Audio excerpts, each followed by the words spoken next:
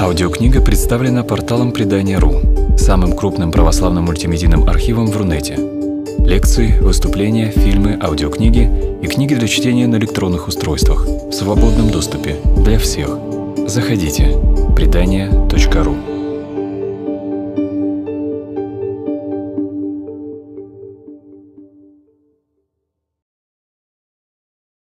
Первое января 1872 года. Поздравляю вас с Новым годом. Желаю вам здоровья, мира душевного и обновления жизни. Великий Арсений говорил ежедневно, «Господи, ничего доброго не сделал я. Даруй мне хотя с нынешнего дня начать, а нам хотя бы с каждым Новым годом начать вновь, с новым произволением, с новым стремлением духа отрекаться от всего старого в нас, чтобы приобресть общение с тем новым, обновленным естеством, которому обещано воскресение.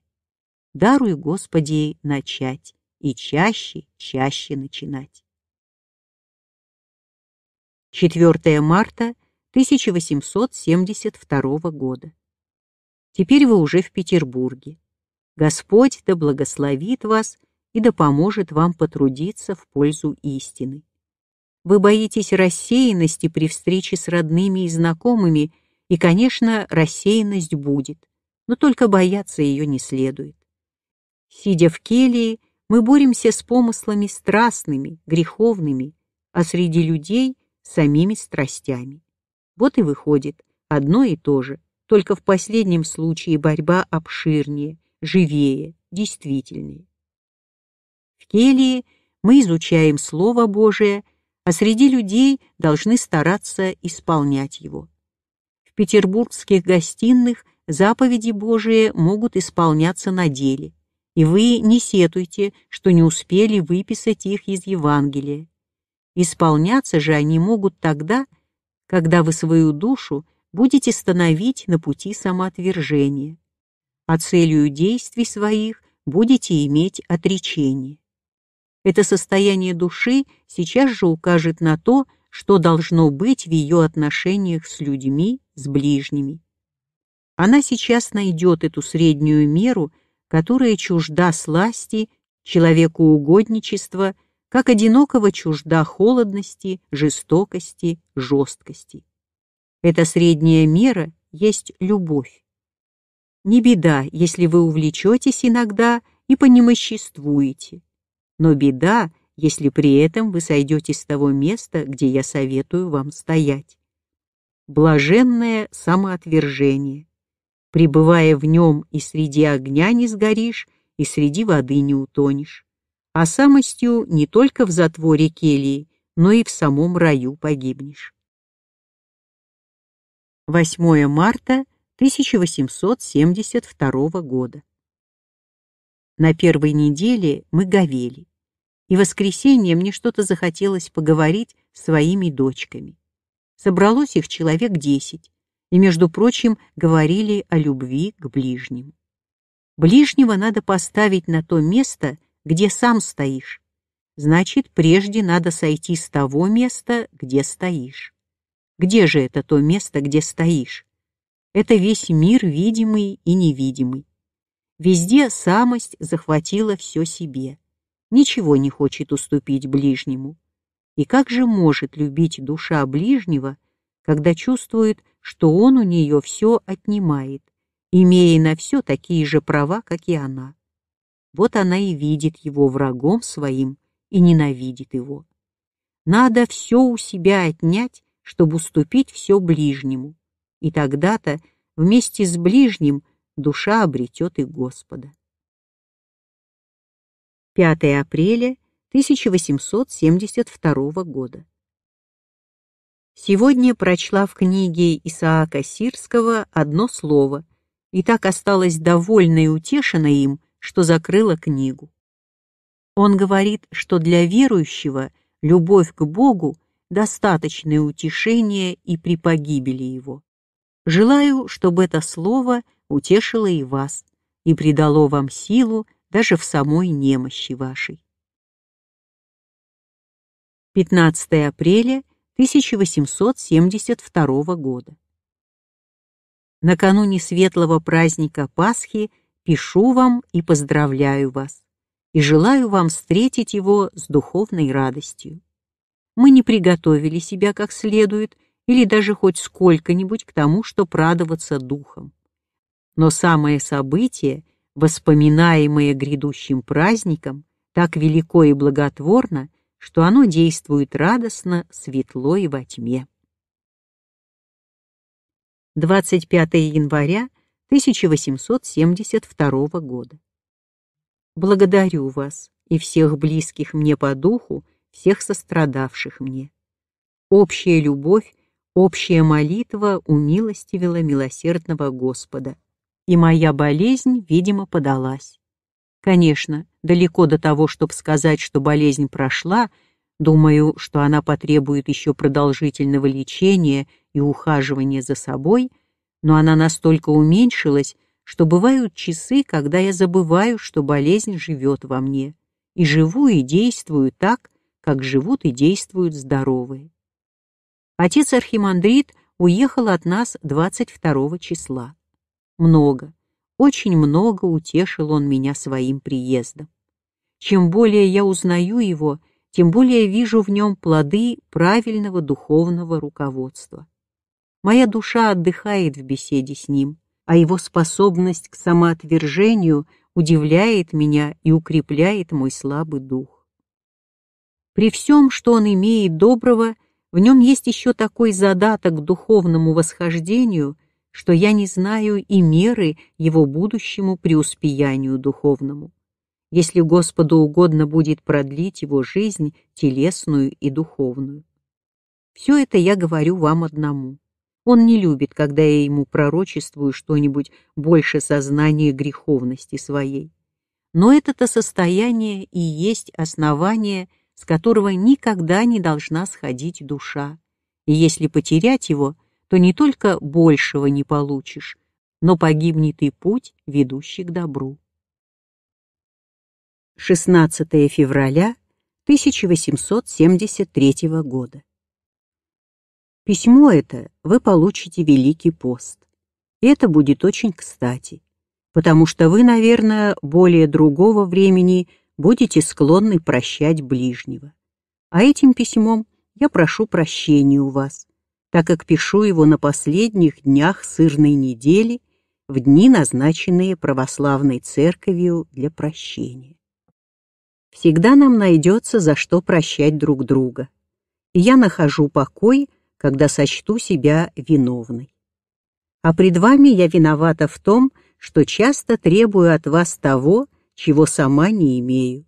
Простите. 20 февраля 1873 года. Поздравляю вас с наступившей Четыредесятницей, которую желаю провести в совершенном здоровье и духовном подвиге. Мы по обычаю монастырскому говорим с душевной пользой. Но польза не от нас, а от Господа. Об ней будем молить Его милосердие – а я желаю вам прибыть в подвиге, потому что подвиг от нас. В нем пребывать нам нужно непрестанно. А теперь и время способствует ему, и церковь помогает. В чем же должен состоять подвиг, и какая цель его? Подвиг должен состоять в отрезвлении тела от сонливости, от лености, чтобы оно бодро стояло на службах церковных, на келейных молитвословиях. В отрезвлении души от уныния, ума от помыслов суетных, сердца от чувств страстных, чтоб всецело внутренний человек предстоял пред Господом. Это-то и есть цель всех подвигов. Но приведет ли Господь достигнуть желаемой цели? Об этом опять не нам рассуждать, а подвиг оставлять было бы грешно и только одно уныние, подкрепленное неверием, основанное на развлечении, может пренебрегать им, сделавший своею целью удовлетворение своих страстных влечений. Но нехорошо и то, что вы очень унываете от напора искушений. Бросьте свое смущение Я не хочу его видеть вас. Помыслы безнадежия от врага, а я не хочу, чтобы вы прислушивались к его внушениям. Господь не попустит нам погибнуть. Он победит врага и наши страсти. Он дарует нам вечное спасение своим непобеждаемым милосердием. Я верую в это. И, зная вашу душу, не нахожу вины, причины, не иметь и вам этой веры, полной и неизменной. Немощи наши не погубят нас, но может погубить нас неверие, от чего да избавит нас Господь своим милосердием. 2 марта 1873 года. Вы занялись чтением Петра Дамаскина. Да, я помню, что желала читать его с вами не для того, чтобы читать, собственно, Дамаскина, но чтобы в своих беседах с вами иметь руководителя. Вам одному его читать не знаю, будет ли полезно. Если б вы читали просто как Слово Божие, недоступное пониманию нашему, недоступное толкованию, недоступное усвоению, то тогда всякая книга могла бы без вреда читаться вами. Но вы все хотите усвоить, взять силою, и потому выходит, что самое полезное слово обращается во вред. Что, если вздумаете усвоить те восемь видений, о которых говорит Петр Дамаскин. Что, если вы будете держать себя силою хоть на первом из них? Думаете, я похвалю вас за это чтение? Нужно знать меру свою. Нужно держаться того слова, которое прилично нашей мере, мере невозрожденного человека. В поте лица твоего хлеб твой снеси.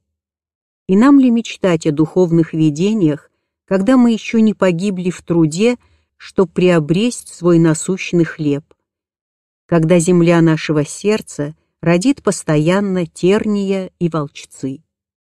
Господи, помилуй нас повелицей своей милости. Господь да покроет вас своей милостью. Вот желание и молитва, преданные вам искреннейше. 31 марта 1873 года. В первый раз я была у обедней в пятницу, на крестопоклонной неделе. Вошла в церковь в ту самую минуту, как пели «Кресту твоему поклоняемся, владыка». Я прямо подошла и приложилась ко кресту. После долгого и мучительного страдания мне было умилительно, отрадно лобызать крест Христов, прославляемый Церковью, славить единое искупающее нас страдание. Потом я стала на свое место, пока прикладывались сестры. В это время продолжали петь стихи. «И древо спасения вкусивши, греховных страстей свободу улучихум». Моя душа отозвалась на эти слова с глубоким сочувствием. Внесли святой крест в алтарь, ушла и я в церковный предел, где пролежала всю обедню, а потом опять проболела. Всякое ваше делание благословляю, молю Господа, чтобы оно было для вас спасительно. Вело бы вас к познанию силы Божией, а своей немощи к простоте и вере. 1 мая 1873 года. Хотя я буду в Крыму, почему бы вам не продолжать писать мне о своем духовном делании?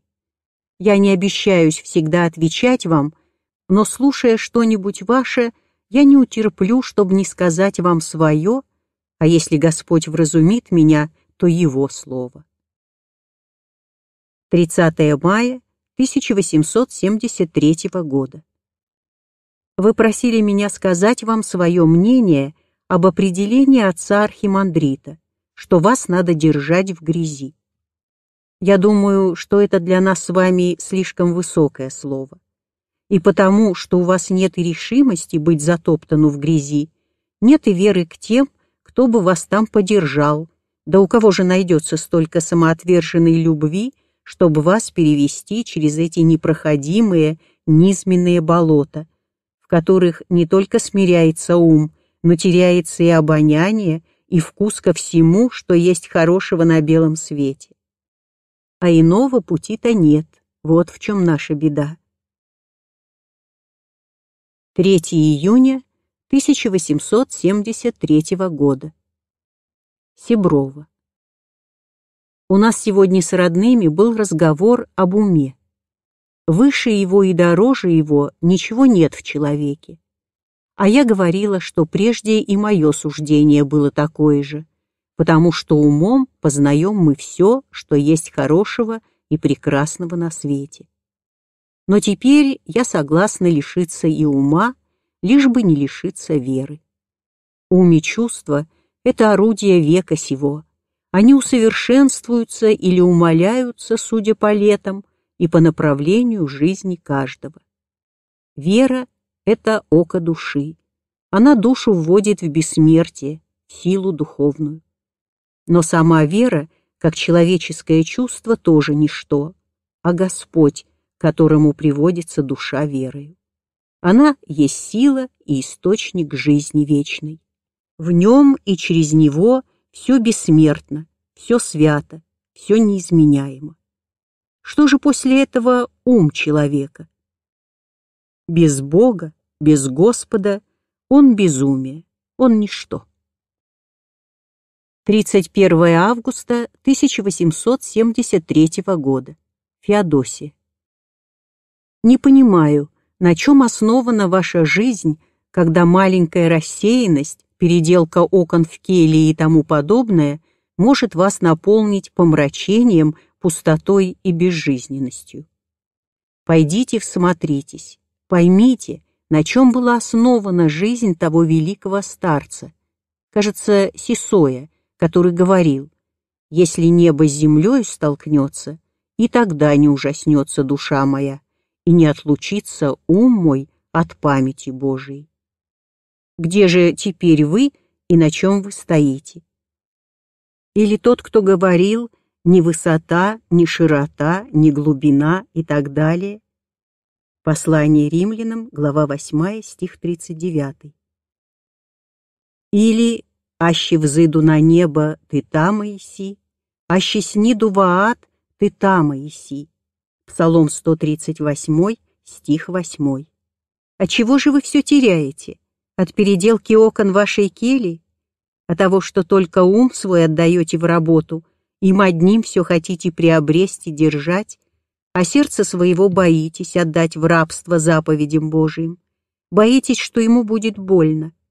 Вот оно-то, наполняясь ощущениями чуждыми, не дает и уму стоять на том месте, где вам хочется его держать.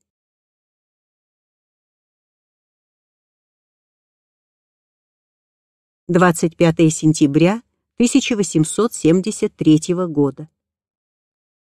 Но не спешите уверять меня, что вы ее простили уже, что помирились с ней в душе. Я не поверю минутному увлечению чувства. То, о чем я говорю, — дар Божий. Это невозмутимый мир, это любовь, все носящее, которое дается душе по очищению ее не только от пристрастий, но и от страстей. Наше же дело — познать их в себе и подъять труд отречения от них. Но и увидать их в себе мы не могли бы, если бы Господь по человеколюбию своему не открывал бы их в нас, посылая такие обстоятельства, которые их обнаруживают в нас. Познается же страсть в душе, когда ощущается болезнь сердца томящая, давящая, возмущающая помыслы душевные, наводящие уныние. Пока не ощутила душа свободу, пока не вкусила мира и любви, не говорите и не думайте, чтоб пристрастие было уничтожено. Оно только огорчено, приняло другую форму. И в этой-то форме его возможно стало узнать. Когда оно услаждает, тогда его трудно познать, а когда огорчает, тогда легко. Благодарите же Господа, что Он дает вам познание пристрастий и страстей наших, и сам выручает нас, освобождая от них душу горькими опытами жизни, а еще больше святым и животворящим Словом Своим. 19 декабря 1873 года. Душевное состояние мое таково, что требует много труда. А в труде нужно потерпеть, и еще потерпеть, и еще потерпеть. Чтоб цель терпения был труд, чтоб цель труда — выносливость в терпении. Дальше этого не должен идти труд. Ближе этого не должно останавливаться терпение. Но без Господа ни того, ни другого не достигнет душа, и опять трудится и терпит с немощью и самоукорением. 26 февраля 1874 года. Исполняя мои поручения, имейте в виду мою волю и желание и мысль, а не свою.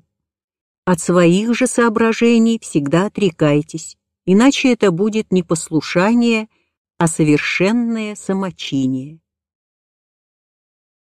30 марта 1874 года.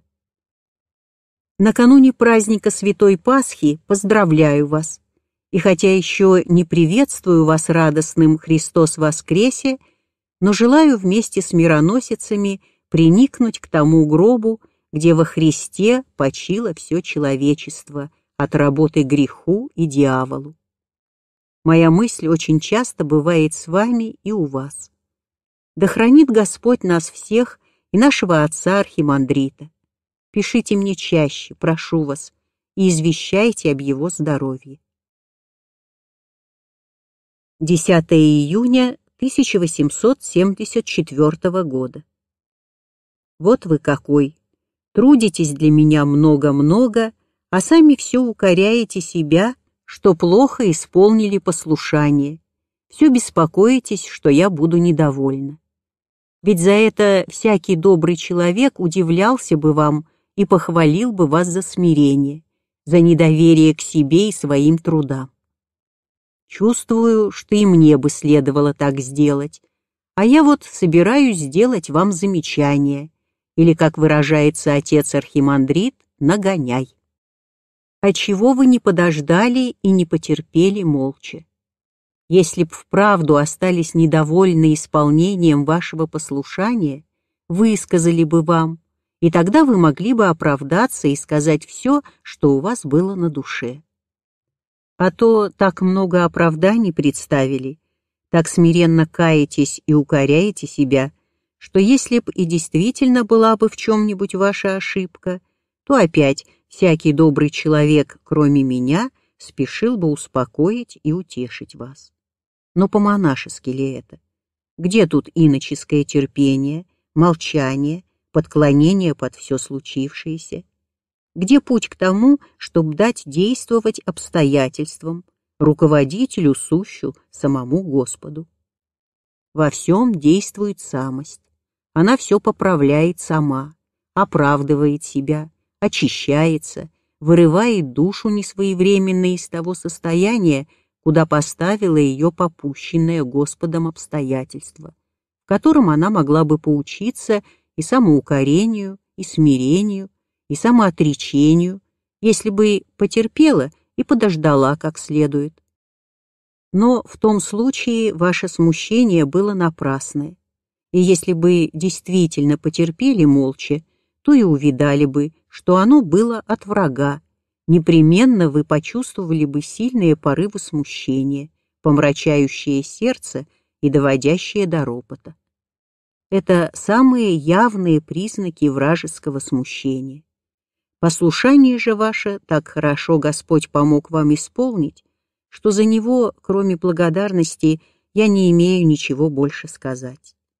Вы все уповаете на руководство людей и даете ему много цены. Конечно, оно было бы так, если бы имелись духовные руководители. Теперь же, в наше время, видимо, сам Господь руководит душей, ищущие спасение. Вот и вам своевременно посылает Он то, что вам на пользу. Я могла только усмотреть вашу нужду духовную когда говорила вам об исполнении заповедей. А Господь посылает вам и обстоятельства, и дела, где вы можете поработать и потрудиться. Но от человека ли это? Нужно только законно трудиться и всеми силами, чтобы не только работал дух, терпением сдерживая порывы ума, смирением все порывы сердца, чтоб познала душа всегда и во всем единого Господа сущего, всяческое во всем. У меня очень много дела, так что едва достает сил на ежедневные заботы. Но жизнь идет своим путем. На днях, возвращаясь с кирпичного сарая через сад, я посетила схимницу в ее затворе и передала ей понятие, вновь открытое моей душе о памяти смерти. А еще нет времени передать ей о памяти страшного суда. Вам же скажу, что эта память имеет началом заповеди Божии, которые при постоянном деятельном обучении в них делаются постоянным судилищем, с которого не может никуда уйти душа, тем более забыть его. Думаю, что тогда молитва недалека будет от сердца всегда подсудимого, всегда осужденного за свою нечистоту, за всечастные уклонения но довольна. 15 июля 1874 года. Потому-то и не сказала вам до сих пор, что я была крайне утешена милостью Божию, сподобившую меня присутствовать при закладке церкви. Лик чудотворной иконы Казанской Божией Матери во время закладки, освещенный солнцем, был так радостно светел, что я не могла без умиления молиться ей. Митрофанию нашу постригли 13 числа в день Архангела Гавриила. С таким чувством уничижения и прочувственного смирения она распиналась, что все присутствовавшие были тронуты и проникнуты страхом. А меня, покрывавшую ее мантией, оно умилило и сочувственно сокрушило. 20 августа 1874 года. Вы спрашивали о молитве, но я много говорить о ней не могу по малоопытности. Молитва веры, молитва при сознании своей греховности, всесторонней немощности и недостаточности – вот единственная непрелестная молитва человека, не достигшего чистой молитвы а о чистой молитве мне говорить неприлично, как не имеющий ее. Она — дар Божий, она — венец жизни иноческой, она возможна при действии благодати Божией в сердце, или лучше сказать, она есть само то действие благодати. Путь к ней — чистота. Чистоту помыслов и чистоту чувств нетрудно приобрести уединением, чтением, упражнением в молитве. Но чистота сердца многими смертями приобретается. Она есть совлечение страстей. Попробуйте уединиться на некоторое время. Попробуйте отрешиться от всякой заботы и попечения. Отдайтесь молитве, и вы увидите, как улягутся сметенные помыслы, как успокоятся раскачанные чувства, вы начнете в мирном и внимательном настроении молиться. Но там, в груди, есть тяжесть непонятная, которая давит и давит, без всяких порывов, без всяких желаний, но лежит, как камень на сердце, производит тьму и тесноту, которая, как стена, стоит между душою и Господом. Эту стену может разрушить только благодать Божия, при нашей решительной борьбе со страстями по заповедям Божиим. А для нас, во тьме страстей живущих, необходима молитва сокрушенная при вере в Господа спасающего. 6 марта 1875 года. Помните, я говорила вам о том, что желаю положить начало, но какое начало не сказала терния и волчцы возрастит тебе земля, и в поте лица твоего хлеб твой снеси. Вот это начало. Земля моего сердца постоянно родит тернии страстей. С трудом искоренять их при постоянной бдительности над сердцем решается воля, усматривая их разумом, действуя на них именем Господа Иисуса Христа. 13 апреля 1875 года. Христос воскресе! На первый день Пасхи приветствую вас православным приветом и от души желаю, чтобы он отозвался радостью в вашем сердце. Христос воскресе! Только потому и не радуемся радостью совершенную, что не умирали со Христом, не распинали с Ним и о Нем нашей плотской воли. Воскресению этой воли нашей, оживающей исполнением какого-нибудь страстного греховного дела, мы радуемся более и живее. Будем же плакать. 8 мая 1875 года. Сожалею о болезни вашей ноги. Болезни – напоминание смерти, и надо готовиться к ней. Слышу, что вы спрашиваете, как. Думаю, отречением от земли, от всего, что составляет ее жизнь и сладость. Довольно работать страстям. Служба им кончена. Счеты сведены.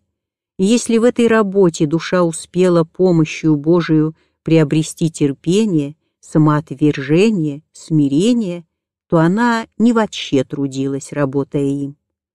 Но все же не это искомое. Ей надо идти дальше.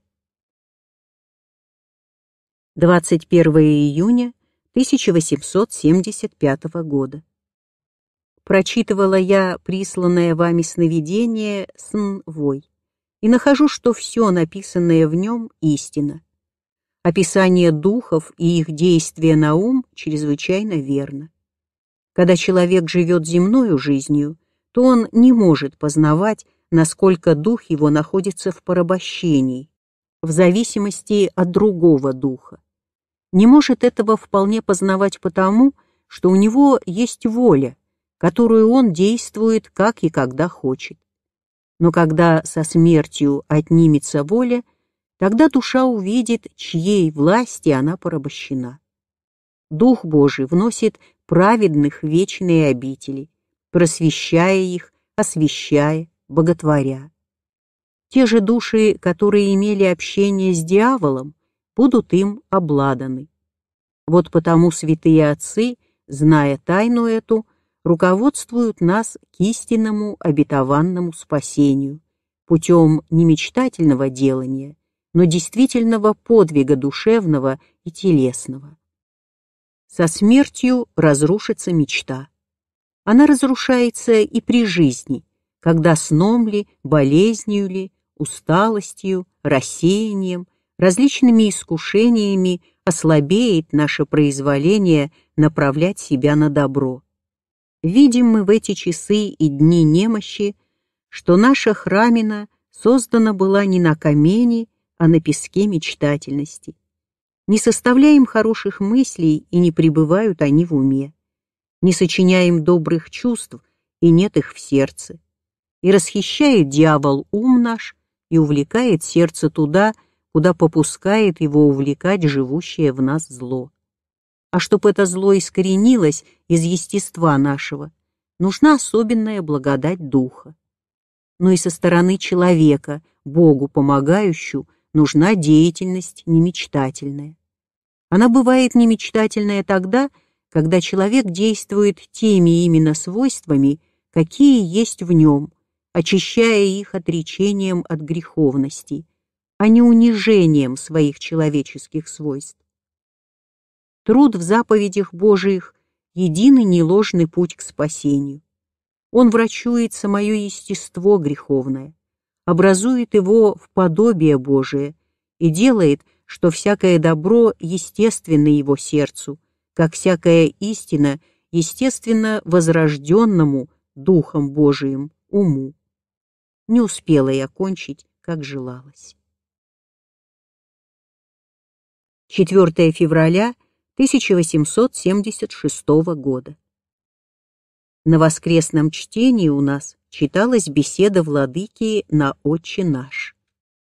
Все сестры были очень довольны и слушали не только со вниманием, но и с любовью. Одна я ничего не поняла, а главное, не поняла последних прошений. Да будет воля твоя. Но как познать эту волю всесвятую? А принявши от Господа некоторое познание ее, как творить, когда к творению собственной греховной воли влечет неудержимое стремление моего падшего естества? Как воспоем песнь Господню на земле чуждей? Псалом 136, стих 4. А потому единственная правильная деятельность души — пребывающий на реках вавилонских, сидеть и плакать. Желаю вам всего, что может служить ко спасению и преуспеянию душевному.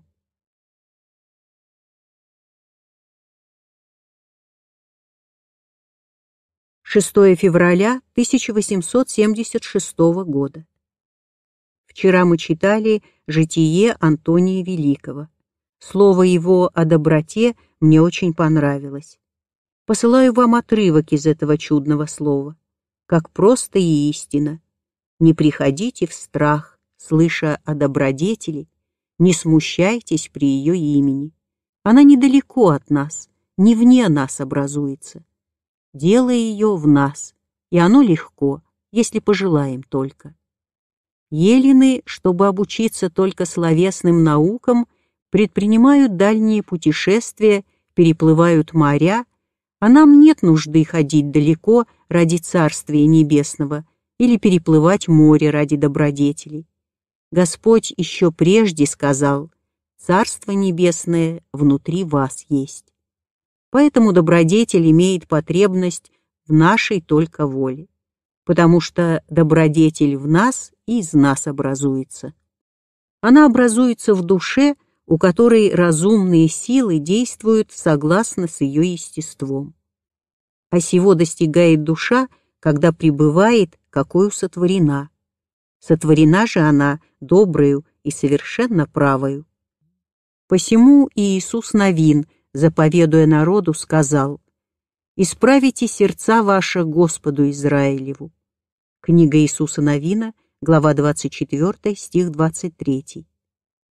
И Иоанн Креститель говорит, «Правы творите стези, ибо душе быть правою, значит разумной ее силе быть в таком согласии с естеством, в каком она создана». Евангелие от Матфея, глава 3, стих 3. Когда уклоняется душа и делается несообразно с естеством, тогда называется сие пороком души. Итак, сие дело нетрудно. Если пребываем, каким созданы, то мы добродетельны. Если же рассуждаем худо, то осуждаемся как порочные.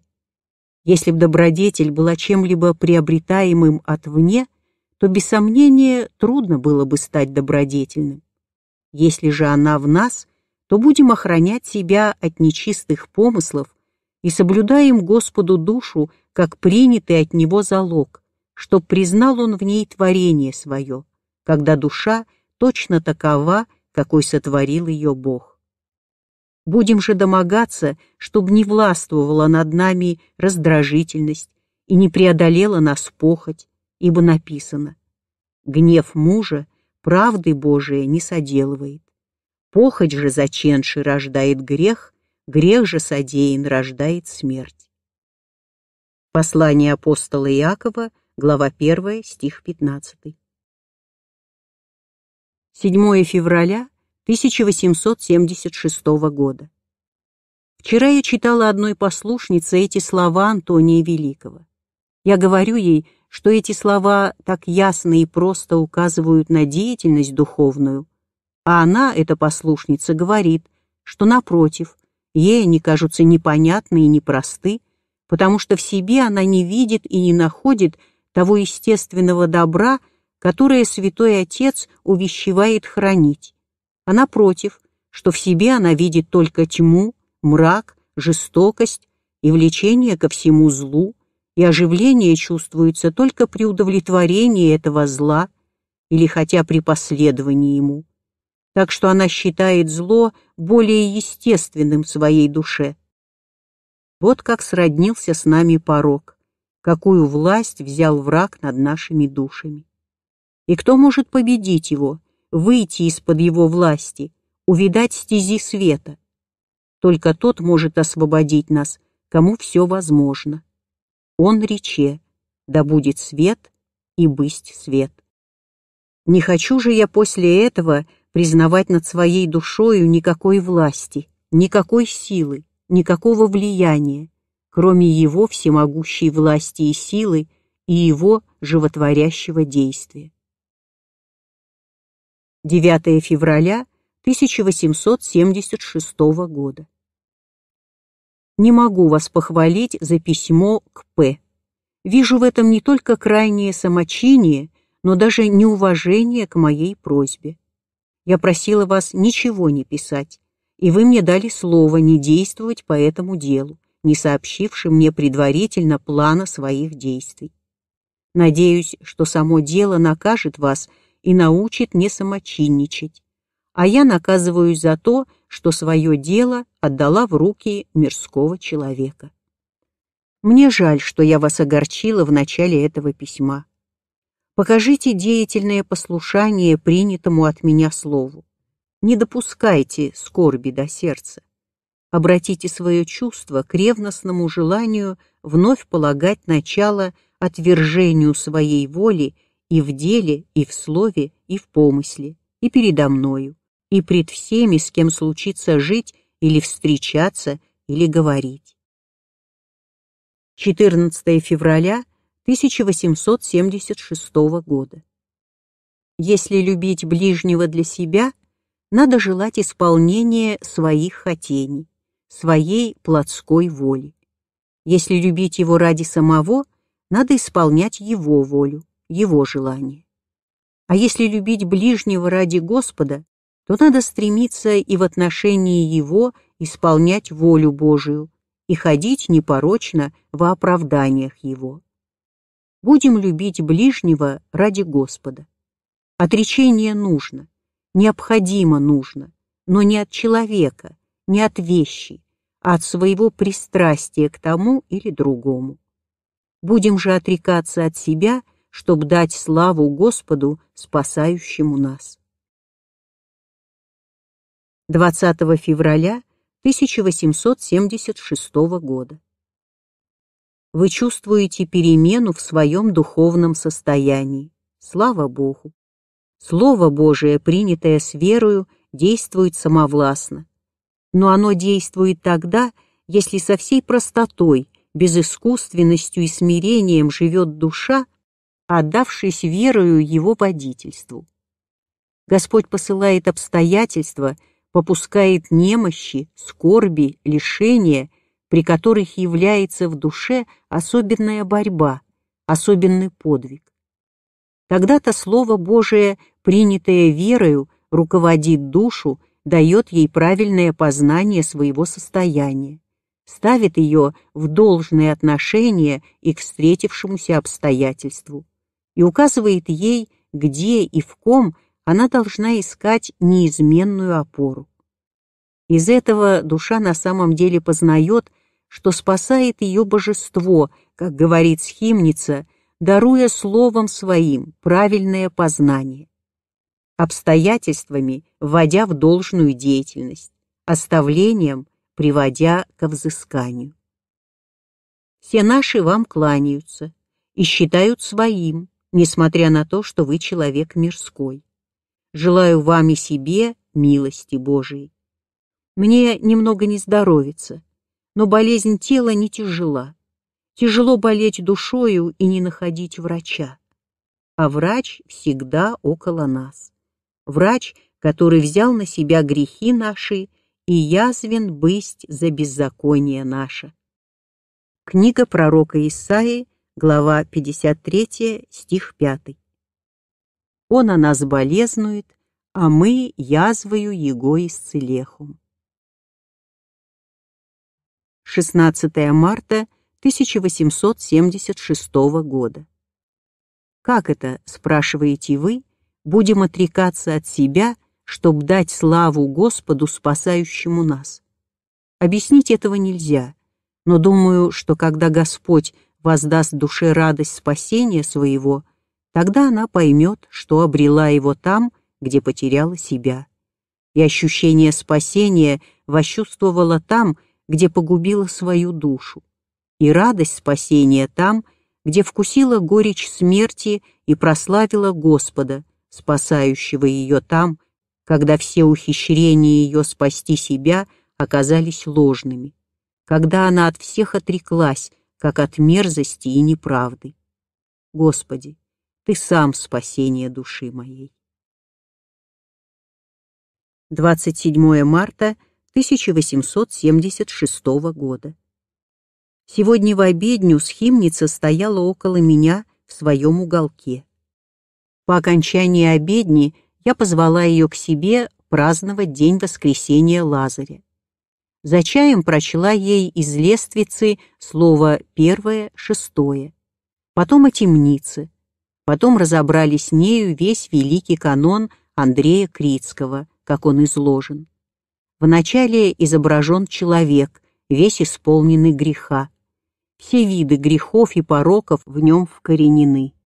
От этого видения своей греховности – в нем является некоторое безнадежие и легкое отчаяние. Но Христос явился на земле. Он очистил все виды греха, искоренил порог во всех видах и свойствах. Душа получает дерзновение в покаянии. Она ищет, как в Силааме, очистить слезами сердце. Она находит в себе силу побороть плотские страсти и лесные помыслы. Но, принося эти плоды покаяния, она познает, что не эта жертва угодна Господу, и, наконец, говорит, «Достойных покаяния плодов не истяжи от меня, ибо крепость моя во мне скуде, сердце мне даруй присно сокрушенное, нищету духовную. Да сия тебе принесу, яко приятную жертву, едине спаси». В этом стихе – как чувствуется моей душе, заключается вся суть великого канона и великого делания покаяния. После этой беседы и после обеда старица, утешенная, пошла опять в садовую келью. Напишите мне, что такое победы знамения. Буду ждать ответа на этот вопрос безотлагательно, а тогда скажу, как я понимала. Даруй нам, Господи, возродиться для новой жизни о Христе Иисусе. 30 марта 1876 года. Вчера я получила два ваших письма от 15 и 21 марта. В одном из них вы описываете свое состояние, которое называете тупоумием, и смущаетесь тем, что душа, находясь в этом состоянии, не имеет никаких сил отражать искушения, прирожающиеся к ней помыслами и ощущениями. Душа и ни в какое время не имеет силы побеждать ни страсти, ни помыслы о страстях. Их побеждает в нас Господь силою своей благодати. Но вам хочется знать, как должна держать себя душа во время известного перехода, который вы называете тупоумием, когда прекращается деятельность ума, и унынием, когда прекращается деятельность внутреннего духовного чувства. Состояние души в этом переходе бывает очень тяжело. Для немощного позволительно в это время развлечения. Менее немощному помогают занятия послушанием, духовная беседа и вообще внешние подвиги. А более сильному святые отцы в дни этого душевного зноя давали такой совет. Ешь, пей, спи, но не выходи из кельи, и она тебя всему научит. Испытавшие такой совет называли келью пещую вавилонскую. К чему же приводит последний совет? К обретению того, кого обрели отроки вавилонской пищи. Вы, наверное, пожелаете узнать, кто такой этот более сильный. Это тот, кто имеет правильные духовные понятия. Они дают ему силу во время искушения не уклоняться с истинного пути. а другой силы человек от себя и ожидать не может, потому и несет все в терпении. 18 августа 1876 года. Сиброва.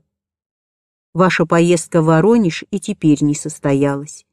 Это приводит к мысли, что поездка эта была бы на пользу души, и потому так много встречается препятствий к исполнению ее, что вот уже несколько лет, как вы желаете и намереваетесь поклониться святым мощам угодника Божия, и никак не удается. На будущее время нужно укрепить произволение и решимость. 20 августа 1876 года. Сиброва. Господь повелевает покончить счеты, не помню, как именно сказано в Евангелии, соперником своим. Донди же иси на пути с ним. Евангелие от Луки, глава 12, стих 58. Пока мы еще на пути жизни, мы можем кончить эти счеты, кончить их отречением от того, что нам мешает на пути духовного восхождения, отречением от всего, что сопутствует нам в этой жизни. Когда же окончится путь, тогда не будет и предметов, и чувств, от чего бы следовало отрекаться. Останется одна нищета душевная и богатство мучения душевного, как у должника – не успевшего уплатить долг свой. А должник не всегда страдает только тем, что совесть его упрекает, но больше тем, что лишается и того, что мнился иметь. Лишается всего достояния, довольства и свободы. Да, нужно уплатить долг сопернику, донде же на пути с ним уплатить отречением. 16 сентября 1876 года. За это время много было неприятностей и скорбей, отчасти и болезней. Если тяжелы бывают неприятности внутренние, монастырские, то еще тяжелее внешние, при столкновении с миром. Тогда-то чувствуется беспомощность монашества и ненависть мира. Да, Часто при подобных обстоятельствах вспоминаю слова пророка Давида.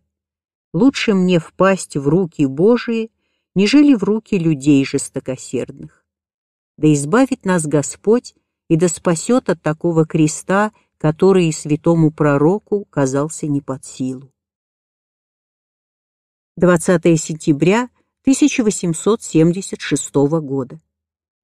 Вчера я была у схимницы и мы беседовали о том, что много у меня скорбей в настоящее время, и что наведением скорбей враг усиливается погубить душу, уклоняя ее в уныние, в ропот, в нелюбовь к ближнему, а Господь, попуская скорби, хочет спасти ее, давая ей возможность борьбою приобрести мужество, терпение, разум духовный и, наконец, смирение – когда самые эти скорби превысят сил.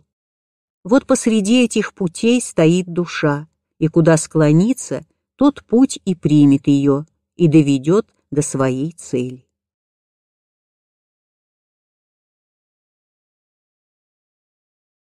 Тринадцатое октября 1876 года. Вы негодуете на ПП, что он меня награждает крестами скорбей. Нет, вы ошибаетесь. Эти кресты не П, а Господь мне посылает.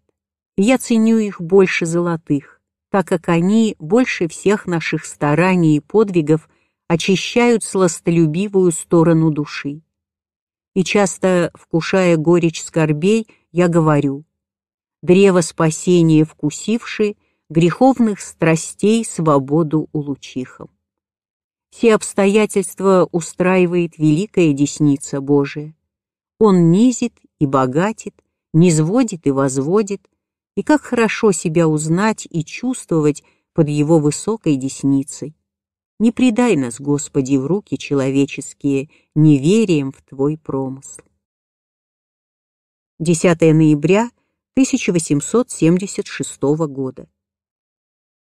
Письмо А.П вас встревожило. Это понятно. Но постарайтесь по возможности придать его воле Божией. Это можно сделать тогда, когда отстранишь собственную волю и не станешь указывать, что лучше и как следует. Мне думается, что надо дать ему свободу пожить, как ему хочется.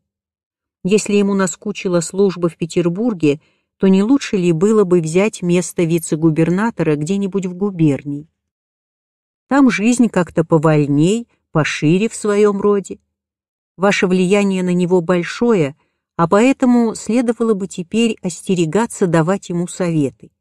Они могут быть тяжелы для него и слишком угнетут его внутреннее чувство. Любовь теми хороша, что она дает свободу, не ограничивает место, до которого она может следовать за любимым, но, напротив, она идет за ним в самый ад. Потому-то она и сильна, и не раз восхищала, извлекала любимых из дна ада. 29 ноября 1876 года. Вы спрашивали о памяти смерти. Хорошо иметь память смерти, но с разумом. Когда она служит к отречению, к умилению, к сокрушению духа, к смирению. Если же она производит уныние, то и самая память смерти будет вести не к спасению, а к погибели. Во время уныния полезнее иметь память милости Божией, Его благости, Его дарований, туни нам посылаемых, спасения, даруемого им нам и обстоятельствами жизни, и самыми нашими падениями. Все хорошо в свое время. В него время и самое хорошее может послужить во вред. Но есть одно дело, для которого всегда время. Это дело смирения духа. Оно лучше всего. 5 января 1877 года. Газеты известили нас еще во время моего пребывания в Сиброве о кончине Преосвященного Леонида у вас на Бабайках.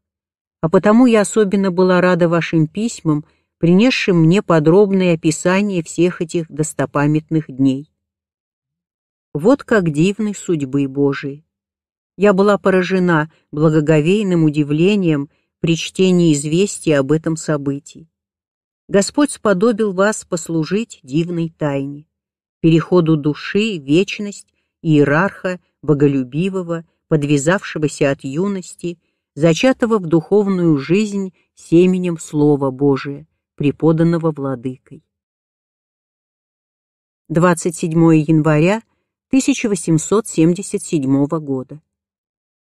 Всегда, как только случится что-нибудь неприятное для чувств наших или скорбное по отношению обстоятельств нас окружающих, или что-нибудь вообще противное воле нашей, вы всегда при этом говорите «это попущение Божие». Это слово мне всегда не нравилось и коробило мое внутреннее чувство.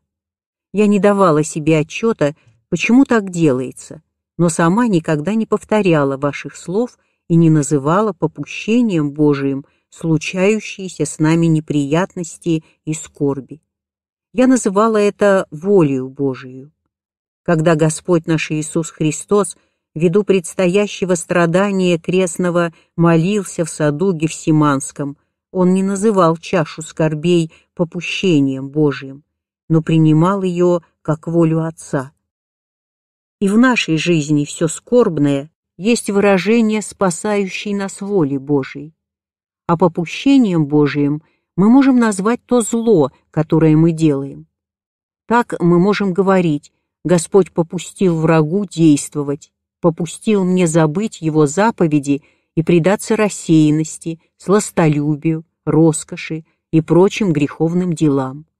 Но по воле его постигла меня болезнь или другая какая земная скорбь, и я вошел в себя и стал отдаляться от греха. Вот видите, где попущение Божие? Там, где зло, где грех нас постигает, а не там, где скорбь земная, плотская. Но волю Божию не только нужно принимать, а надо ее и творить, а для этого прежде всего ее нужно познавать. Познается же она душою, когда открывает Господь душе свою волю сам. Открывает же Он волю свою душе, когда она ходит пред Ним в правоте.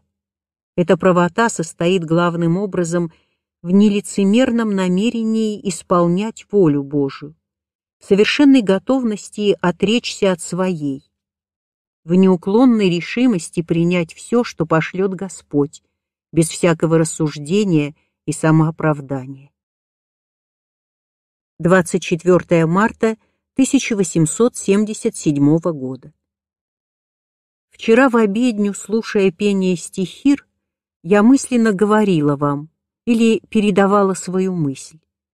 Господа можно продать, подобно Иуде, за самую малоценную земную вещь, но взять его своею собственную силою нельзя. Сам Бог пришел есть спасти блудницу, поет Святая Церковь. Сам он приходит к душе, если она не будет его продавать и делом, и чувством, и мыслью. 10 января 1878 года. В этом году я еще не писала вам и не приветствовала вас с Новым годом. Это отчасти происходит от того, что я не всегда ценю обычаи света и вообще все перемены этого изменяемого мира. Вот был бы действительно Новый год жизни, если б душа из тьмы пришла к свету, из страстей в бесстрастие. А то что нового у нас? И вчера страсти и грехи, и сегодня они же с нами, все те же старые и все такие же новые. 28 октября 1878 года. Как видно, вы немного унываете. И действительно, как не унывать душе, когда она останется одна своими грехами, страстями и немощами? Как ей не унывать, когда она видит в себе только одно зло, одну нечистоту, а сил не имеет выйти из своего состояния гибели и даже не видит исхода, не видит пути, по которому могла бы выйти? но когда она обратится к Богу, когда откроется ей бездна милосердия Божия к людям, пути его благого промысла, спасающего человека погибшего, когда она начнет искать свое спасение в этой бездне милосердия, когда, верою в путь его промысла, неизреченно спасающего нас, уничтожит в себе всякое сомнение, тогда почувствует и силу, и покой, и утешение. Тогда отойдет от души мрачное уныние, отвалится камень бесчувствия. Мир и радость — это плод смирения. Вот пристань, где находили свой покой все добрые подвижники, все скорбящие душою, все жаждущие спасения. Не бойтесь потерять все для получения смирения. Не бойтесь проходить по пустыне уныния, в которой душа все теряет, и неимущее, бесчувственное, не в силах двигаться. С этого пути, скорее всего, прийти к смирению отрешением от себя. 9 ноября 1878 года. Сегодня у меня болела щека всю ночь, и потому рука несколько успокоилась, и я имею возможность написать вам. По мнению всех и отца Феодора, лучше бы я совсем не ходила в церковь. После каждого выхода у меня усиливается болезнь. Я и не ходила бы, и берегла бы себя больше, если была надежда на то, что болезнь пройдет. Но так как я уверена в том, что она неразлучно будет со мною на всю жизнь, то я пользуюсь часом или днем отдыха, чтобы пойти в церковь, чтобы заняться делом, чтобы послужить чем-нибудь своим сестрам или утешить кого словом, лаской. Бог знает, много ли будет таких часов в жизни. В эти дни, полные страданий и в ночи бессонные, я очень полюбила молиться молитвою Господнюю «Отче наш». Только теперь я начала несколько видеть ее божественное достоинство, ее высоту, ее цену для человека, для души христианской. Она для меня служит и молитвенным обращением к Богу, везде царствующему, всем управляющему, все животворящему, все освящающему. Она направляет мой дух в смирение, мое чувство к умеренным желаниям в настоящем, мое действие в пути Божии, мое стремление в волю Божию. Все мое существо руководствует во спасение, носит меня, заключает в истине. Кроме этого божественного руководства не нужно ничего. Оно одно может направить на истинный путь, дать душе все то, что составляет христианское совершенство. Но довольно. Будьте здоровы и молитесь обо мне, грешной. 3 февраля 1879 года. Мне трудно писать, но я взялась за перо, чтобы дать весточку о себе и рассказать вам мой вчерашний сон. Мне снилось, что показывают мне большую картину «Тайной вечери». Покрыт большой стол, за которым сидят по правую сторону мужчины, а по левую – женщины. Одеты все в одежду первых веков христианства. Смотрю и недоумеваю. Где же Господь Иисус Христос? Его изображения нет посреди стола, хотя его присутствие ощутительно, и благодать его ясно освещает всех присутствующих на вечере. Всматриваюсь еще и вижу, что у правой стороны стола стоит диакон, а на левой — диакониса, и оба читают Евангелие. Увидавши это, я со слезами припала к столу и воскликнула. «Господи, вот когда я уразумела тайну вечери. Все святые приобщаются Слову Божию, все духовно воспринимают его и им преобразуются. 24 октября 1879 года. Сегодня в обедню я вспомнила вас. Вы всегда, а как-то недавно особенно сильно, высказываете то, что нуждаетесь в милости Божией. Но вы выражаетесь не точно и не полно. Мы не только нуждаемся в милости Божией, прощающей грехи наши, носящей немощи наши, терпящей беззакония наши, но мы нуждаемся еще и щедрот Божиих, которые очищают нас от беззаконий наших, просвещают разум наш к познанию воли Его, укрепляют дух наш к стремлению богоугодному, направляют волю нашу к творению заповеди Его. Когда душа познает, насколько она нуждается в щедротах Божиих, и увидит, насколько Его щедроты благотворят нам и во внешней, и во внутренней жизни нашей, тогда только душа способна молиться Ему сокрушенным и благодарным сердцем и тогда только молитва будет живым словом души. Святой пророк Давид был введен в познание Господа милостивого и щедрого, и потому его молитва была полна благодарения, словословия и сокрушения. Только познание греховности своей приводит к исканию милости Божией. Только познание бессилия, беспомощности, полной немощи своей приводит к познанию Господа Прещедрого. Прошу вас молиться обо мне, много нуждающейся в ходатайстве другой души пред Господом милостивым и щедрым, но и правосудным. Привыкши вникать в смысл всякого дела и слова, я часто останавливалась в недоумении перед обрядом и обычаем просить у всех прощения накануне поста. Мы просим прощения в этот день не только у тех, с кем не встречались на деле и не могли быть виноватыми пред ними, но даже и у тех, кого иногда совсем не знали, не видали никогда. Зачем этот обычай у всех просить прощения? Точно он не имеет смысла, и как будто этой безразличностью затмевается настоящий, существенный смысл этого постановления. Так я думала и смущалась духом, и не умела делать поклона с душевным сознанием и скорбела об этом. И только теперь мне открылось, и душа моя осознала точный смысл этого постановления. Лично мы не делали ничего обидного, и нет нашей вины пред всеми. Но если б даже мы могли с Давидом сказать «тебе, единому согреших», то и тогда наш грех становится грехом пред всеми, и мы делаемся виноватыми не только перед ближними, но и перед всеми людьми.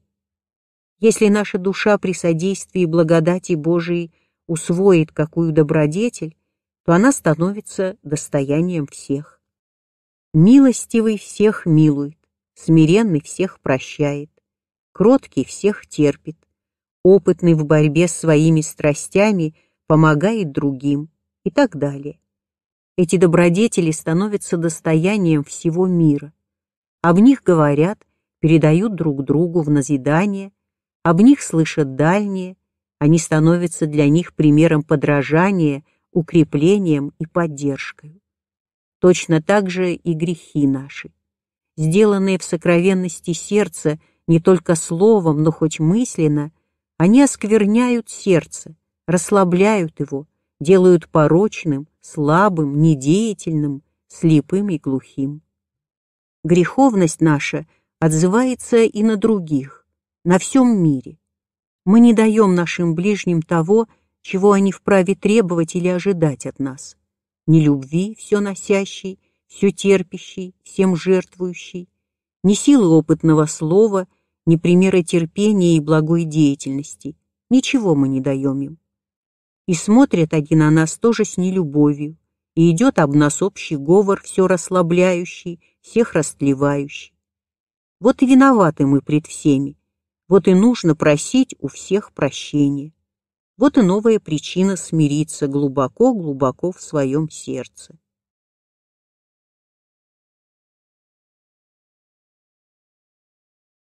Тринадцатое апреля 1880 года.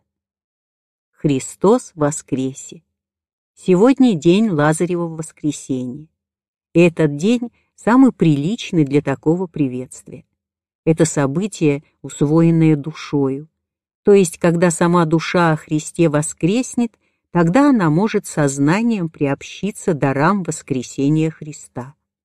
Нам, сидящим во тьме и сене смертной, прилично только радоваться и благодарить Бога, что дал нашему естеству эту способность, этот великий дар воскресения о Христе, радоваться и благодарить за то, что есть и были избранные души, воскресенные им от смерти к жизни, а о себе смиренно мудрствовать. 23 февраля 1881 года. Леонида уже дней десять как дома.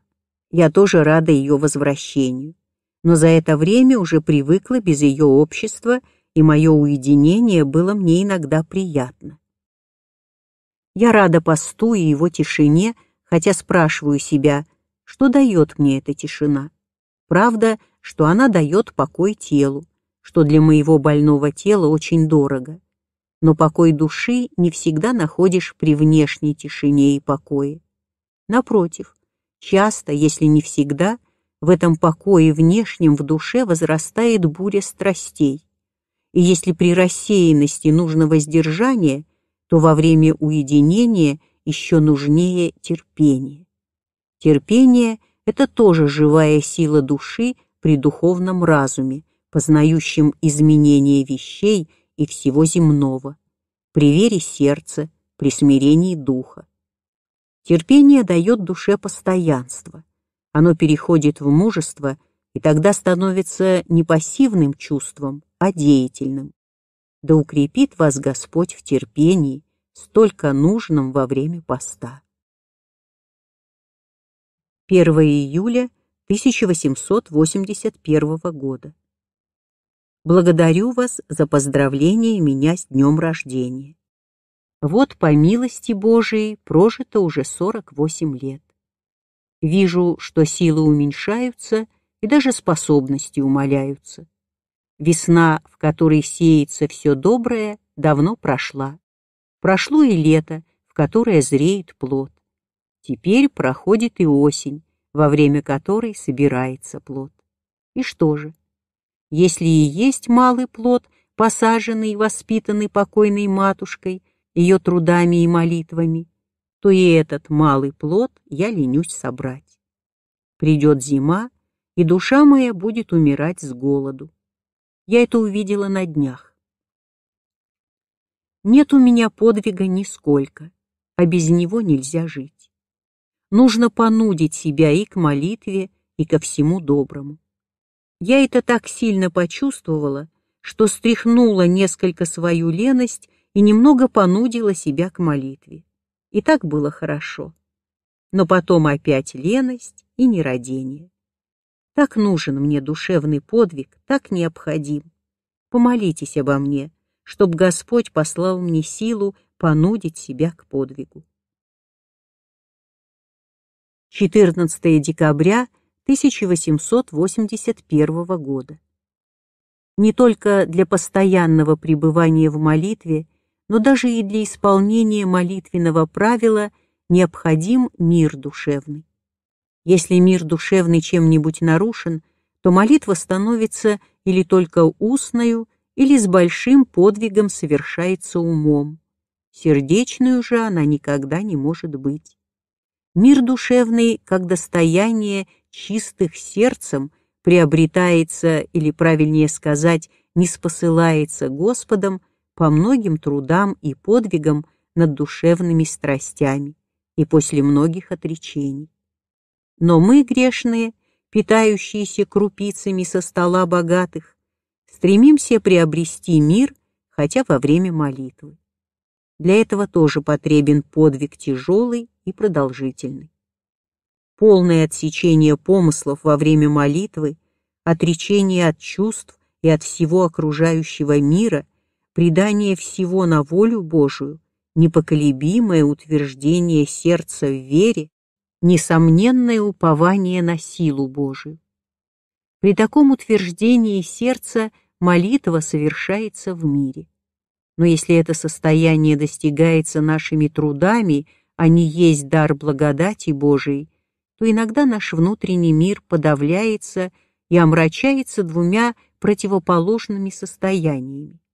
Или хладом сердечным, или радостью чувственную, заменяющими или занимающими место смятения помыслов и волнения чувств. Хлад сердечный — это такой исполин, которого победить не достанет человеческих сил. Много надо подвига любви к ближнему, много милосердия к недостаткам ближних и прощения их, чтоб смягчилось сердце. А во время молитвы упование на силу Божию. Нужна молитва за ближних, за весь мир, за вся человеки, молитва о прощении грехов всех грешников, из них же первый есть ас. Пройдет хлад, и наступает безумная радость, которая волнует внутренние чувства и нарушает мир. Тогда-то потребно глубокое смирение, временное даже оставление молитвы по недостоинству, служение самоотверженное ближним делом или словом. И только в глубине смирения и самоуничиженного чувства – кроется мир внутренний, при котором совершается молитва. 22 декабря 1881 года. Блаженный Иероним сам о себе свидетельствовал, что мое тело прежде общего разрушения человеческого состава было уже мертво, а мои страсти все еще кипели. Он описывает свой подвиг денно-ночный, свое сокрушение, а мятежная плоть продолжала брать перевес над силой, и душа повергается в уныние. Это постоянное пребывание в подвиге, неуклонное стояние в нем — вот черты, запечатленные в его изображении на образе. Даруй нам, Господи, всегда пребывать в подвиге а что выше этого состояния, то не от нас. 21 марта 1882 года. Жизнеописание владыки нашего я получила и читала. Читала с большим удовольствием, с душевным утешением и назиданием. дороги слова самого владыки, его собственные свидетельства о себе. Сказать о нем слово может только тот, кто возвысился до понимания всех его деяний. Чем меньше о нем сказано, тем лучше. Об лествичнике так мало нам передал его жизнеописатель, а между тем для всего монашества и древнего, и нового, и будущего он будет руководителем, и его образ такой ясный и живой для всякой души, руководимой им. По-моему, очень довольно сказанного и для настоящих, и для будущих почитателей и учеников Владыки. Пусть бы еще и еще печаталось это издание, но скажу к этому, вам необходимо собрать все материалы, все мелкие и подробные сказания, которые вписать чисто в одну тетрадь и скрепить своей подписью. Пусть это будет памятником для ближайших последователей владыки, а может быть в будущем они будут иметь более обширное применение. Брат Василий Михайлович пишет, что они читали жизнеописание владыки и что его поразило сходство с одной знакомой ему душой, в особенности в призвании на путь духовной жизни. 3 января 1883 года. Кончина моего батюшки Михаила Васильевича последовала 20 декабря. Хотя кончина его была самая мирная, но для меня она была так тяжела, точно я сама умирала. За пять дней до кончины его я приехала к нему нашла его очень ослабевшим и неподвижно лежащим на постели. Он не чувствовал никакого страдания, но все слабел постепенно. Я не оставляла его ни днем, ни ночью. Много беседовал он со мною. Последнюю ночь просил читать молитву «Богородице, Дева, радуйся». Вспоминал творение владыки и при этом сказал, что лучшее его сочинение это о Иисусовой молитве. Просыпаясь, он все время читал Иисусову молитву. Последние месяцы он приобщался святых тайн каждые две недели, а при последних днях 15 и 20 числа в 6 часов утра. 4 часа пополудни он мирно скончался, точно уснул. Погребение его совершилось 23 декабря в 2 часа. Его постническое тело не спешило разлагаться.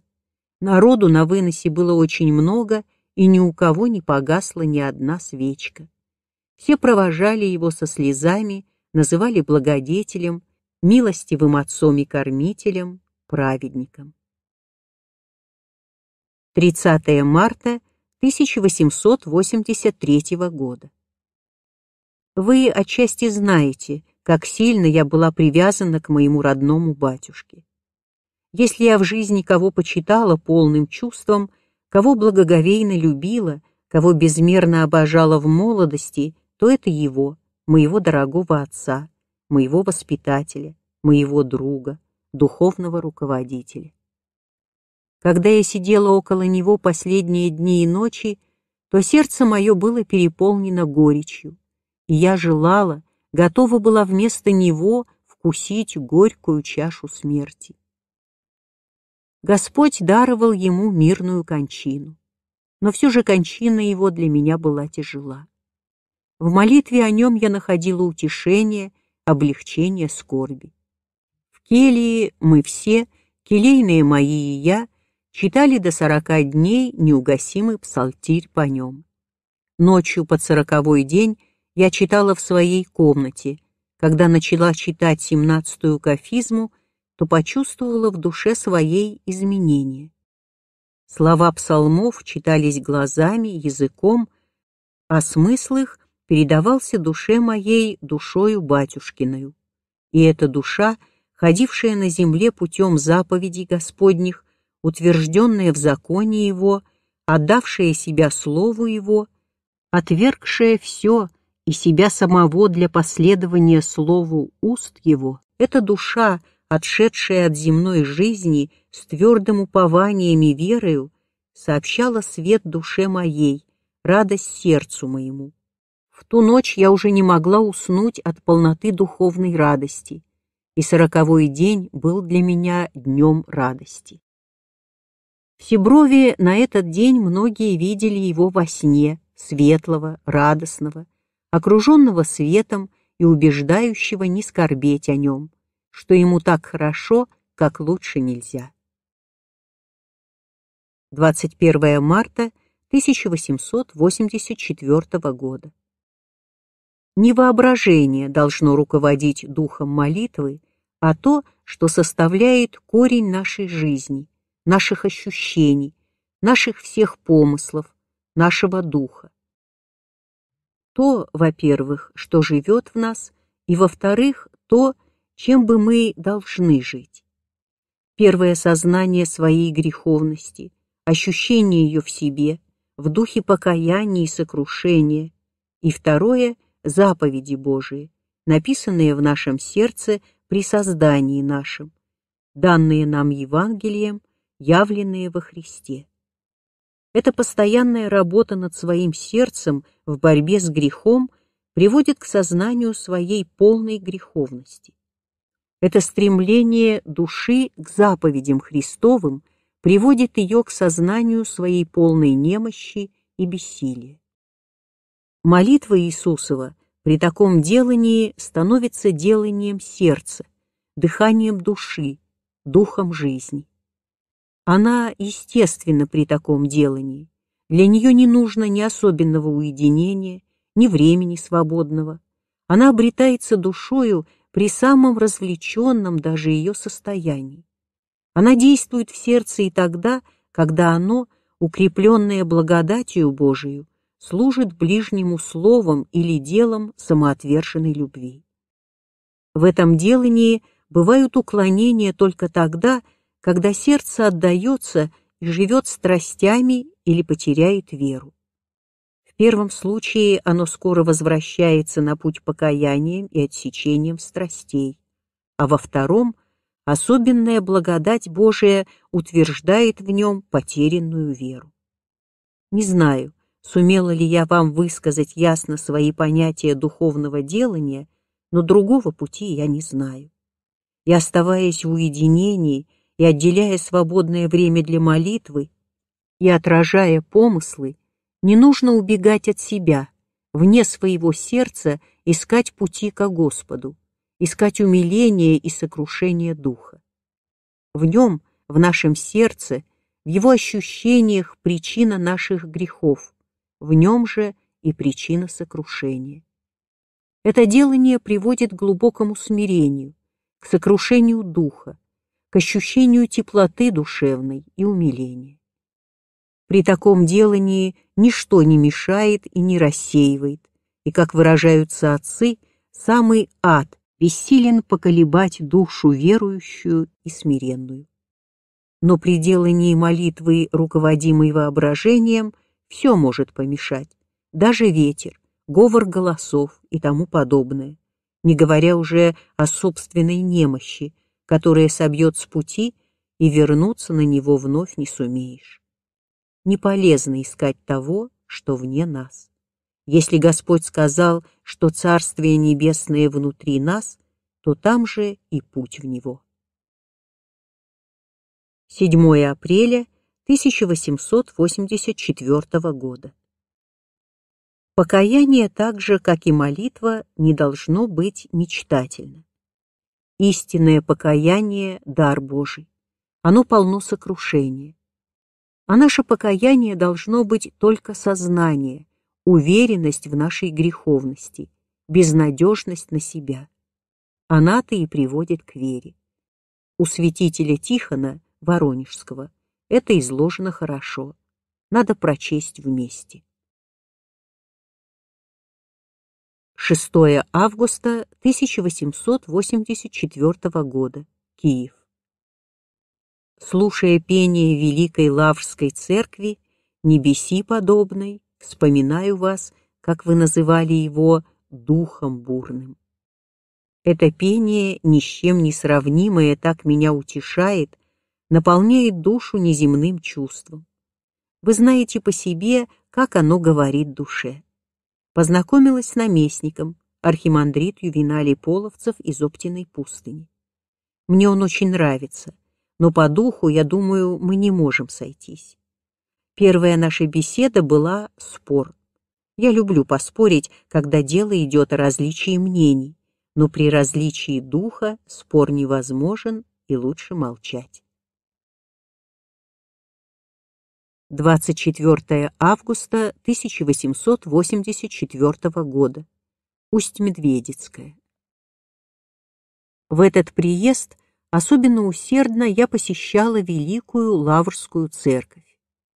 Это пение лаврское, полное покаянного сокрушения и твердой, непоколебимой, дерзновенной веры, пробуждало мою ленивую душу, сокрушало ее. Как мне было грустно слышать, что те, которые стоят во главе, не понимают это пение, даже укоряют его. Наместник несколько раз приглашал меня к себе, и по несколько часов мы проводили в духовной беседе. Из них результат. Я поняла, что он человек духовный, но насколько он не единомыслен нам, я сужу из того, что чем дальше шла наша беседа, тем моя душа все глубже уходила сама в себя и закрывалась. Но он хороший монах и, кажется, на своем месте. При прощании наместник сказал мне, «Мудреный вы человек». Он не хочет признать, что стремление у нас к одной цели, что есть оно, это стремление.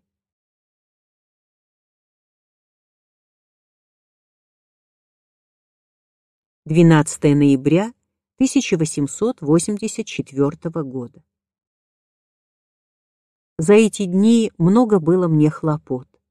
Кроме суеты, сопряженной с празднеством и посетителями, хотелось еще готовившихся к постригу сестер всех вместе и каждую отдельно подкрепить и направить соответствующим словом.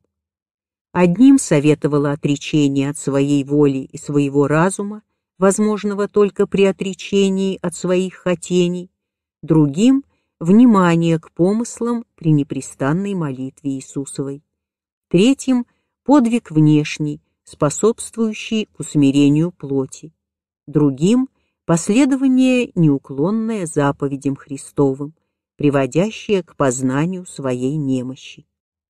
Вам же, родной о Христе брат, желаю всего вполне, всего того, что пожелала сестрам каждый порознь.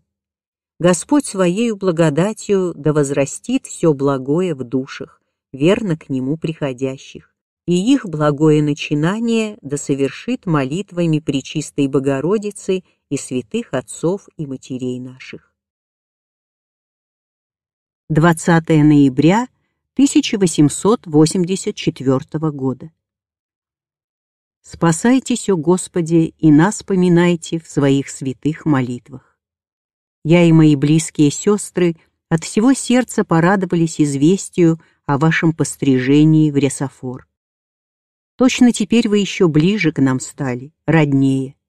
Хотя родство духовное всегда было так полно, что к нему прибавить и увеличить его трудно. Но во всем есть мера — и эта-то мера исполнилась или готова исполниться. Вы все пишете о нечувствии и сонливости. Я думаю, что вы мало даете себе покоя. Когда вы утомлены, вам не следует себя нудить, не понуждать себя что-нибудь чувствовать. Если не будете давать телу своему покоя и во время утомления будете понуждать себя к молитве или собирать помыслы, или искать в сердце покаянного чувства, то вы никогда не будете иметь мира душевного. Напротив, всегда будете в смущении помыслов и в отягощении духа. Василий Великий говорит, если покой вредит молодому и здоровому телу, то несравненно больше вреда приносит чрезмерный труд больному и слабому телу. Без смущения давайте себе побольше покоя, чтобы иметь часы или хоть минуты бодрого духа, свежего чувства и ясной мысли. Иначе можно дойти до омрачения. Господу так мало нужно от нас, только смиренного духа, а нам Он все дает Своею благодатью. 8 декабря 1884 года. Грязь, дождь, Дон еще не замерзал, а переправы уже не существует. Поэтому к нам никто не ездит, а погода и меня держит в четырех стенах. Я очень довольна своим уединением, хотя не всегда употребляю его с пользой. Большие зимние вечера я очень люблю. Иногда собираю близких сестер на чтение, я объясняю прочитанное. Это не такое чтение, какое было когда-то при вас. Теперь собираются только свои близкие, больше свободы в беседах. После одного чтения Вероника говорит мне, «Я только одно слово взяла из всего сказанного вами, и этого одного слова для меня довольно. Вы сказали, что когда чем-нибудь увлечешься, то надо вспомнить смертный час и что тогда ничего не нужно. Все на земле останется, и пойдет одна душа своими делами. Эта память приводит меня к молитве и дает свободу духу. Уча сестер, от них я учусь сама. Читаем мы больше из добротолюбия. Я давно не читала эту книгу. Многое в ней открывается моему понятию, что прежде было закрыто. А многое закрыто и теперь. 7 февраля 1885 года. Благодарю вас за известие о кресте. Мои все рады до бесконечности рада и я. Честь лучше бесчестия, и еще далека душа от того, чтобы одинаково смотреть и принять то и другое. Но скажу откровенно, честолюбие не главная моя страсть, есть другие, более сильные. Я замечаю, что у меня гордость сильнее честолюбия. И как эти противоположные страсти уживаются вместе в одном сердце, об этом ведает тот, кто их незаконно сеет, и тот, кто через естественно их в себе питает. Жизнеописание матушки-схимницы Ордолеоны у меня окончено. Я писала без всякого правила и законов писания. Раз решивший, что оно не будет печататься, по крайней мере в таком виде, как я его пишу, я уже не стесняюсь ничем. Много там я говорила лично о себе, много изложила бесед матушкиных со мною. Написала и о схемонахине Пафнутии, где тоже пришлось сказать о матушке Ардалионе и о себе. Мы все остались очень довольны этими записками. Так они воскресили пред нами время, прожитое с матушкой, и все ее слова, и все ее действия по отношению нас, как руководимых ею. 5 марта 1885 года. Вы пишете, чтоб я прислала прочитать свои записки о матушке Схимнице Ордолеоне. Я очень желаю и сама, чтобы вы их прочли, но мне хочется их сначала переписать, а то они очень дурно написаны и с такими перемарками и выносками, что в них трудно разобраться. Только вчера я их выручила от Правдина, и когда они будут переписаны, то я их пришлю к вам. 1 декабря 1885 года. Что вам сказать о себе? Хочется молчать. Начинаю понимать, что молчание — плодовитие всякого слова.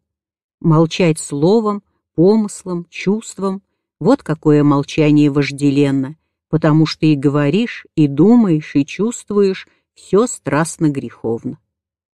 Да молчит всякая плоть человече. Далеко от этого молчания моя грешная душа, но иногда приходит желание молчания, точно тяготится душа суетностью, точно она потеряет вкус ко всему земному, приходящему, точно она увидит несостоятельность брения. Вот и пожелает замолчать. 23 января 1886 года. Нам и всем нужно иметь смерть перед глазами. Она и есть постоянно с нами, так как день прошедший, час, минута пережитые уже умерли навсегда для нас. Мы живем в смерти, ежеминутно умираем, и дела наши греховные умерщвляют нас вечную смертью. Но этот путь юдоле плача и смерти еще надо проходить с верою, пока Господь сам найдет, что плод созрел и время его собрать. 26 ноября 1886 года. О себе скажу вам. Я здорова, хожу ежедневно в церковь, дома занимаюсь делами по послушанию, читаю, пишу. Но этого мало вам. Вам хочется знать, как живет моя душа? Живет в грехах и, главное, в нечувствии своей греховности. Иногда откроются очи душевные, и увидит она свою слепоту и свою греховность, и страшно станет. Но что же она делает, чтобы прозреть, чтобы сохранить в сердце страх, чтобы познание своей греховности приводило ее к отречению от своей грехолюбивой воли, от своего лжеименного разума? Вот в этом-то вся и беда души, что работа над своим внутренним человеком отягощает ее. Ищет она покоя в рассеянности помыслов, в смятении чувств. Помолитесь, чтобы Господь возвал душу мою на покаяние. 20 февраля 1890 года. Мне все думается, что болезнь ваша не к смерти. Я надеюсь, что вы поправитесь. Мне очень тяжело думать, что вы отойдете в будущую жизнь, и я вас больше не увижу.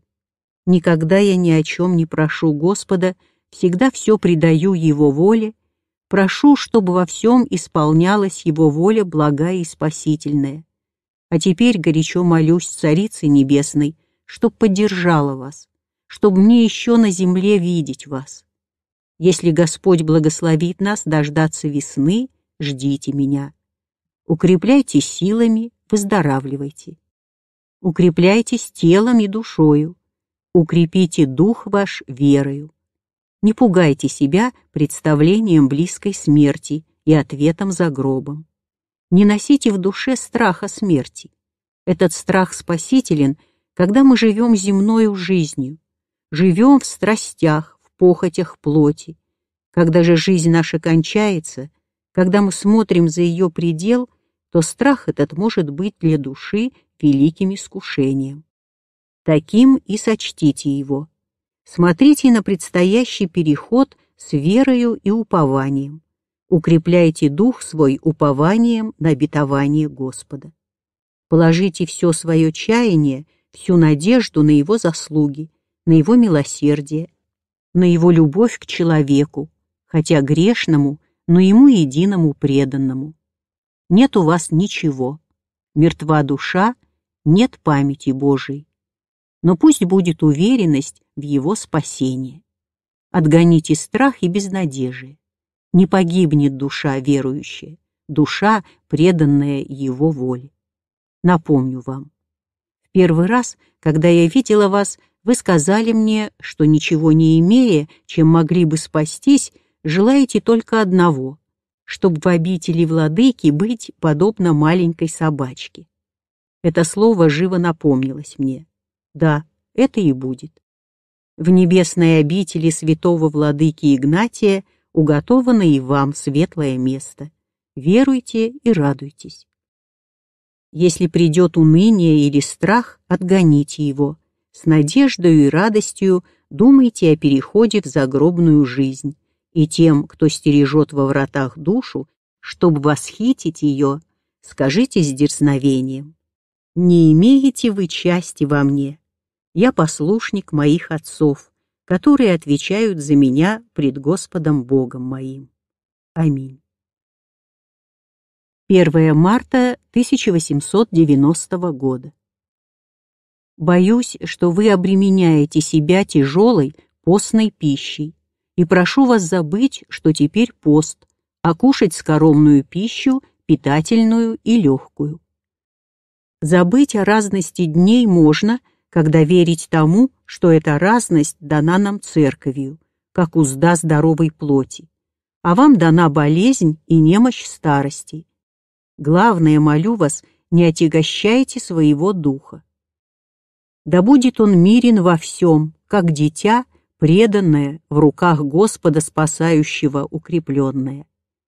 Как муж, этою верою опоясан силою упования на милосердие нашего Искупителя. Что суть грехи наши против милосердия Божия, говорит святитель Дмитрий Ростовский, яко паутина противу ветра великого. Возрадуемся о Господе нашем Спасителе и будем мирны и радостны неизреченны пути Божии, спасающие нас. 8 марта 1890 года. Сегодня сороковой день нашему дорогому другу Архимандриту Иустину. Дару ему, Господи, вечное упокоение со святыми молитвами владыки Игнатия. Мы молились за упокой его души и поминали его хлеб-солью я всю панихиду проплакала. Вспомнился он мне как живой, и вся его жизнь с девяти лет в стенах монастыря, как в пищи Вавилонской, с молодых лет в должности настоятельской, как мученик и исповедник. Еще скажу вам одному. Путь духовной жизни, основанный на отвержении самости, всегда бесчестен. Не дает ему Господь славы на земле, и даже кончиной не удостоверяет в его праведности. Пусть он один будет нашей правдой и оправданием, нашей святынью и освящением. Будьте мирны в этой вере и уповании. 2 августа 1890 года. Слава Богу за все. Для вас теперь по состоянию здоровья вашего, по немощи старческих сил, Самое главное — быть в мире со всеми окружающими и чувствовать мир в душе. Меня очень успокоило, что с отцом Ильей вы сошлись. Надеюсь, что он вас будет покоить. Меня трогает и умиляет та любовь, с какой вы относитесь к отцу П. И та жалость, которую вы покрываете отца М. Не думайте, что я их осуждаю, а тем менее сужу. Я не могу произнести своего суда ни над кем. Все в руках Божиих, и эти всемогущие и благостные руки всем хотят даровать спасение. И туне всем даруют его. Я говорю только, что путь наш, путь грешников, какие мы есть и есть мы на самом деле. Смиряться надо и не сходить с этого пути покаяния, не брать личины праведника, когда мы грешники – и не искать себе оправдания, а чаять и веровать, что наше оправдание — Христос. Не стыдиться своих братьев и отцов, если жизнь их и кажется позорна, а кончина бесчестна.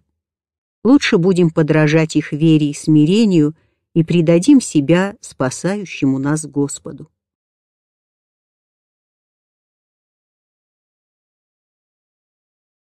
Письмо к схемонахине Пафнутий.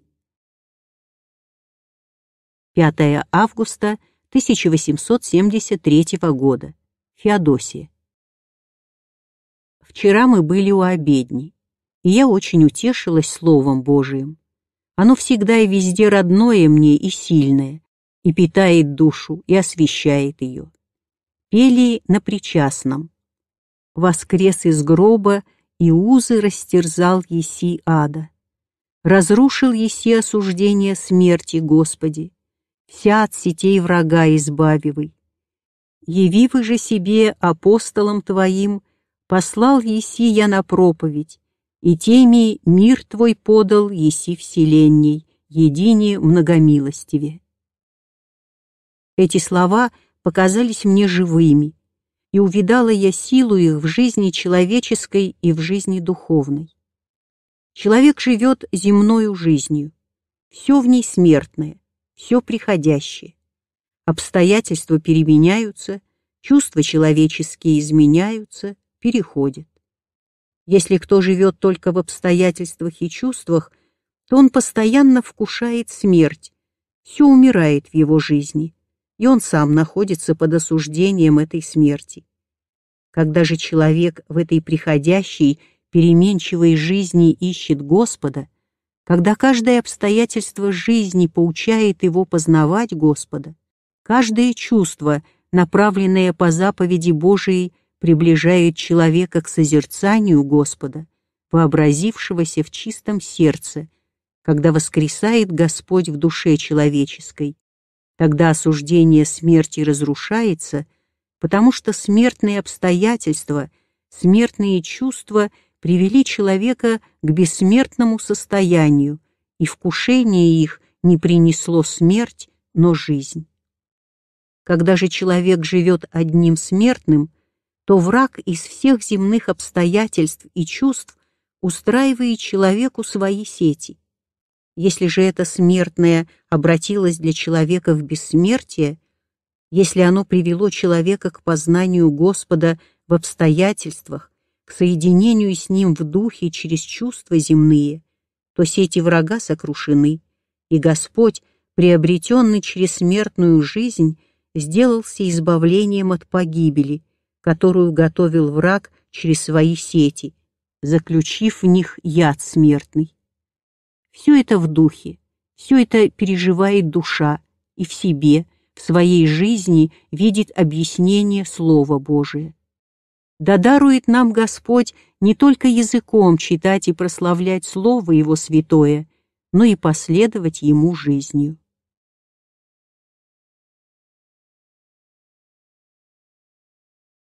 Письмо к Лидии П.В. 15 ноября 1870 года. Я всегда рада слышать, если в ком-нибудь открывается желание к монашеской жизни. Если же кто из образованных и умных людей посвящает себя этой жизни, то меня это радует еще более.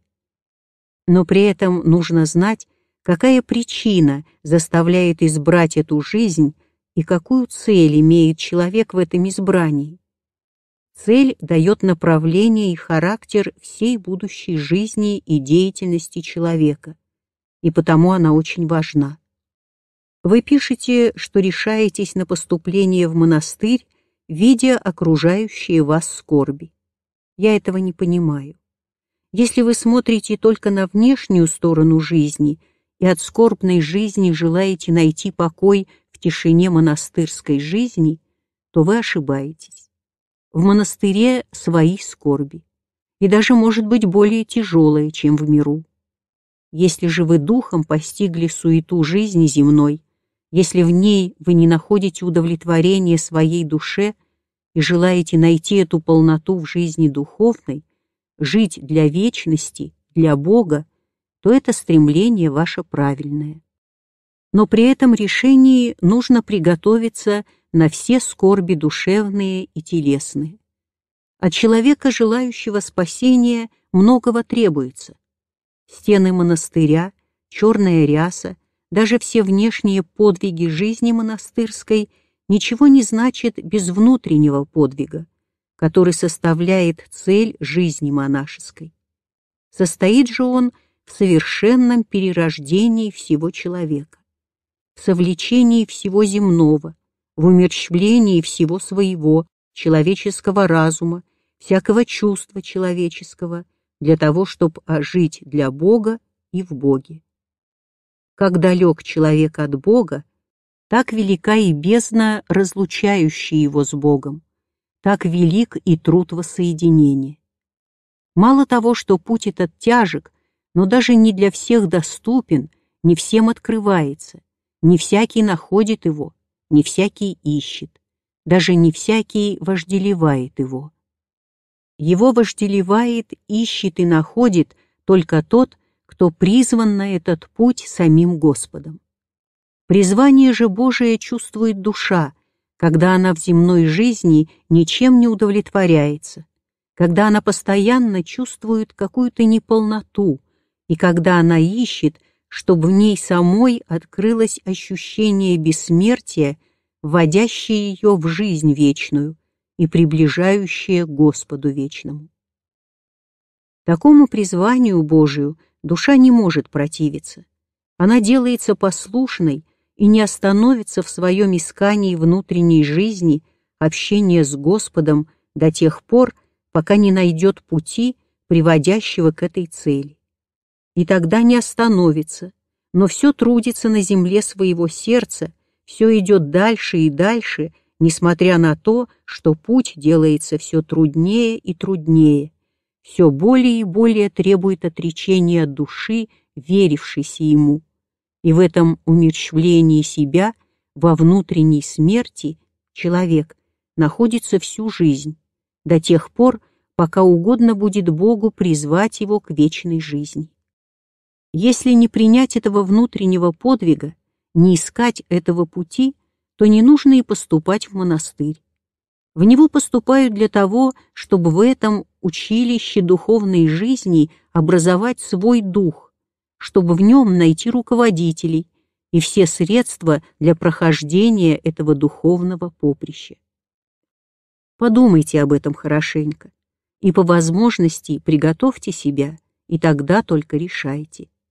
Ознакомьтесь по возможности с требованием внутренней жизни и прислушайтесь хорошенько к своему духу.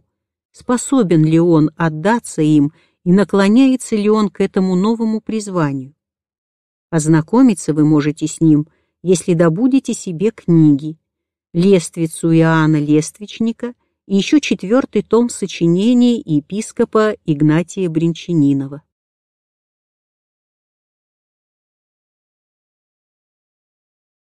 Письмо к сестре матушки А.М.М. 17 декабря 1851 года. Благодарю тебя за письмо и за твою любовь ко мне, недостойной. Я радуюсь, что здоровье твое поправляется. Дай, Господи, чтобы ты была здорова, добрая моя сестра. Но и болезнь иногда бывает нам на пользу.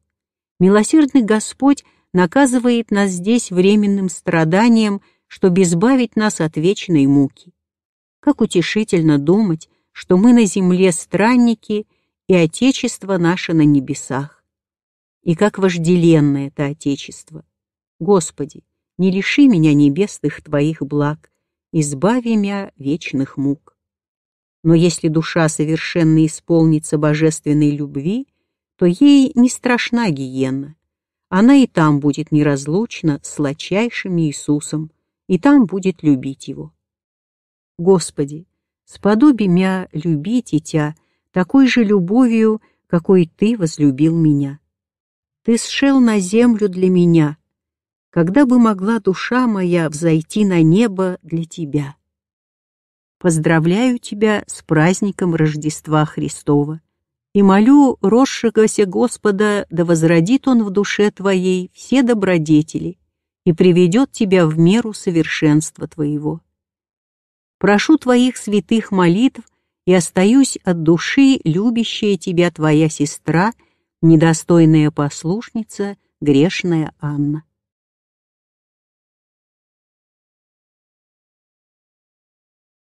Из писем В. И. И. Письмо первое.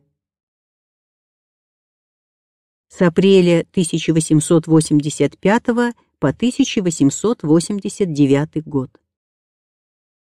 Не стремитесь так усиленно узнавать волю Божию в вашем деле, чтоб не принять за волю Божию горячность собственного сердца. Надо знать и глубоко познать, что сердце наше так испорчено, так помрачено грехом, жизнь наша так спутана нашими пороками, испорчена своевольными умышлениями нашего грехолюбивого сердца, что не только творить волю Божию или познать ее мы не можем, но даже действовать в нас и в нашей жизни мы не допускаем всесвятой воли Божией. Пророк говорит, «Святым иже суть на земле, удиви Господь вся хотение своя в них. Псалом 15, стих 3. Видите ли, что в святых душах и только в них Господь исполняет свою волю? В них нет препятствий для совершения в них поля Божией. Грешник же, живущий в своих страстях, живет постоянно в противлении воли Божией. И хорошо, если он принимает то, что попускает ему выносить Господь, если он смиряется под это попущение Божие. Такое смиренное подклонение под попущение Божие есть признак грешника кающегося. Живя греховную жизнью, мы накопили много неправды, около себя запутали других своими грехами и их погубили. Кающийся грешник видит и видит то, что с прошедшим ему нелегко сделать счеты, что ему нужно искупить его трудом и подвигом великим. Не только себя, но и все, и всех окружающих его ему надо спасать и выводить на путь истины и добра. Этот подвиг трудный и многолетний, но он великий и истинный. А если он истинный, то он и возможен при помощи благодати Божией. Да, этот путь действительно есть единый истинный. Нужно приносить плоды, достойные покаяния. Нужно трудиться там, где грешил, вставать там, где падал, поправлять то, что сгубил, спасать то, что утратил собственным небрежением, собственными страстями. Спасение возможно на всяком месте и во всяком деле. Его не нужно искать вне нас. Все в своей душе можно найти, и рай, и ад.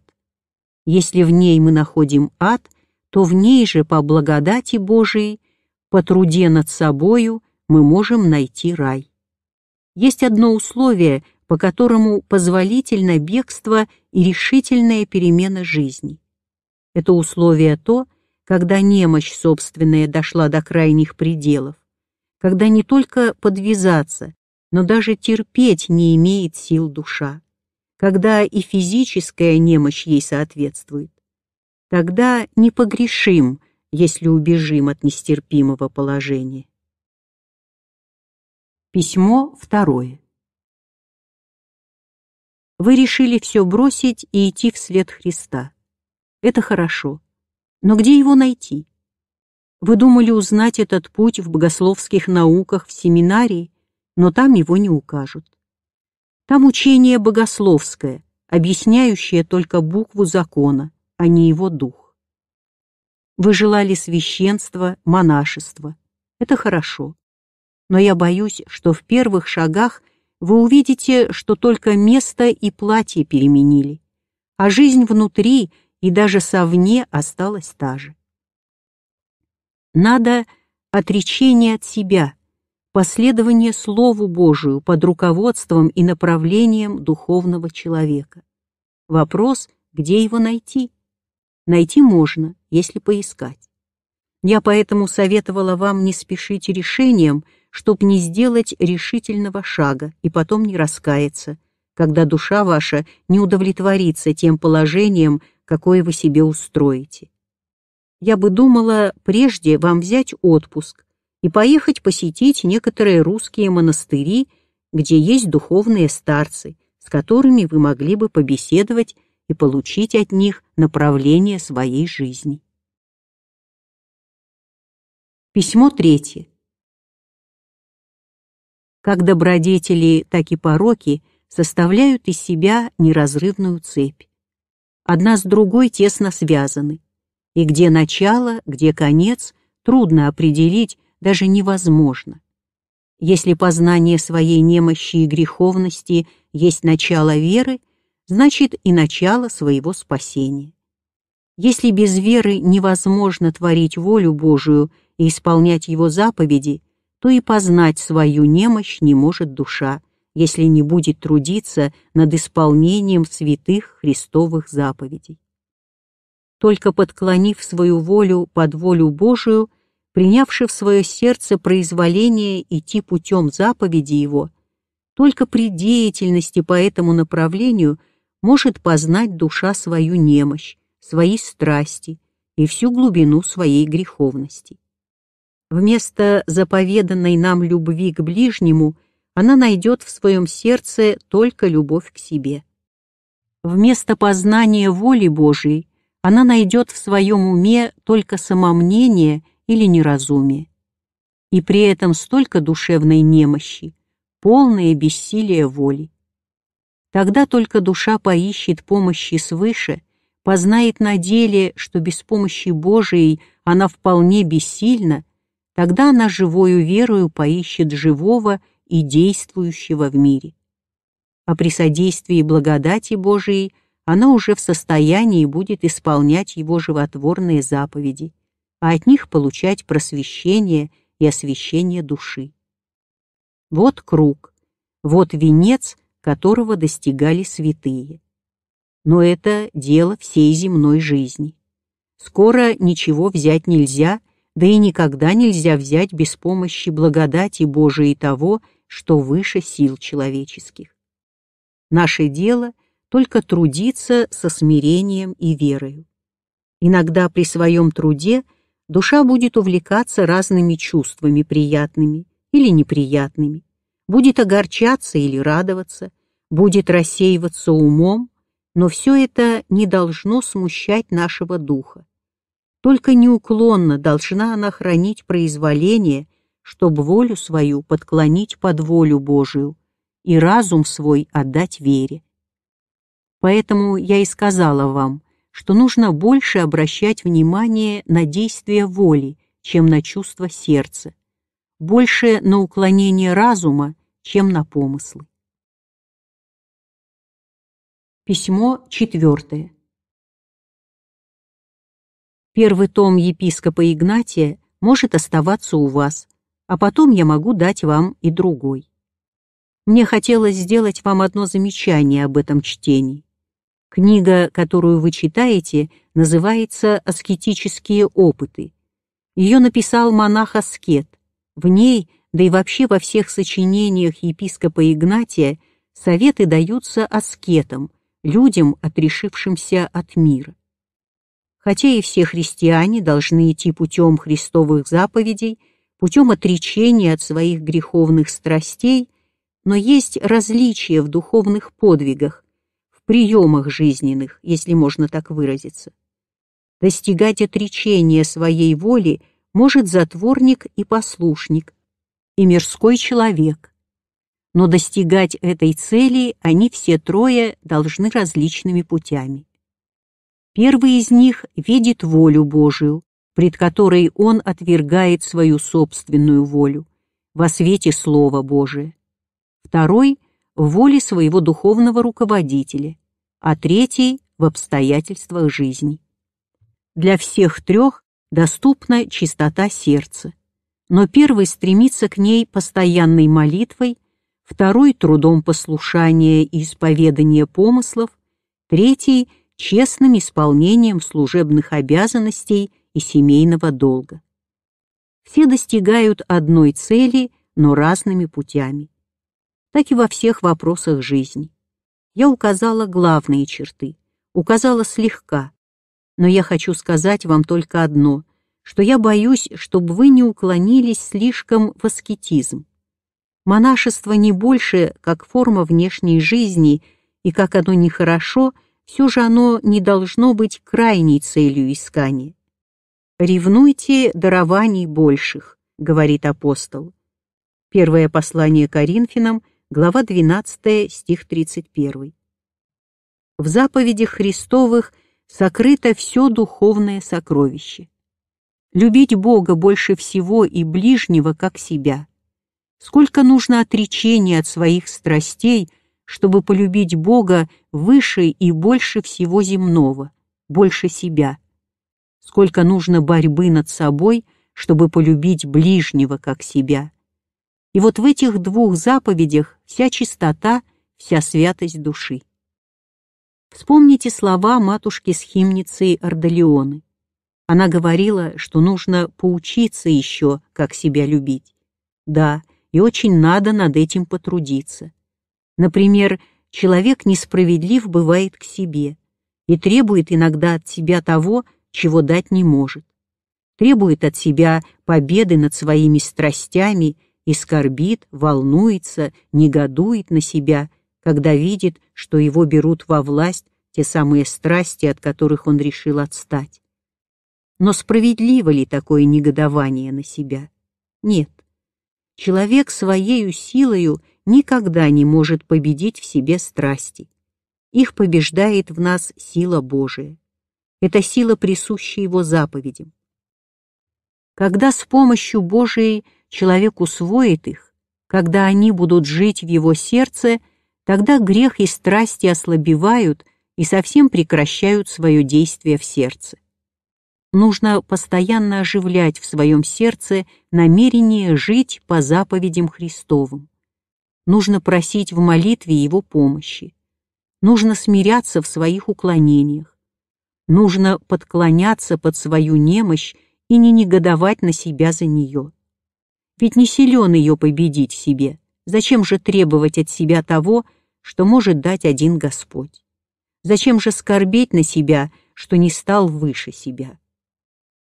В таком требовании от себя духовного преуспеяния сказывается наша гордость. Будем всего ожидать от единого Господа и глубоко смиряться в своих немощах и греховности. Страсти иногда упорно держатся в нашем сердце и действуют в нем властительски, помимо нашей воли, даже как будто против нашей воли. Господь попускает им так мучить нас – чтоб мы вполне узнали наше бессилие, чтоб мы смирились духом, чтоб мы поискали силы в едином, сильном и едином святом Боге нашем. Эти слова я пишу в ответ на вашу жалобу, что вы иногда сердитесь. Не скорбите, но всякий раз смиритесь духом и полагайте намерение терпеть, и в терпении исполнять волю Божию и Его святые заповеди. Опознавая свою немощь, приходите к познанию и немощи ближнего. Если вы не можете победить в себе свои страсти, когда по милости Божией и видите их, и желаете выйти из них, когда трудитесь над собою, то как требовать от ближнего что-нибудь сверх его меры? Познайте эту общую всем нам немощь и старайтесь простить ближнего, примириться с ним, понести его недостатки. Письмо пятое. В письме своем от 19 мая вы высказали опасение, что я не прекратила письменную беседу с вами. Нет, я не думаю прекращать, пока вы будете нуждаться моим словом, пока оно будет приносить вам пользу и утешение, и пока Господь потерпит моим грехам, будет давать мне понятия для уразумения Его святого слова. Но беседа духовная и руководство – две вещи разные. Я вообще уклоняюсь от руководства, кроме сестер мне веренных. Руководит вами само Слово Божие. Недостаточно ли будет, если я помогу вам иногда разъяснить Слово Божие? Пусть до времени это дело остается в таком виде, в каком оно было до сих пор. Если вы найдете себе руководителя более сильного, то это будет хорошо. Если нет, то будем помогать друг другу, хотя ощупью искать путь Божий. Лишь бы не потерять усердие и желание стремиться к цели, трудиться для ее достижения, веровать, что Господь приведет к ней и всего ожидать от Него единого. Вы спросите, какая же цель и какой путь к ее достижению? Цель жизни человеческой – общение с Богом, в чем и состоит спасение наших душ, их вечное блаженство. Путь исполнения Его заповедей, подчинение Его воле, сказывающейся в обстоятельствах жизни. Труд – очищение сердца от страстей. Смирение, приводящее к вере, к принятию Его благодати, без которой ничто не может совершаться в нас благое и святое. Выше буквы закона – способны стать высокие личности, и те не всегда находят нужным и полезным отступать от закона. Буква убила много хорошего, много святого в нас и нашем обществе христианском. Нужно стараться, чтобы буква ожила, чтобы она не убила нас, а напротив, давала бы нам жизнь духа или хоть указывала бы путь к жизни.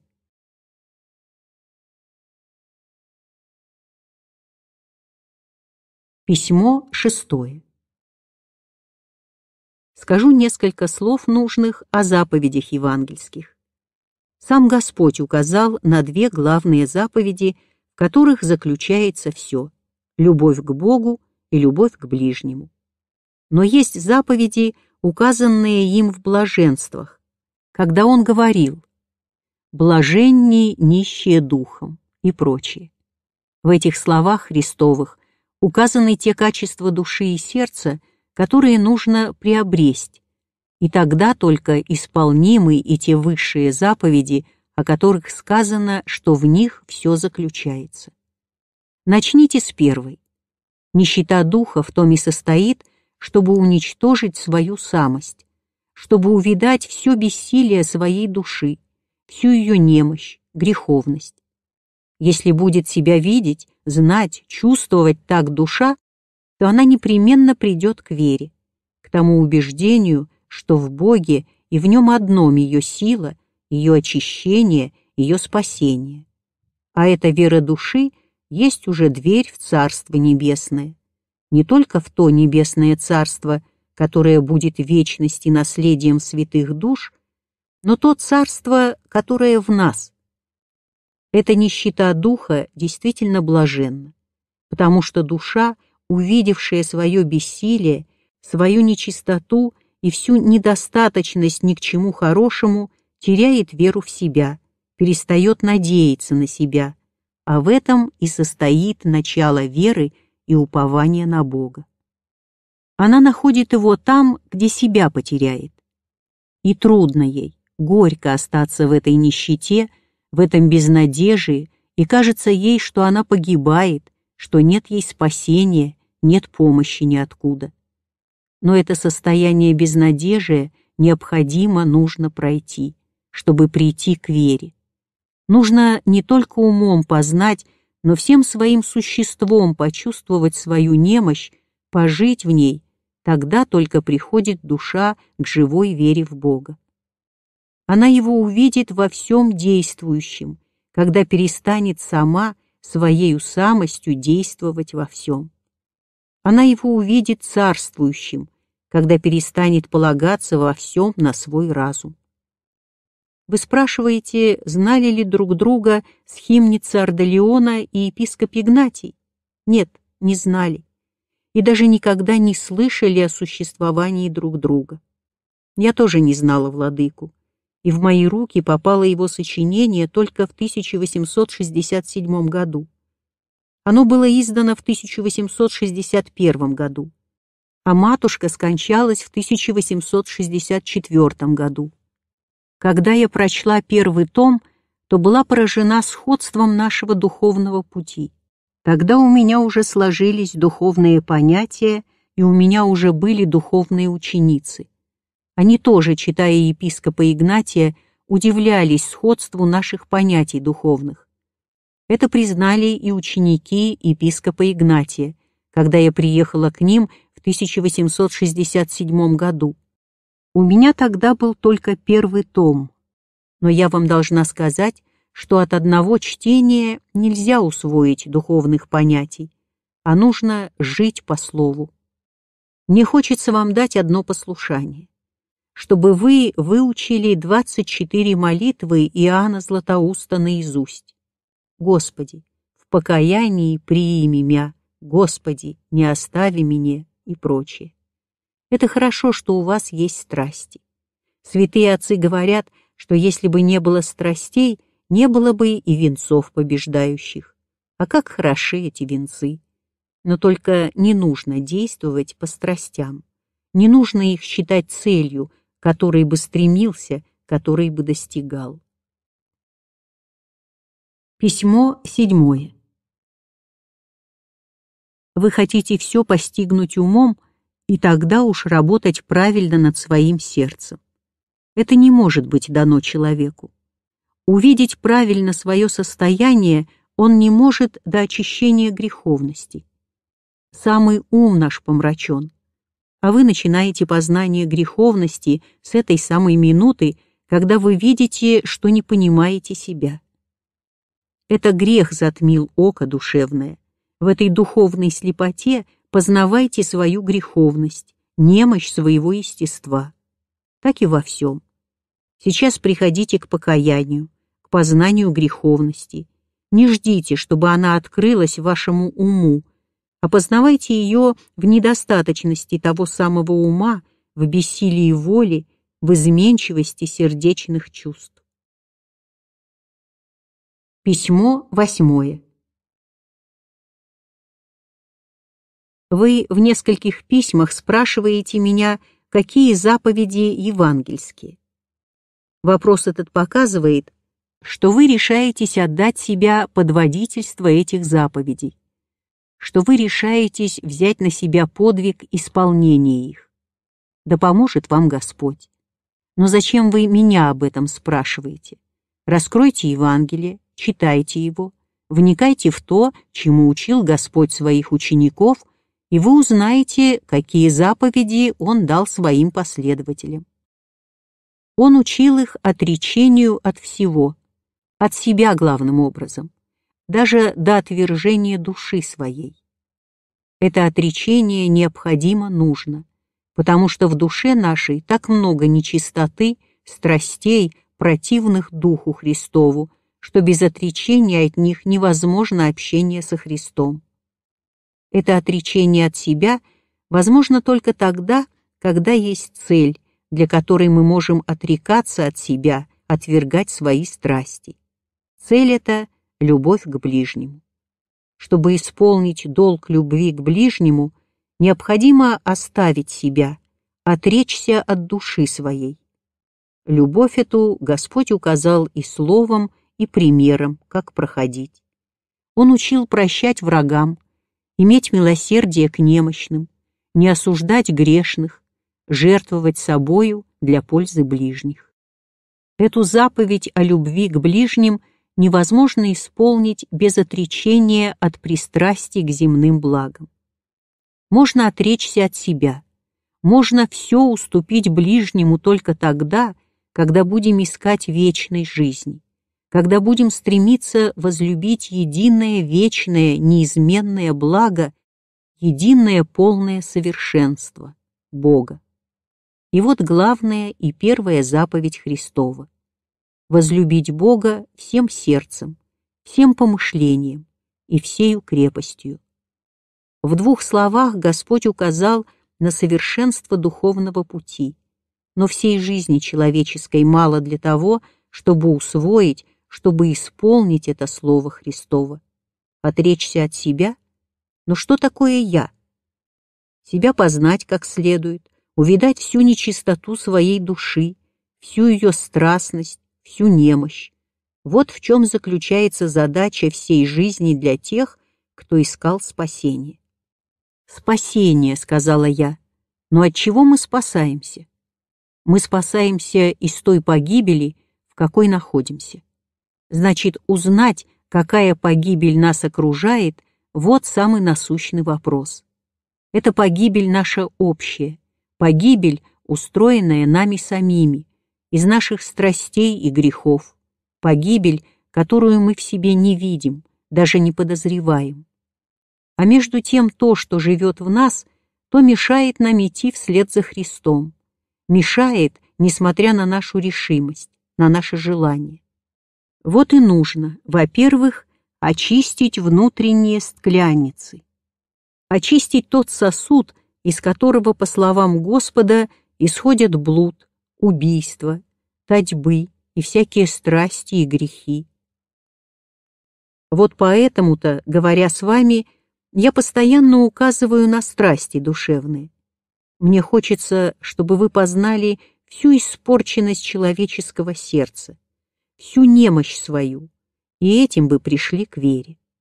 Так как без веры нельзя получить Божию благодать, а без благодати нет возможности исполнять волю Божию. Письмо девятое. Вы писали о скорбях жизни, спрашивая, необходимы ли они для человека. Этот вопрос поставлен неправильно – хотя в нем жизненный смысл. Господь создал человека для блаженства, и был он действительно блажен, пока своим грехом не извратил в себе все то добро, которое Господь вложил в его душу. сделавший из себя самого Бога, которому направил все цели жизни и все стремление, он все извратил в себе самом и во всем, что его окружает. Каждый человек для себя Бог. И потому такая неурядица между людьми, такая вражда, такая ненависть друг к другу. Чтобы возродиться, чтобы прийти опять в свое естественное состояние, нужно отречься от себя, нужно отказаться от своего «я», от самости, как говорила матушка-схимница Ордолеона.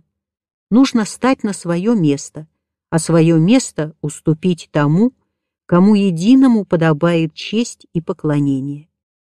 Но нелегко человеку отказаться от себя. Ему нужно умереть для страстей, а смерть всегда тяжела и горька. Тем более ему тяжела и горька, что окружающие его другие люди все живут в том же состоянии падения, в котором находится и он. Они друг друга толкают в погибель.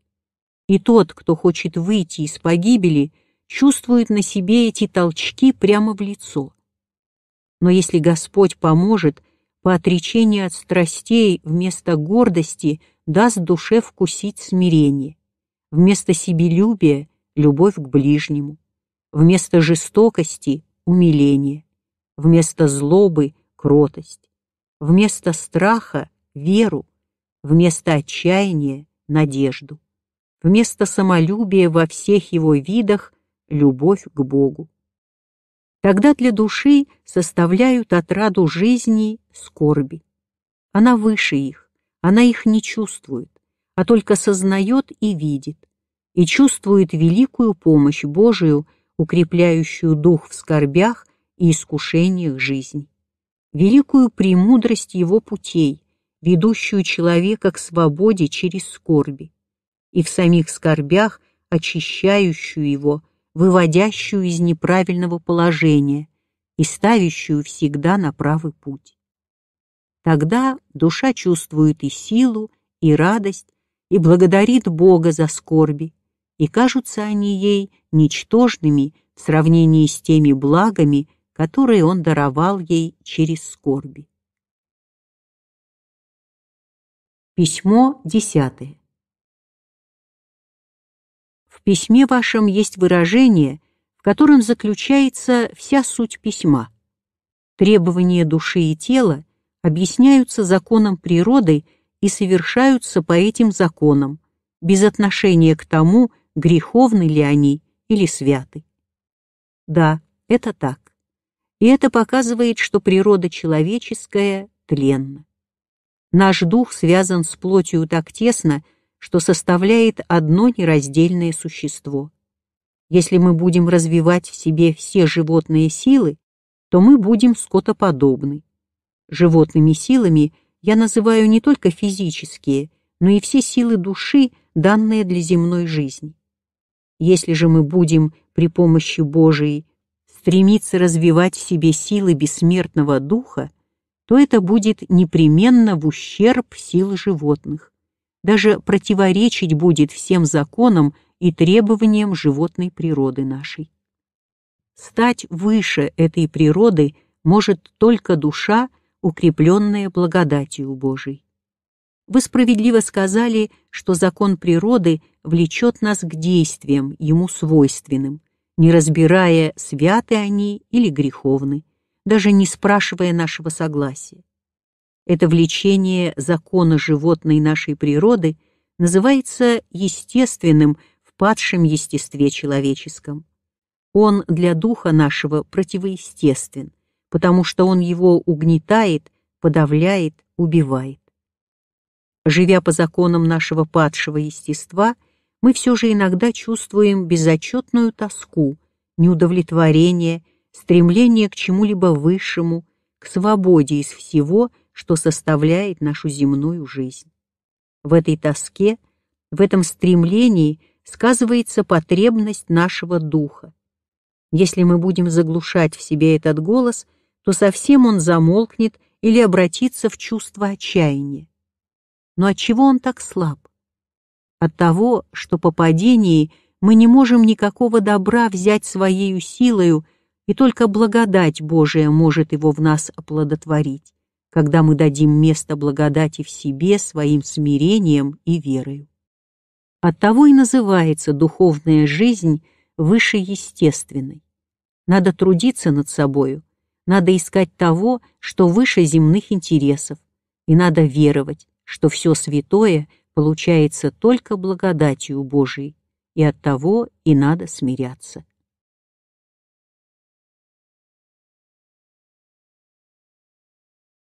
Письмо одиннадцатое. Не оправдывая уклонение в чувственность, я все же скажу вам, что вы, живя среди мира в семейной жизни, не можете предаться всецело духовным целям. Вы пишете, что деятельность ваша вращается около наслаждения телесного, словолюбия и материального обеспечения. Так отрешиться от этой деятельности вы даже не можете, но вы могли бы и в этой деятельности не уклоняться от пути спасения.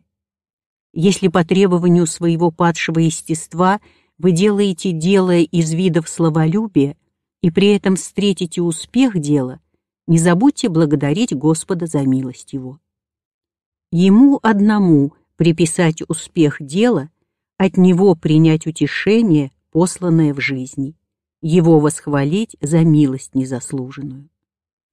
Если же встретится неуспех, огорчение и вместо удовлетворения чувства словолюбия и честолюбия придется потерпеть бесчестие, то постарайтесь принять это от Господа как заслуженное – смиритесь перед Ним и пожелайте еще большего бесчестия для очищения своей гордости и самолюбия.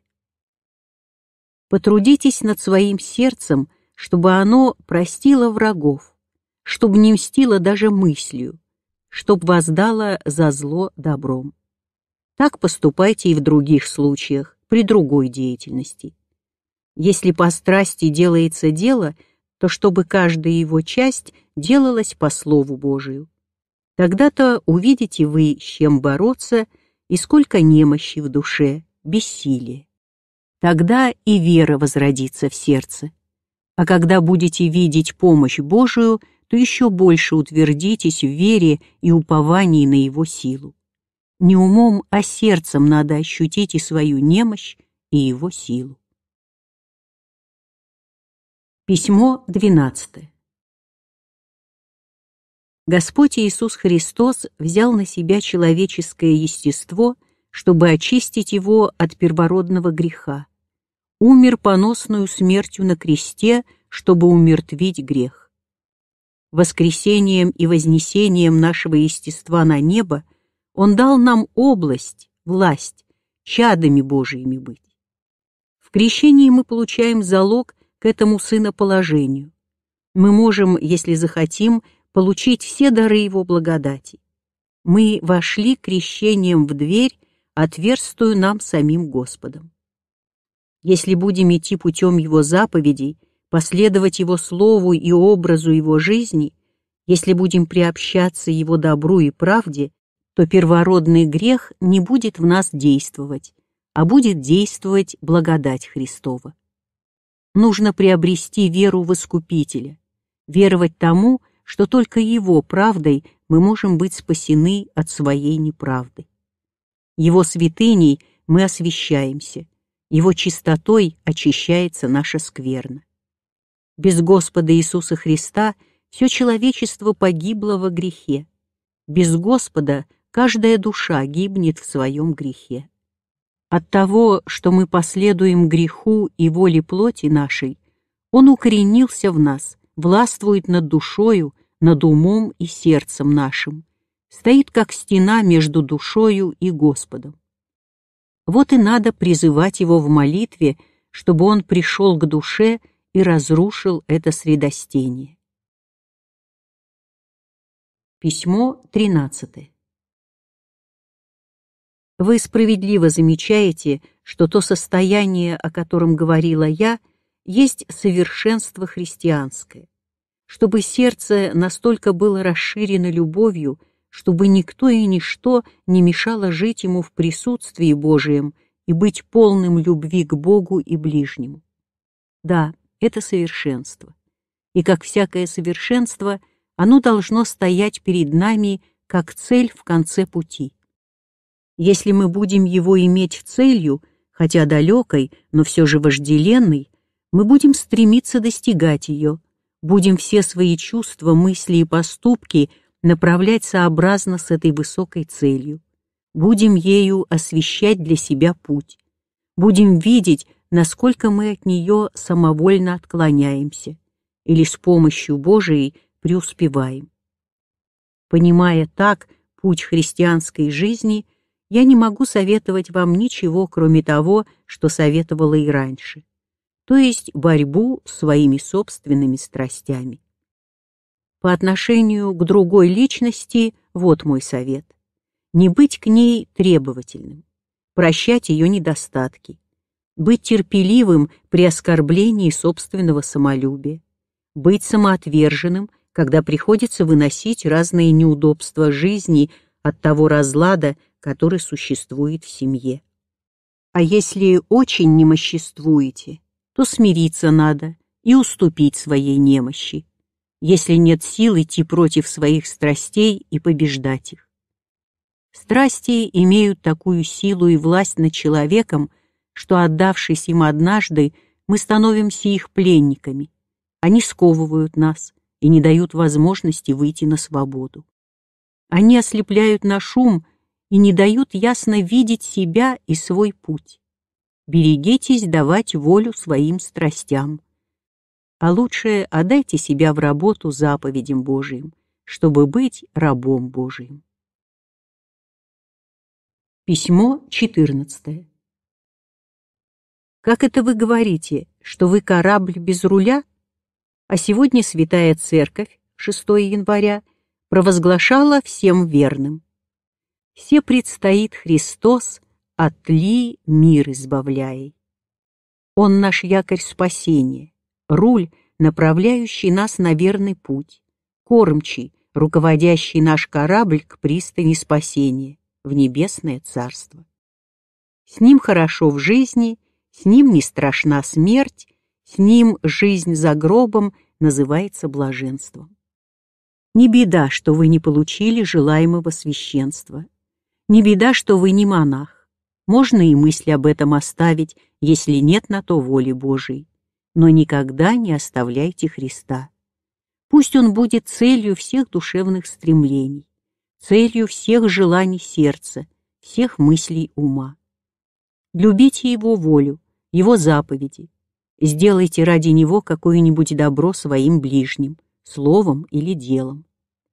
Если вы будете любить Христа, если для Него вы в чем-нибудь поступите против грехолюбивых стремлений и желаний своего сердца, если Ему принесли в жертву какое-нибудь свое пристрастие, то вы будете его священником, тайным монахом, ангелом. Я читала в Потерике, что однажды похоронили одного мирского человека и монаха недалеко друг от друга.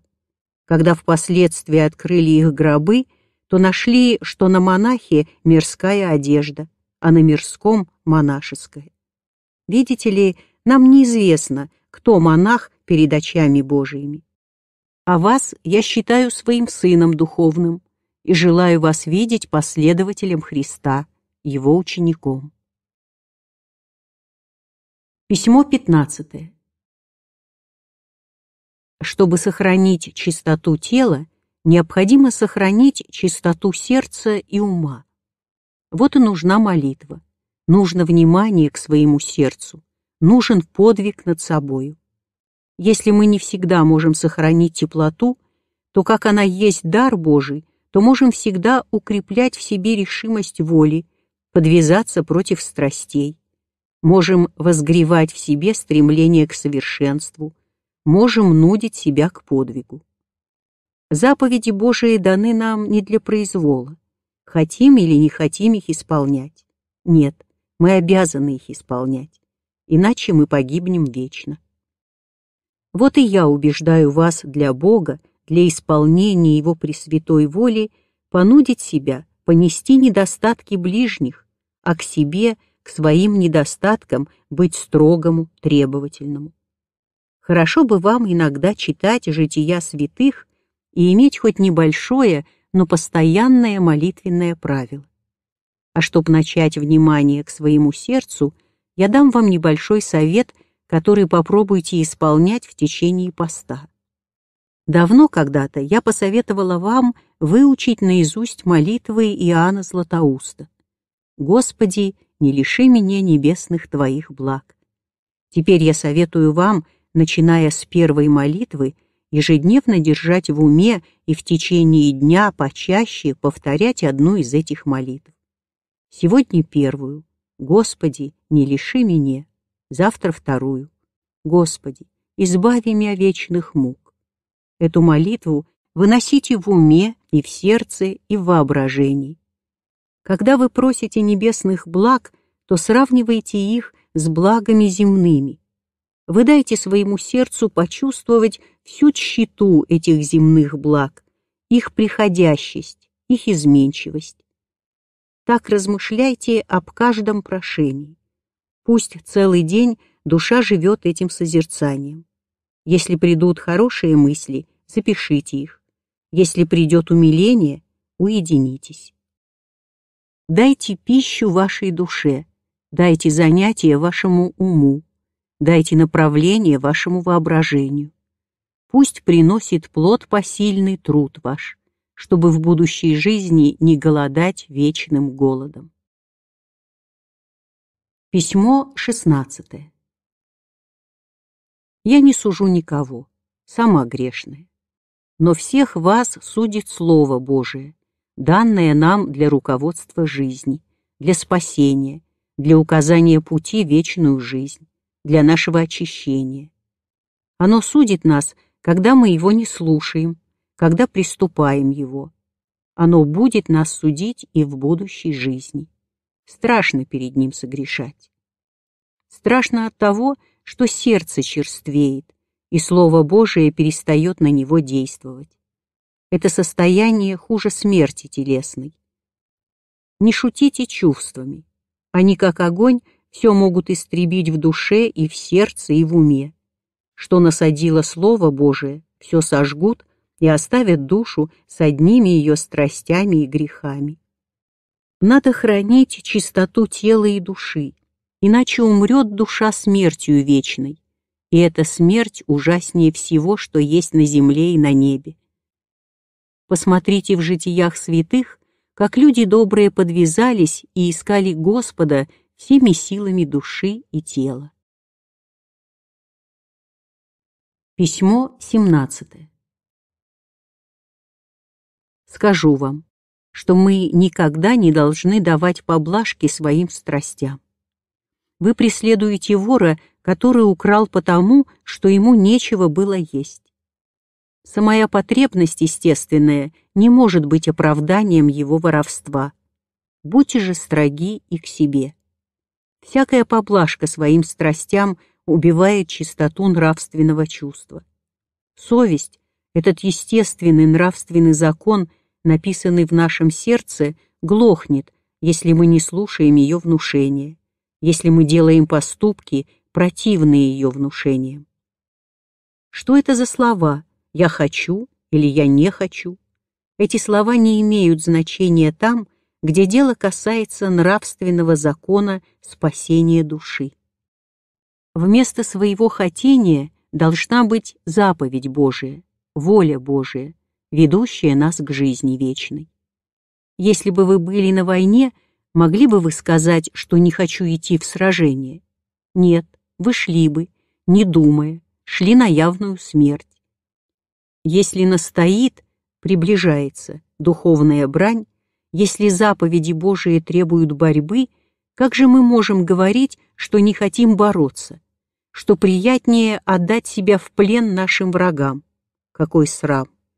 Какой ужас в здешней жизни, кто расслабит свою волю до такого состояния, а в будущей жизни еще более срама потерпит душа, когда откроются все ее дела и помышления. Надо просить, молить Господа, чтобы укрепил волю противиться страстным помыслам, обратил бы все силы, все стремления и хотения души к высшим целям, святым, высоким, благородным. Я буду молиться, чтобы Господь даровал вам решимость не только терпеть, страдать, но даже умереть за Его заповеди. Письмо 18. Когда совесть и сердце чисты пред Богом, то Он не попускает делать неправильные шаги. А если мы их делаем, то по греховности нашей не познаем воли Божией в своих поступках. Дай Бог вам быть добрым христианином, всегда пред собою имея Господа и Его святую волю, а не свое произволение, не угождение своим страстям и чувственным желаниям. Вы говорите, что помимо всех увлечений греховными чувствами, развлечениями всякого рода, в душе вашей живет стремление к духовной жизни, и так живо иногда дает себя чувствовать даже во время самых развлечений. Знаете ли, что это стремление души есть призвание Божие? Не заглушайте в себе этого живого чувства, берегите его. Огонь не может гореть при ветре, его задует он. Так благодать Божия призывает нас, но ветер страстей и развлечений гасит в душе свет и теплоту божественного огня.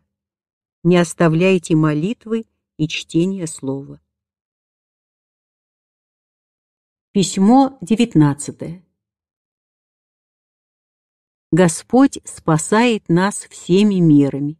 Эти тяжкие телесные недуги, которые так часто посещают вас, постоянно напоминают вам о смерти а что может быть полезнее для души, как не память смертная?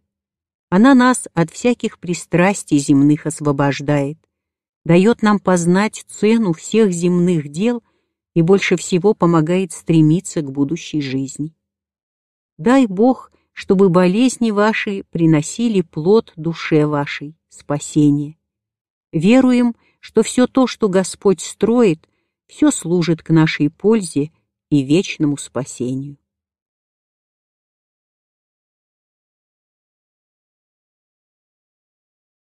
Из писем к М.С. Письмо первое. Благодарю тебя за те чувства любви и преданности, которые ты выразила в письме своем и в стихах от шестого числа. Я знаю, что ты всегда любила слушать Слово Мое, Слово Божие, слово спасения, передаваемое мною.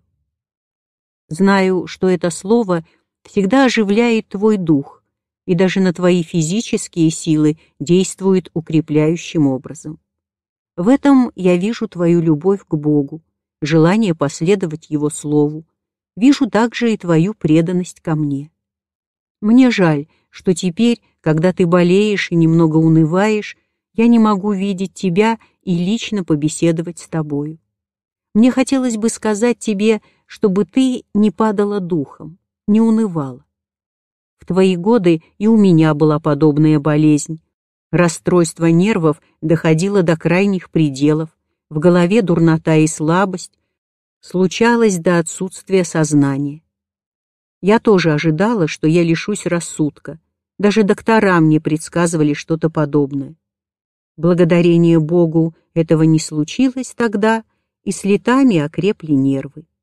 С душевной силой Господь посылает и крепость телесных сил. Но я хочу сказать тебе не это. Мне желательно передать тебе то, как я тогда смотрела на свое состояние, как относилась к нему.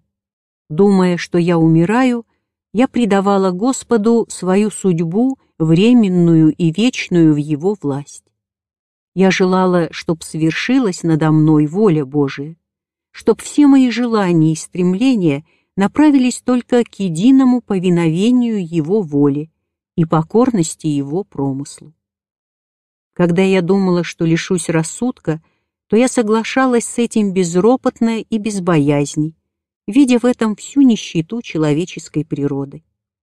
Я соглашалась оставаться без сил душевных, без здоровья тела, без разума, ума, только бы дух мой не жил в противлении воли Божией, только бы он смирялся пред Богом, ему одному отдавая честь и славу и поклонение.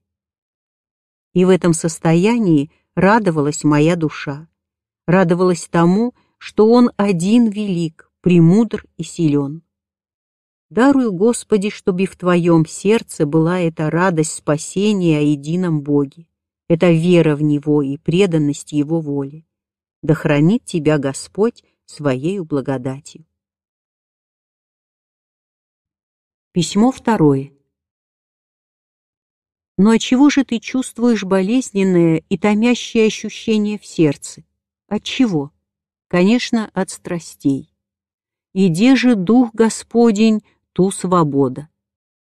А я скажу, где страсть, там теснота и страдание.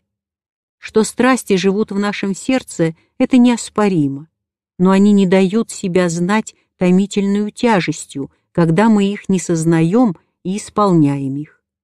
Не томят они и тогда, когда, сознавая их, мы им противимся. Но когда мы сознаем их в себе и не хотим всеми силами души восстать против них, когда мы одной частью души отвергаем их, а другою прислушиваемся к их сладкому говору, когда мы уклоняемся от обличений, когда жалеем себя и не решаемся идти по крестному пути за нашим крестоносцем, учителем, тогда, конечно, будем чувствовать томление и боль. Господь, взявший на себя все наши грехи и немощи, показал собой пример борьбы воли. В Гефсиманском саду он до тех пор томился, пока воля его согласилась принять страдания. Испытай свое сердце, и ты увидишь, что в нем много противоречий. Надо один раз навсегда предать душу свою водительству воли Божией, последованию заповедям его и руководству суровым монашеским правилам. Когда согласится душа, так и будет легко. Мне нравится в тебе способность увлекаться и восторгаться всем святым и хорошим. Но не забудь, что отречение монашеское лучше всего и полезней всего. Бегай от людей и спасешься. И ты бегай от всего в глубину своего сердца, чтобы там быть с единым. Да хранит тебя Господь. Ему я молюсь о тебе, и ему тебя поручаю. Письмо третье. Да поможет тебе Господь Бог, Он укрепит и дух твой. А я от себя скажу тебе одно слово опыта. При всяком смущении и искушении единственный выход и успокоение — это смирение. Только этой стезею приходит душа к истине, все разрешающей, к теплоте врачующей, к свободе облегчающей. Если потеряешь эту стезю, то окружает душу мрак и теснота. Она приходит к ложному разуму, а это бедственно, потому что ложный разум показывает все в превратном виде. Все обстоятельства жизни представляются горькими и бедственными. Не видишь в них путей Божиих, великих судеб его спасительного промысла. Люди не братья, а враги их немощи возрастают до крайних пределов. Собственные немощи делаются страшными и даже живыми образами мучений внутренних. Да, одна стезя спасает в это время — стезя смирения. Читай раза три в день пятидесятый псалом. Читай, принуждая себя, даже в церкви во время херувимской песни. И Господь откроет тебе смысл истинного покаяния и глубокого смирения духа.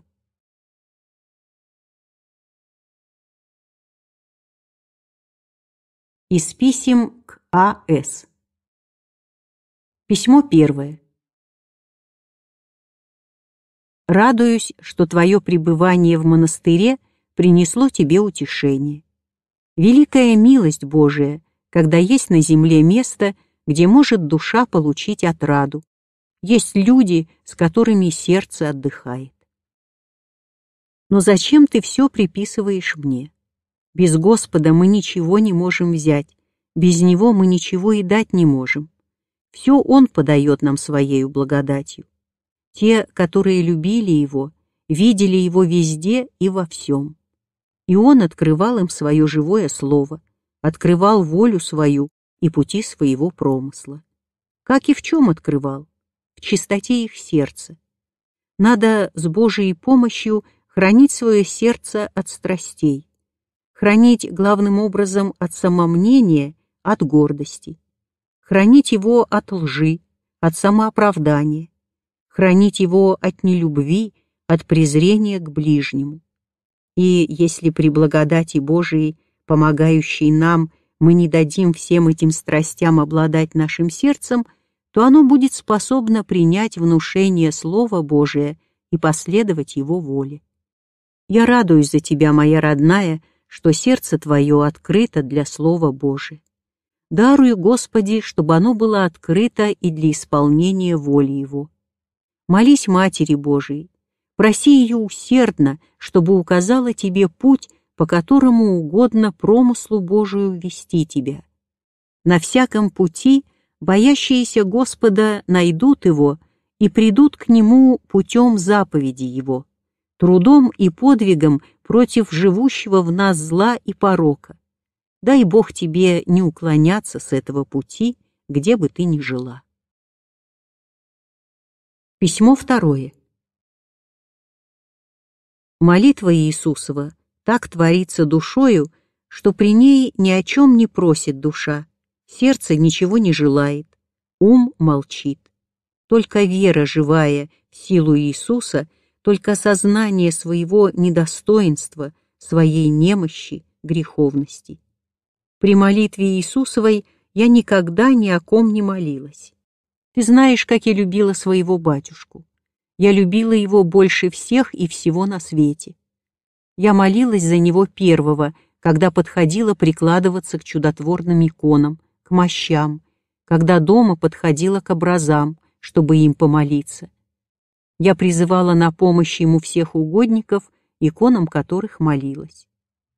Когда кончала читать Евангелие или Псалтирь, или Акафист, я молилась, во-первых, за него а молитвы Иисусовой я никогда за него не молилась. Мне кажется, я и за себя не молюсь при молитве Иисусовой. Я только чувствую силу, действующую во мне, силу имени великого Бога, Бога живого, которому верует моя душа всеми своими силами, всеми жизненными действиями. Письмо третье. Я с Господом ничего не боюсь. Иду своей дорогой, впереди вижу или хочу видеть одну свою цель, какая бы ни была, но цель, какой стремишься. К этой цели стремлюсь, а все остальное не вижу и видеть не хочу. Вот в чем сила. Против этой силы не устоит никакая интрига и даже не коснется ее. Господь помощник, не убоюся, что сотворит мне человек. Послание к евреям, глава 13, стих 6.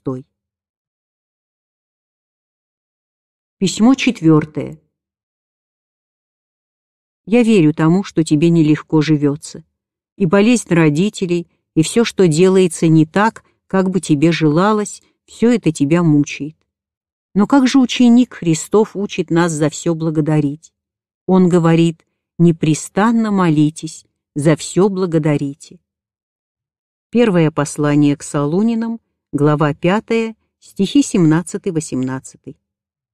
«За все» значит «за все скорби» и за все неприятное, что случается в жизни. Да, прежде надо укрепить веру в сердце, что все творится по воле Божией. Нужно согласиться предаться этой святой воле. Нужно смириться сердцем, признать себя недостойной лучшего. Тогда только можно за все благодарить. Епископ Игнатий учил своих учеников часто во время скорбных обстоятельств, так же, как и во время радостей, повторять свое благодарение Богу, так часто и подолгу, как молитву Иисусову. Слава Богу за все. И опять, слава Богу за все. При этой молитве отходит ропот от сердца, смущение исчезает, и так мирно становится на сердце, радостно. У Господа есть свет, который всякое смущение отгоняет. Только бы приступила к нему душа верою. Письмо пятое. Думала видеться с тобой и лично поговорить. Несколько писем твоих я оставила без ответа, находя неудобным отвечать на них по почте. А какие хорошие твои письма, с каким отрадным чувством я читала их. Я слышу в них душу живую, чувствующую глубоко, с тонким духовным чутьем. Вижу ум, развитый, тонкий, понимающий и видящий так ясно себя и все, что делается в душе. Благодарю Бога за тебя, радуюсь и утешаюсь тобою. Сердце, кроме того, готово жить для других и все им отдать. Но ты не гордись тем, что я тебя хвалю. Теперь начну укорять тебя. Я буду укорять тебя за излишнее самоукорение, за требование от себя совершенства. Един Господь совершен и всесвят, а мы, люди, все с немощами и недостатками. И как это хорошо — что свое совершенство мы можем получить только в нем и через него. Если мы веруем, что он всемогущ, то должны веровать, что все он может сделать для нашей пользы, если будет угодно его святой воле. Если мы веруем, что он всеблагий, всещедрый, то мы должны надеяться, что он все даст, что нам нужно. Если мы веруем, что он всеведущий, то должны полагаться вполне на его волю, веровать праведности его судеб, его промышлений. Он может все нам дать. Он хочет нам дать всякое благо. Если же не даст нам, чего мы желаем, не даст того, что нам кажется полезным и хорошим, даже спасительным, то значит, или мы не готовы принять, или не наступило время, и самый дар был бы нам во вред, если б мы получили его по нашему желанию. У тебя есть недостатки, с которыми ты не в силах бороться иногда. Ты просишь помощи Божией и не чувствуешь помощи. Но ты недовольно трудилась, а самый труд этот необходим. Необходимо увидать собственное бессилие, чтобы в борьбе укрепилась воля. А главное, чтобы узнала душа всю свою немощь, смирилась бы глубоко и всю свою надежду возложила бы на Господа Единого, спасающего нас. Святые отцы, научая нас бороться со страстями, говорили так «падай и восставай». Падай не исполнением греха или греховного чувства, но падай ослаблением воли, произволения в борьбе с греховным помыслом. А потом опять вставай то есть укрепи произволение, вновь начинай борьбу с грехом. Но тот, кто упадет, не может вскоре вскочить и бежать. Он ушибся, все члены его разбиты, он едва опомнился от падения, в борьбе он слаб, пока не соберется силами или пока кто другой не придет ему на помощь. Точно так и воля наша. Если она пала, то есть увлеклась греховным помыслом, она ослабела, разбита, бессильна. Этими слабыми силами ей надо вставать, начинать бороться, хоть вся она разбита и как бы мертва.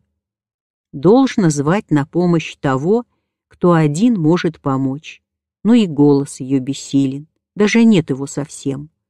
А когда придет помощь от благодати Божией, то она укрепит и вновь восставит.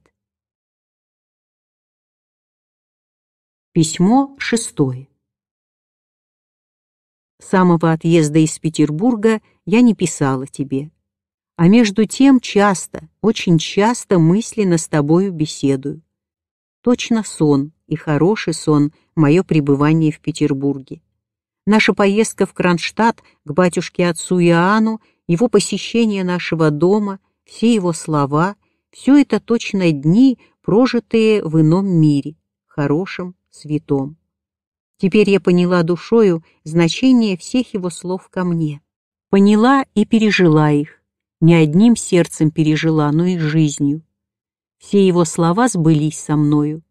И когда сбылось то, что он мне предсказывал, его слово меня поддерживало, направляла мой дух, давала смысл всему, и даже плод чувствовался от пережитого. По его слову, на меня много и разнообразных скорбей нашло по Божию попущению. Но ты не беспокойся.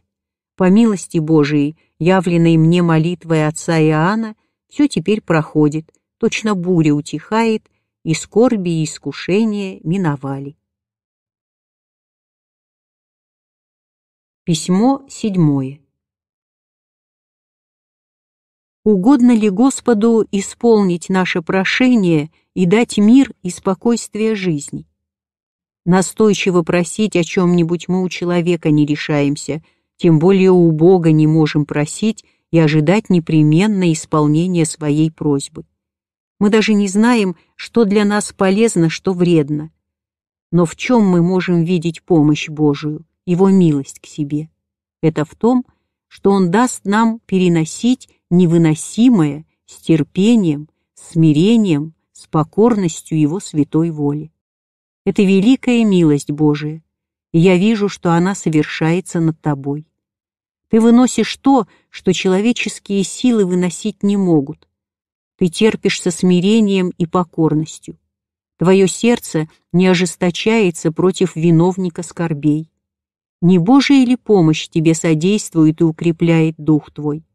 Только веруй Господу и все Ему предавай. Он своими путями, Ему одному ведомыми, всех приведет к себе, к миру и спасению.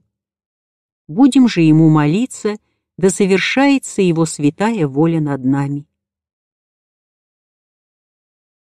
Письмо восьмое. Что значит верить в Бога?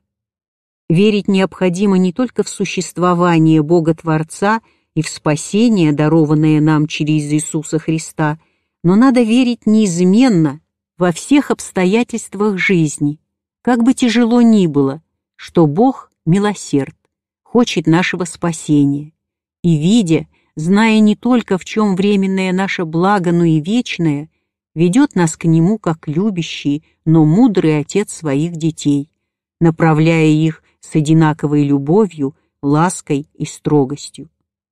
Поэтому надо принимать с упованием милость Божию, прося только помощи Его. Всякое испытание или искушение, извне ли оно приходит, от наших ли немощи или от людей, орудий Божьих для нашего спасения и часто обоюдного. Нашим смирением спасаются и ближние наши, огорчающие нас.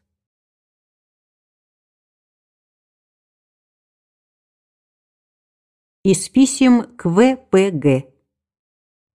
Письмо первое. Ты спрашиваешь, видит ли тебя твоя мама. Без сомнения видит, но не так, как мы земные видим, и чувствует не так, как мы плотские чувствуем. В ней нет эгоизма, себелюбия, желания личного земного счастья и довольства.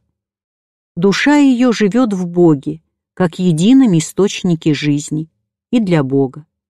Вот и видит она твою душу, угодны ли Богу твои чувства и желания и твои помыслы. Ей приятно, чтоб ты, живя на земле, исполняла волю Божию, заповеди Божии по отношению к Богу и людям. А что ты жалеешь, что лично ей иногда приносило неприятности, то все это она забыла, простила и теперь своей бесплотную душою поняла и приняла все земные скорби, большие и малые, как очищение, и за все возблагодарила и прославила Господа, все подающего ко спасению души.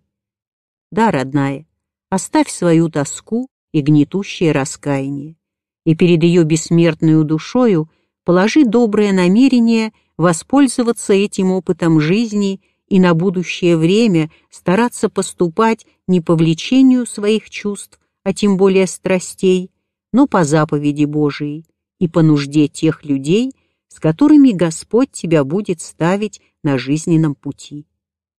Вот она увидит тогда тебя и порадуется за твои добрые дела и намерения. Письмо второе. Достоинство и благородство человека не столько в преимуществах, полученных им от предков, сколько в его собственных достоинствах и в том добре, которое он приобрел в труде над собою. Так ценит Господь все доброе в нас, так ценят нас и люди разумные. А сам человек должен ценить все то, что подает ему Господь. Тебе же, родная, Господь так много дал, что не скорбеть, а благодарить Его следует. Теперь о другом вопросе. Святые отцы всегда советуют, чтобы никакого не делать решения во время душевного смущения. Когда мы духом смущены, то не можем правильно и здраво рассуждать, а тем менее можем чистую совестью и сердцем мирным познавать волю Божию. И сердце, и дух смущены, и солнце правды закрыто от взора души. С этим решением надо подождать, не торопиться, и пока никому не говорить. Монастырская жизнь очень тяжела. Она требует особенного призвания Божия, особенной душевной потребности жить высшими идеалами. Без этого она даже смысла не имеет. Письмо третье. Ты от того, моя родная, так сильно волнуешься, что мало имеешь веры в Бога ведь без его воли и волос не спадет с нашей головы, а тем более никто не погибнет без его промысла. Все ему отдай и полюби его волю, и пожелай, чтобы она совершалась всегда над нами, и свое сердце успокой этой верой. Желаю тебе здоровья, прошу лечиться серьезно и жить под Божиим водительством. Письмо четвертое. Когда тебе придет нетерпение, то ты вспомни, как много и долго терпят узники, заключенные в одиночную тюрьму. А ты не в тюрьме, окружена удобством и людьми. Надо тебе взять себя в руки. Надо назначить себе молитвенное правило и правило терпения лишений, одиночества. Это необходимо монаху, чтобы прийти к Богу сердцем терпеливым, одиноким, бесстрастным надо полагать начало. Письмо пятое. Тебе Господь всегда и везде посылает тяжелые кресты. И видится мне, что во всем воля Божия, во всем для тебя посланы испытания, чтобы ты училась терпению и самоотречению. Ты говоришь, что ты далека от того, чтобы иметь чистоту сердца, но ведь всякий человек далек от всякого истинного добра, а тем более от добра духовного, от чистоты сердца. Без Бога, без Его помощи и благодати человек не может даже приблизиться к понятию о добре духовном. Вот Господь и ведет тебя сам, воспитывает в тебе твоего внутреннего человека, очищает, умудряет во спасение, посылает тебе скорби и труды, чтобы научить терпению, подклонению под волю Божию, познанию своей немощи. Что может человек сделать? Одно — подклониться под волю Божию и в смирении духа взывать к Нему. Веди, Господи, сам, куда знаешь, и помоги мне исполнить волю Твою. И как легко, как спасительно идти по тому пути, куда ведет Господь. Помоги тебе, Господи, во всем покоряться Ему. Письмо шестое. Мне грустно вспомнить, что вчера ты была такая расстроенная. Не больна ли ты? Если тебя смущает мысль, что я оставлю игуменство, то и это напрасно. Скажу тебе от души, что я всегда желаю и подвязаюсь, чтоб все творить, все делать и поступать по воле Божией. Есть у меня желания, я их высказываю, а на душе у меня одна мысль и желание, чтоб все совершилось по воле Божией. И в этом случае, если я и желаю провесть последние годы жизни в уединении, то это не есть мое решение, а только одно желание. А мое желание, чтоб все совершалось в моей жизни по воле Божией. И при таком настроении моей души, при такой преданности воле Божией, Мое сердце мирно и никогда не бывает в смятении или неудовольствии, если что не сделается, как я желала или предполагала. Советую тебе искать душевный мир в своем сердце, предавая все воле Божией. Люби ее, эту волю. Старайся и подвязайся всегда поклоняться ей. Один святой отец говорил, если б небо столкнулось с землей, и тогда я не устрашился бы. Дай Бог и тебе утвердиться в преданности Божией воли. Твоя мать о Господе, игуменья Арсения.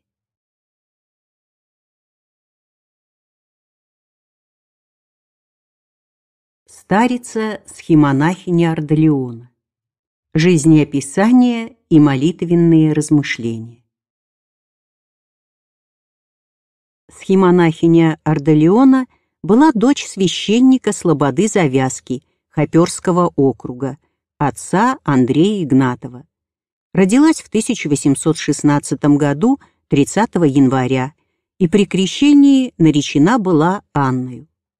Семи лет она лишилась своего отца, который умер, оставив после себя двух сыновей и трех дочерей, из коих Анна была старшая, на попечении престарелого родителя своего Дмитрия Игнатова, бывшего также священником в той слободе завязки.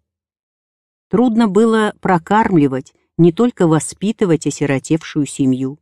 Детей надо было обучать грамоте, а за неимением лишних средств мальчиков стал учить сам дедушка, а девочку Анну мать Матрена Семеновна отдала сперва учиться грамоте к одной черничке, старой девице, потом отправила к сестре своей, дворянке Краснушкиной, жившей в двадцати верстах от завязки. У тетки Аннушка прожила несколько лет, и когда выучилась читать, то так страстно полюбила чтение, что не могла равнодушно видеть ни одной книги. Когда бывала в доме у своего деда, то, невзирая на его строгость, часто уносила из его домашней библиотеки книги, уходила с ними на гумно и там, забравшись на скирду, погружалась в чтение на целый день, так что забывала и о пище. По смерти отца Дмитрия, прожившего 105 лет, внучки стали делить между собою его имущество, состоявшее из всякой хозяйственной мелочи. Анна Андреевна ни на что другое не обратила внимания, а взяла хлебный мешок, наложила его доверху книгами и ушла к себе. Мать, увидя это, стала упрекать ее, что набрала ни к чему негодных старых книг, а годных вещей никаких не принесла из наследства дедовского. Но дочь выше всяких сокровищ на свете ценила эти книги.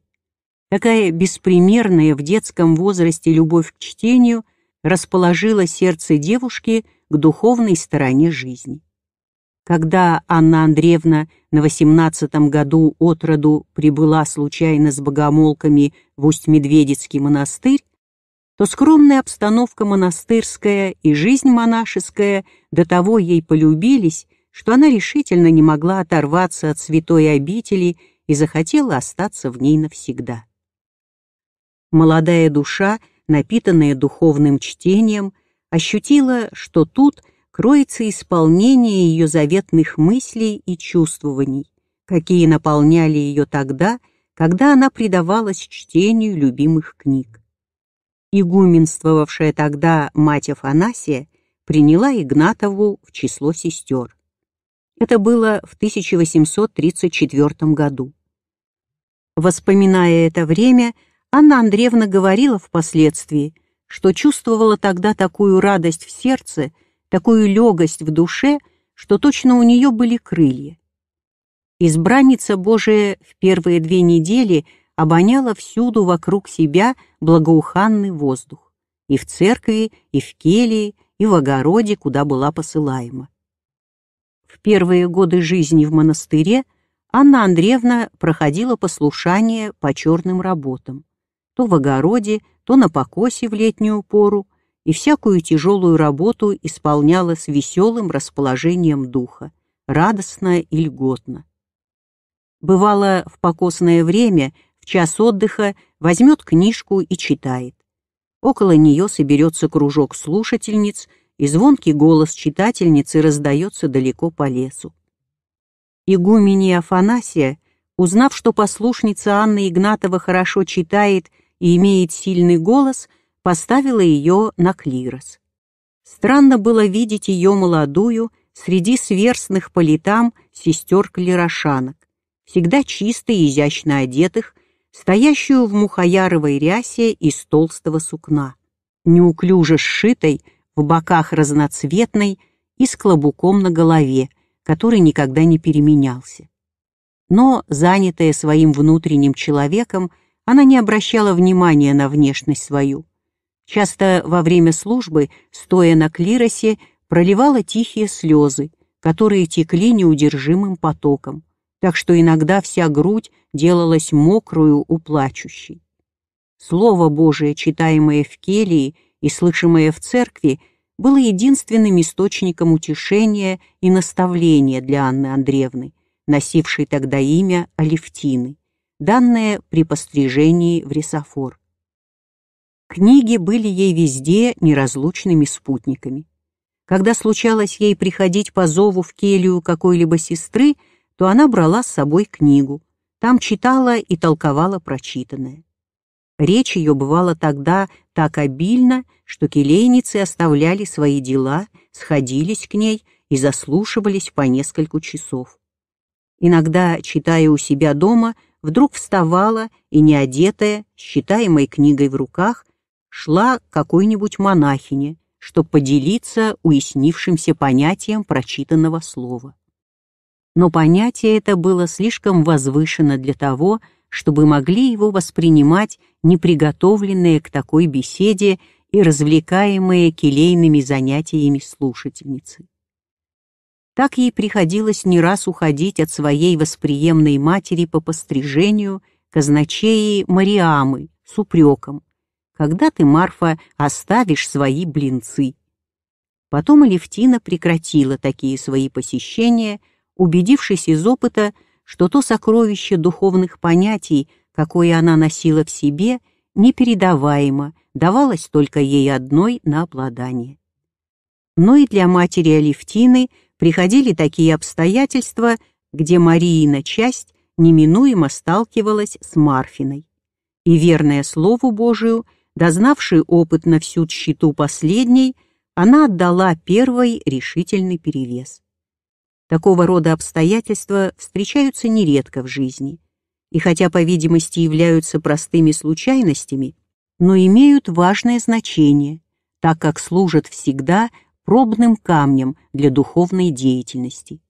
И часто бывают такими поучительными уроками, которые не забываются всю жизнь. Одновременно с клиросным послушанием Алевтина, называвшаяся тогда Анною, так как это было еще до пострижения ее в рисофор, определена была в Золотошвейке к одной монахине, занимавшейся этой работой. В то время жили с нею старая тетка, дочь отца Дмитрия, и младшая сестра Павла, которую она взяла к себе, чтобы облегчить для матери воспитание семьи. Жили они все в одной келье. свободные от урочной работы часы она занималась своим шитьем и от продажи своего рукоделия содержала себя, тетку и сестру. Трудно ей обходилось такое содержание. Целые ночи, не разгибаясь, она проводила за шитьем, хотя скоро и много работала. Потом старуха-тетка умерла, а сестра ее, молодая девушка, не пожелала продолжать более жизнь в монастыре и вышла замуж.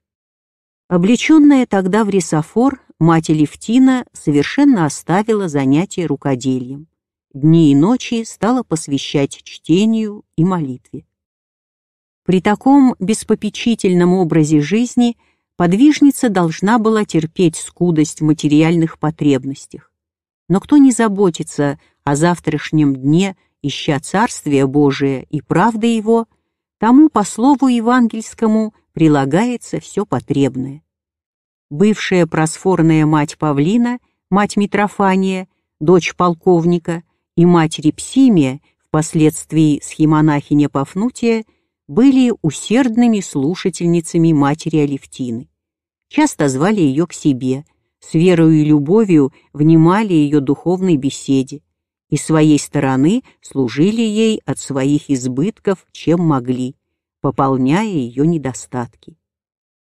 Однажды игумении представилась надобность перевести ее и собственные ее келии в обительскую, что в женских монастырях обыкновенно обходится не без скорби.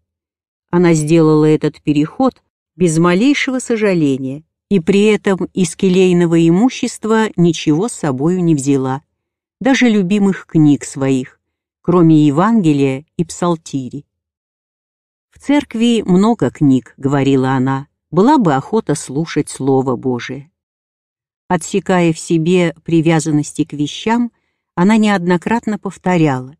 Еще в ранней молодости я стала понимать не только умом, но и внутренним глубоким чувством, что душа в час смерти разрывает все связи с земным миром. И как тяжело и трудно душе это разлучение, если в ней много пристрастных привязанностей к земным предметам. Чтобы легко было умирать, нужно прежде смерти умереть для всего, нужно уничтожить все земные пристрастия. Мать Левтина не только сама себе ничего не приобретала, но и глубоко огорчалась тем, когда в других видела противные нравы. Состояв в должности благочинной монастыря, по требованию этой должности она посещала келью одной своей соседки и часто заставала ее за чтением псалтири, воздыхающую, как бы с отягощением исполняющую свое правило. Тогда она говорила ей, «Довольно тебе читать, отдохни». «Нельзя, мать», — та всегда отвечала, «ведь я монах». Случилось, что в общей трапезе не достало дров.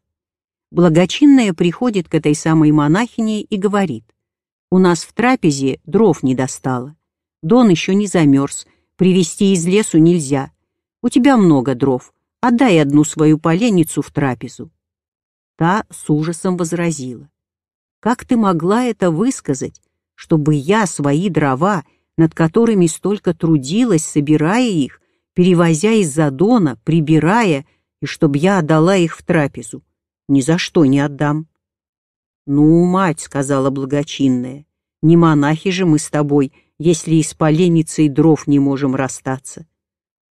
После таких случаев мать Левтина — полном пострижении она носила то же имя, какое и в Ресофоре, затворялась в своей келье и не выходила из нее по два и по три дня. Отречение свое от привязанностей всякого рода она простирала до того, что не дорожила никакими удобствами и собственным покоем. У нее была одна келейница, Агафья Прокопьева, весьма преданная ей и очень ловкая в услужении. Когда одна болящая монахиня попросила благочинную дать ей хорошую послушницу, то она привела к ней свою Агафью и убедила ту служить болящей с такой же преданностью, с какой она служила ей самой. Послушная Агафья выполнила это в точности, усердно служа больной до самой ее кончины. Мать Левтина вот что говорила о себе. При работе над своим внутренним человеком такая иногда чувствовалась немощь, недостаточность всех внешних подвигов, всех своих душевных сил, что не раз приходило в уныние и некоторое безнадежие. В эти тяжелые часы приходилось в церкви слышать слово апостола Павла о бессилии закона и о вере. И хотя я их и прежде знала наизусть, но в эти минуты они были для меня новым откровением. Всею немощью души своей я сознавала, что ни на себя и ни на что свое я не могу надеяться, что ничто мне не поможет в моем спасении, ничто не спасет моей души от ее собственной нечистоты и несовершенства. Всем существом своим я верила, что Господь, один Господь и сила Его благодати может меня спасти, может просветить, очистить и усовершить мою душу. может дать силу ей внимать Его Слову, разумевать Его и исполнять Его заповеди. И эта сила будет Его сила, во мне действующая, а не моя. Я же и все мое навсегда остается немощным, безжизненным, беспомощным. И хорошо, что человек сам по себе так немощен. Хорошо, что только Бог один силен, что Он один живый, во всем действующий и царствующий.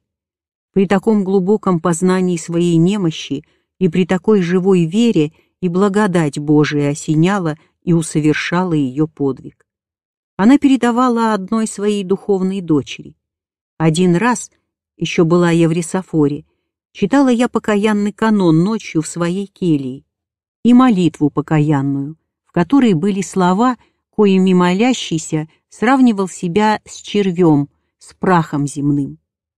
Читая эти слова, я вдруг ощутила глубокое чувство смирения, своего ничтожества. И это ощущение было так полно, так сильно и так отрадно душе, что слезы обильно потекли из глаз. И всю ночь я провела в колено преклоненной молитве, а продолжать чтение по книге в ту ночь я больше не могла. Духовного подвига матери Алевтины никто не видел. Ничего особенного за ней не примечали, и мало было таких, которые могли понимать ее тайную жизнь. По принятии монашества в 1855 году она редко стала выходить из кельи. Иногда спрашивали ее сестры, отчего она никуда не ходит.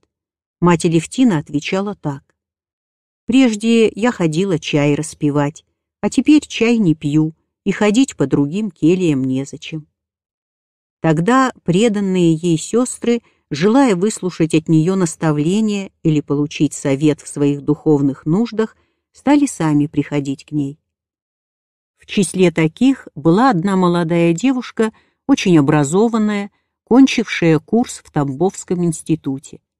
Она выказала большую веру к матери Алевтине и пожелала жить под ее руководством.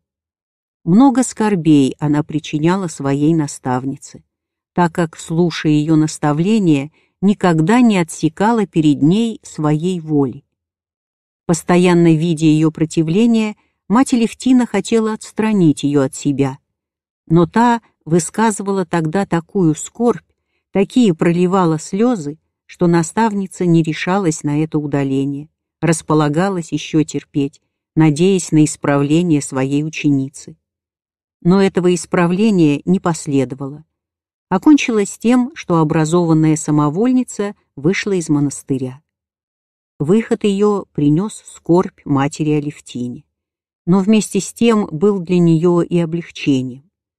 После наставница так отзывалась об этой непослушной ученице. Живя с ней, я чувствовала себя так, как чувствовал бы себя живой человек, которому был бы привязан труп. Но все же я благодарю Бога за то испытание. Многому терпению я научилась, живя с нею. И действительно, она сделалась настолько терпеливою, что могла уживаться самым строптивым характером. Если кто жаловался ей на келейницу, когда она бывала в должности благочинной, и просил взять из келии, а другой келии для такой не находилось, и никто из монахинь не соглашался принять к себе своевольную сестру, то благочинная брала ее в свою келью и держала у себя до тех пор, пока находилась келья или какая монахиня нуждалась в келейной.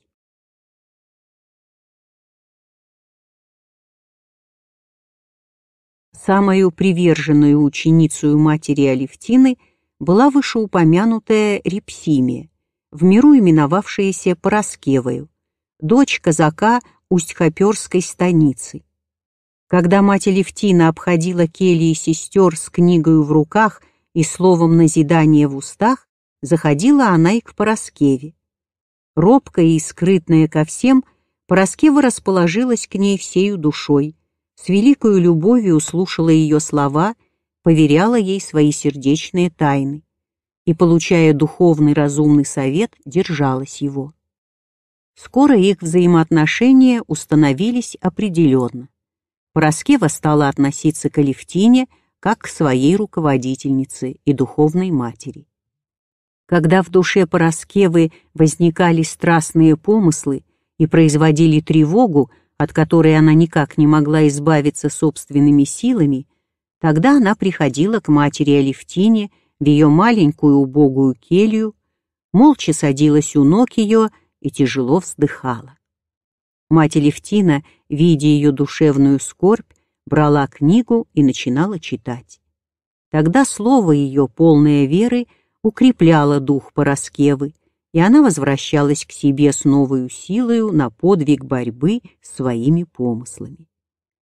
Иногда по своей робости она не могла высказывать откровенно состояние души своей.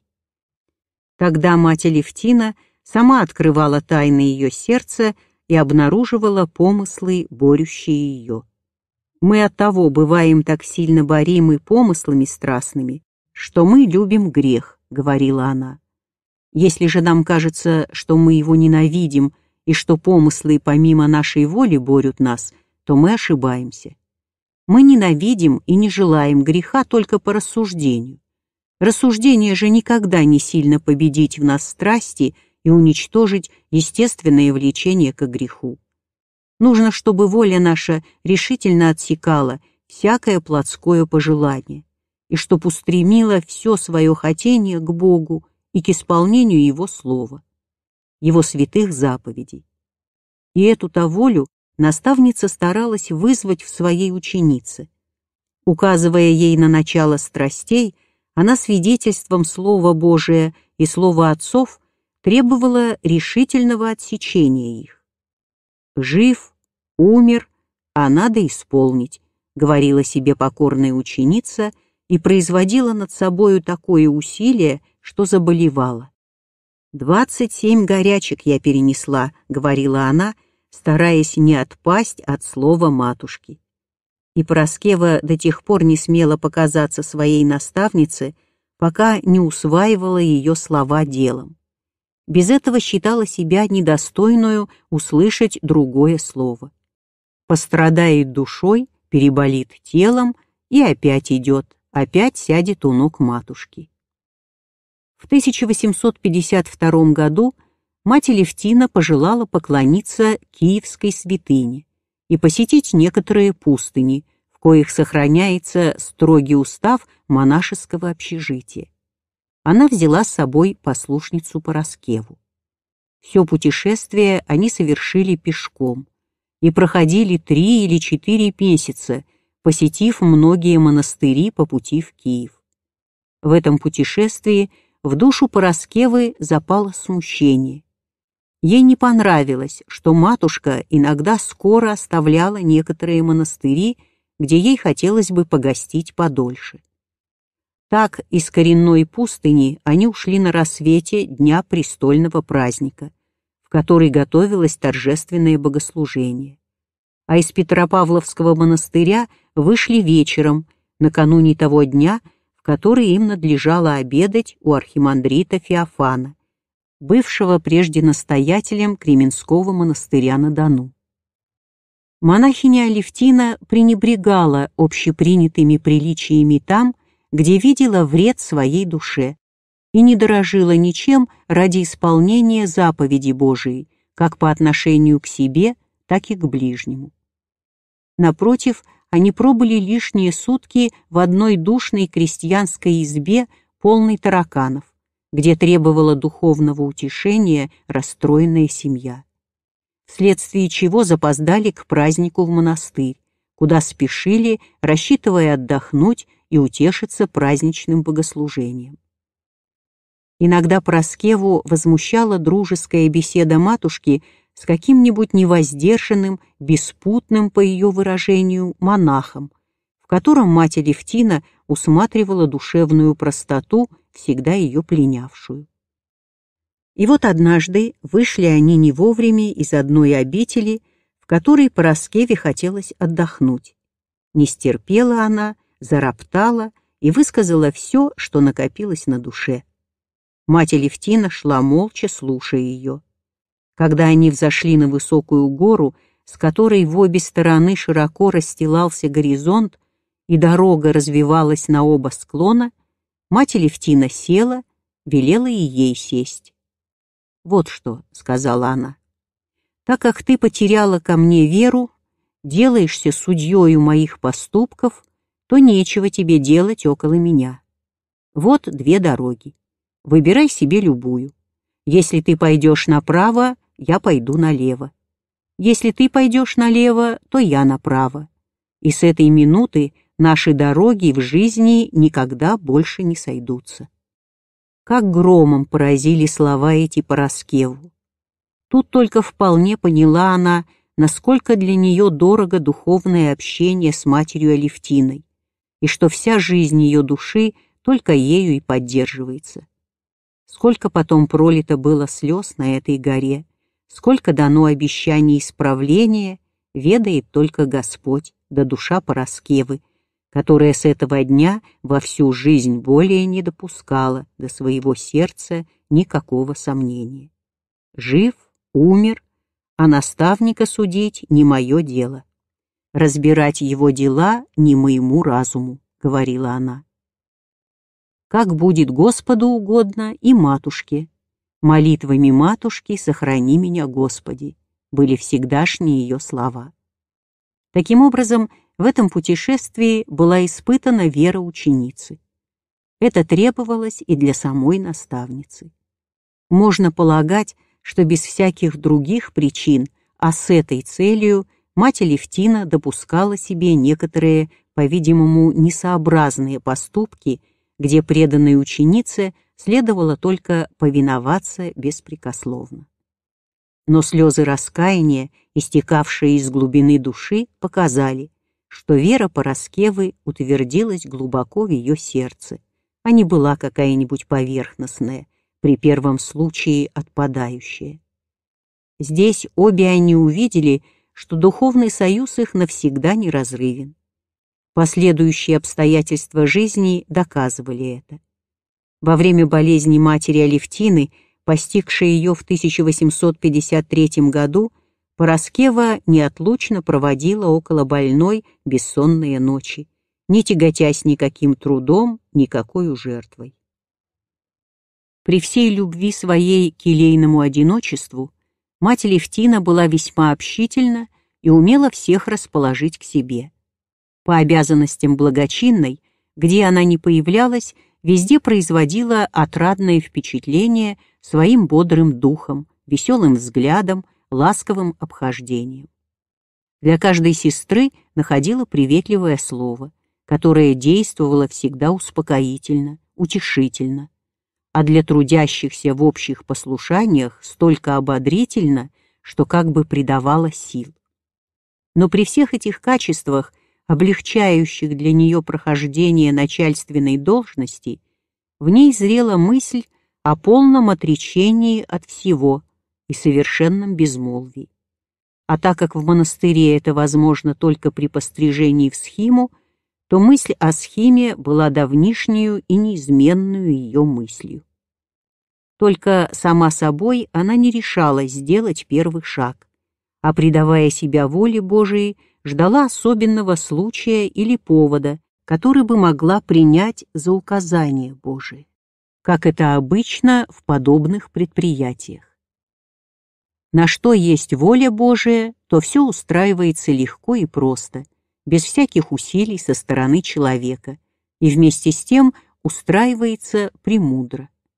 Однажды, беседуя с казначеей Мариамою, мать Левтина навела разговор на любимый свой предмет, стала предлагать своей восприемной матери принять схиму, обещаясь читать ей правила.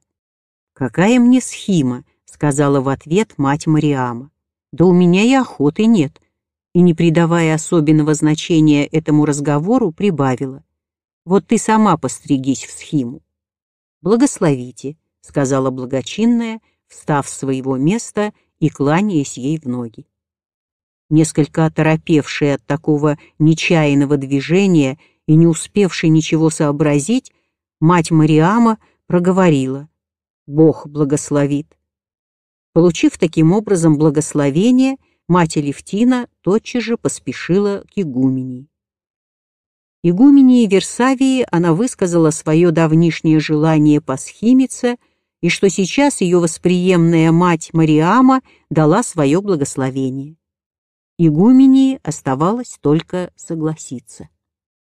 В тот же день было написано прошение о пострижении монахини Алевтины в Великую Схиму.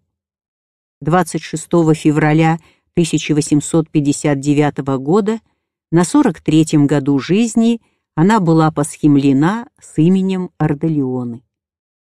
Приняв сугубое монашество, схимонахиня Ардалиона усугубила и свой молитвенный подвиг.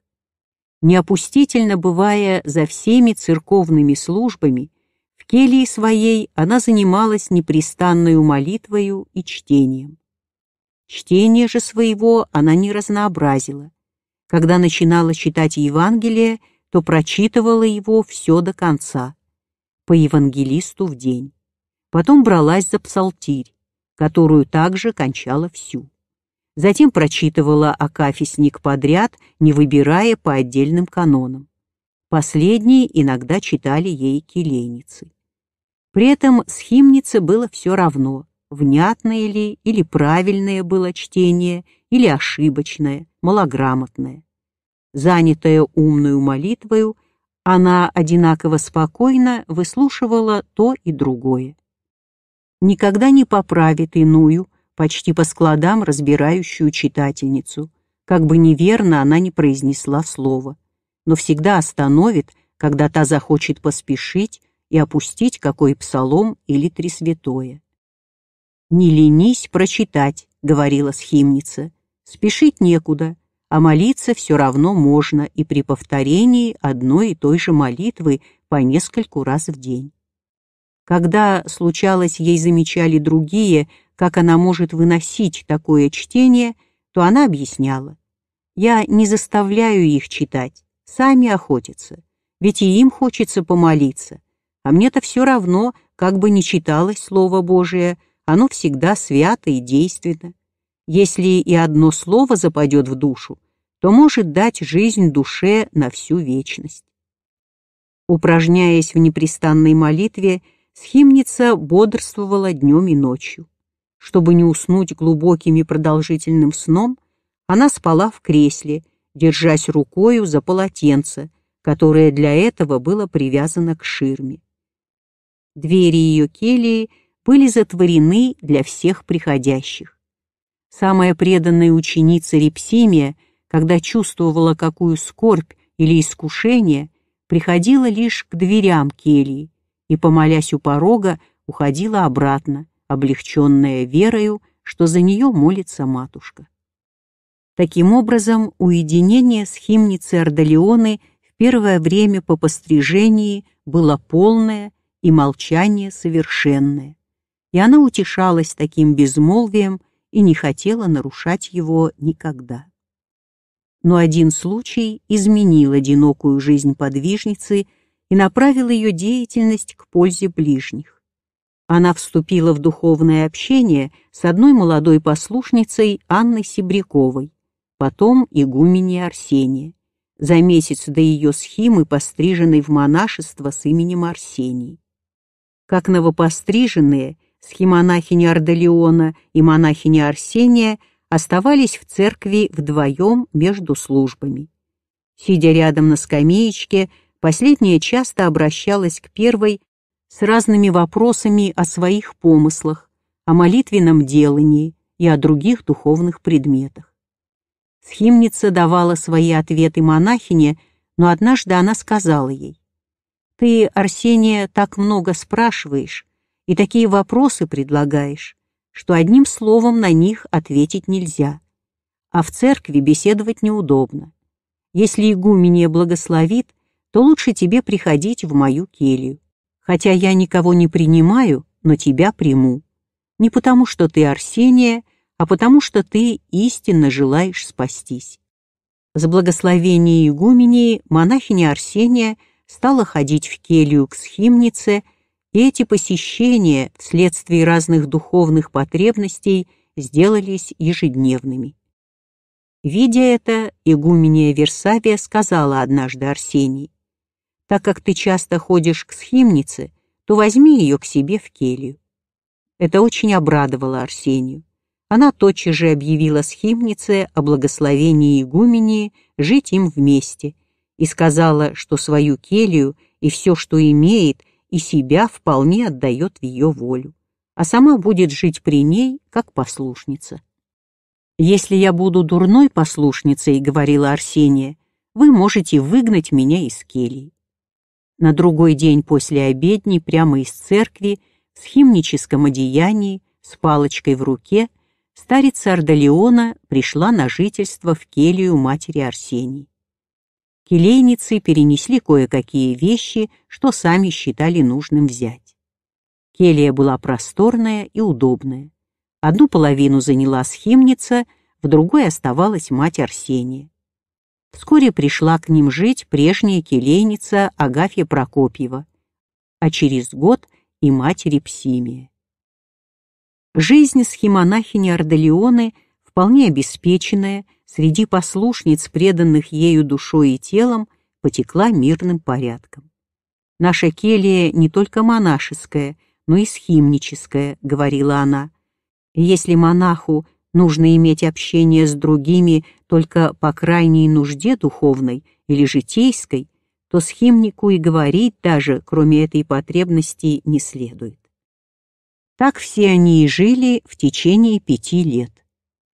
Придет кто-нибудь из сестер, приветствует ее, спросит о деле, не распространяются, не угощают, не приглашают посидеть. Если встречалась надобность кому из келейниц сходить по делу в другую келью, то переговорит о деле и сейчас же в свою келью. Между собою никогда не вели речи о посторонних предметах, а переговаривались только касательно собственной жизни. Все жили безмолвную жизнью старицы.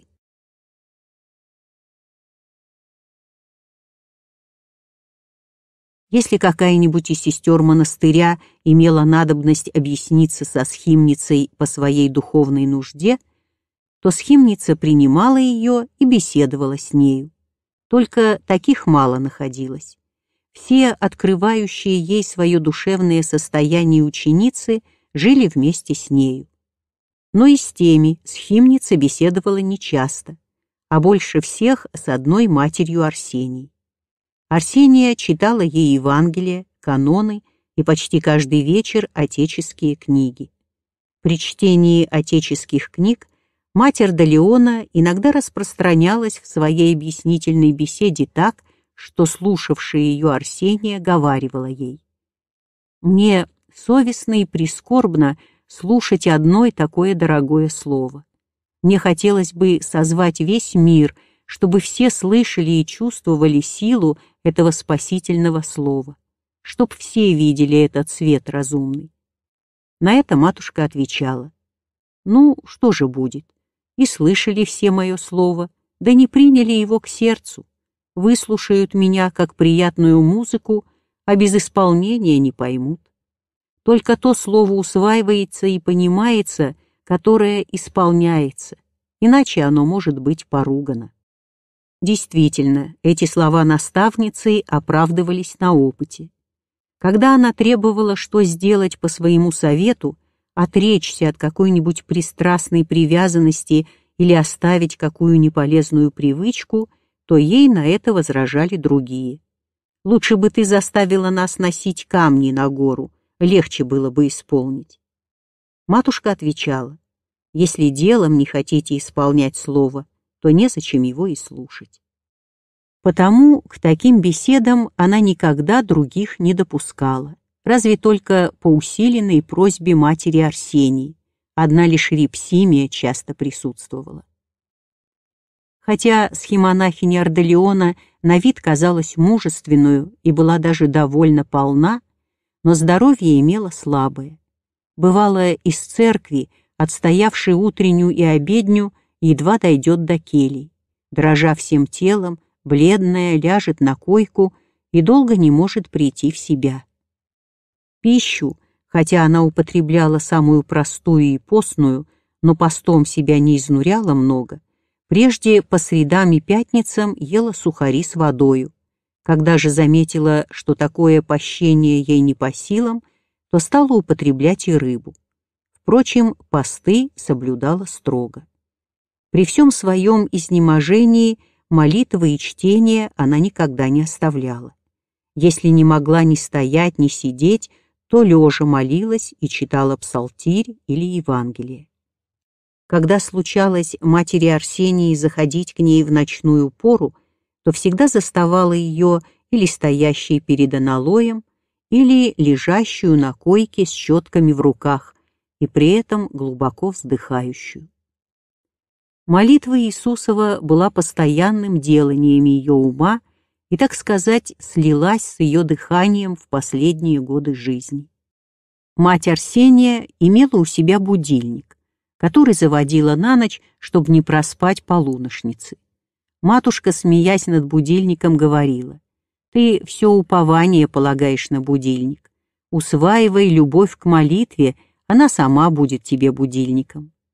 Но эта неусыпная молитвенница – была проникнута истинную любовью к ближнему, ради которой всегда оставляла свои обычные молитвенные занятия, когда встречалась нужда подать благой совет требующему или сказать слово утешения скорбящему.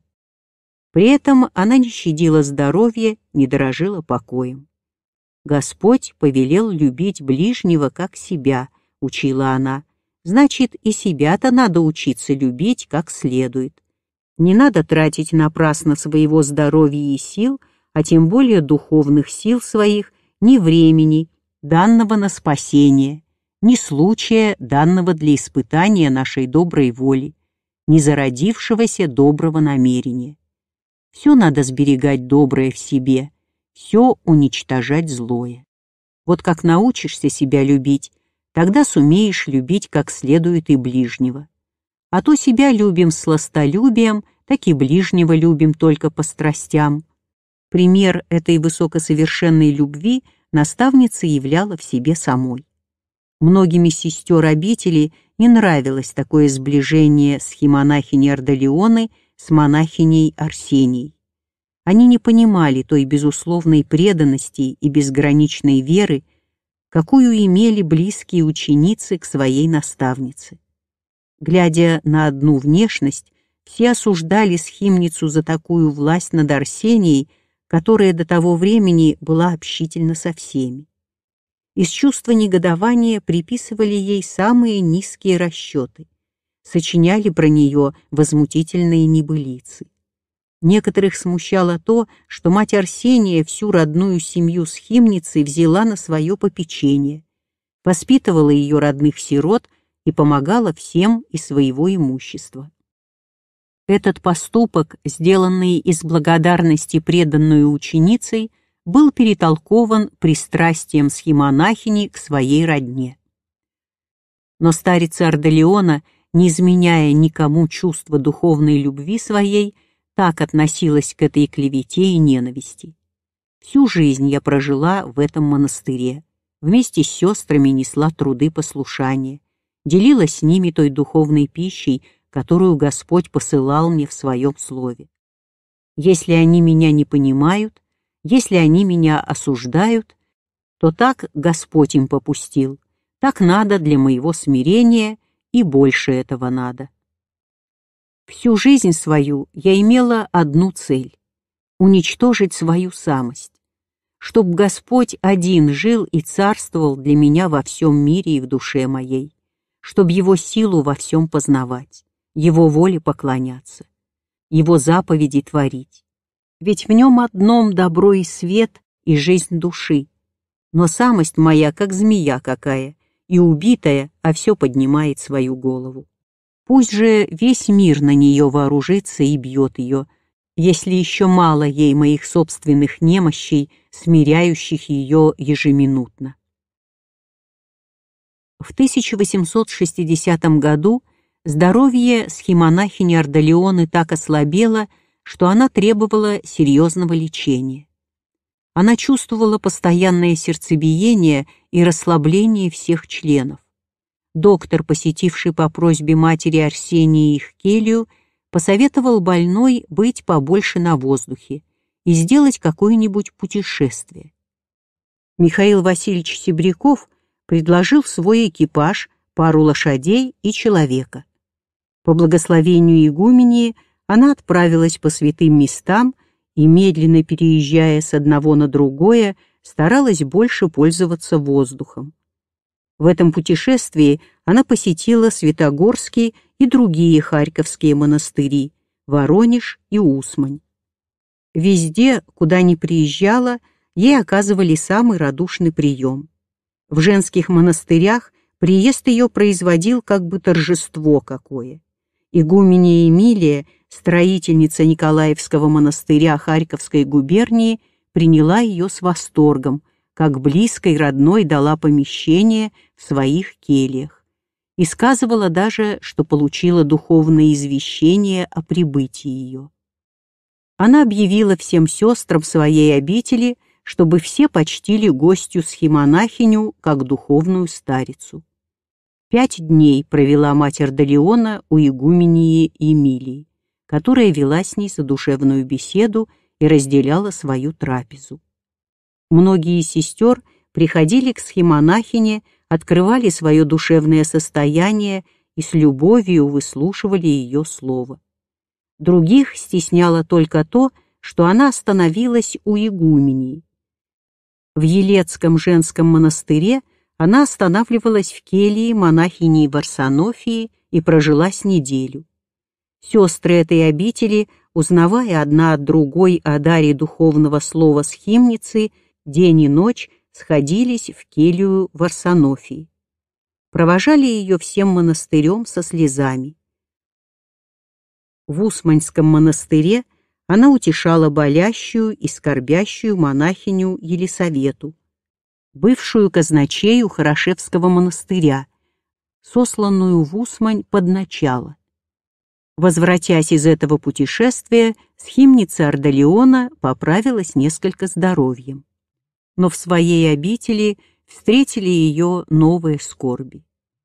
Евангельское слово Никакой пророк не принимается в Отечестве своем, Евангелие от Луки, глава 4, стих 24, выразилось в поведении усть-медведецких сестер. Смутившая всю обитель была одна сестра, по простоте своей и младенческому разуму в духовных предметах, не понявшая беседы с химонахини и перетолковавшая ее учением противным церковному вере близких учениц не находилось подражательниц, а смущение вероломной разом все переняли, поверив ложному толкованию слов подвижницы, которые могли быть уразумеваемы только жизненным опытом, а не поверхностным суждением. Игуменья Версавия строго запретила сестрам обители всякое общение с кельей схимницы Ордолеоны. Глубоко скорбела мать Арсения о таком отчуждении сестер.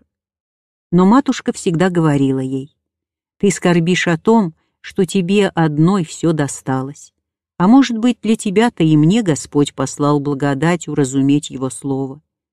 Не знаю, к чему тебя Господь готовит, но вижу, что тебе Он много дает». Сама же она радовалась поношению, говоря, что только им и может спастись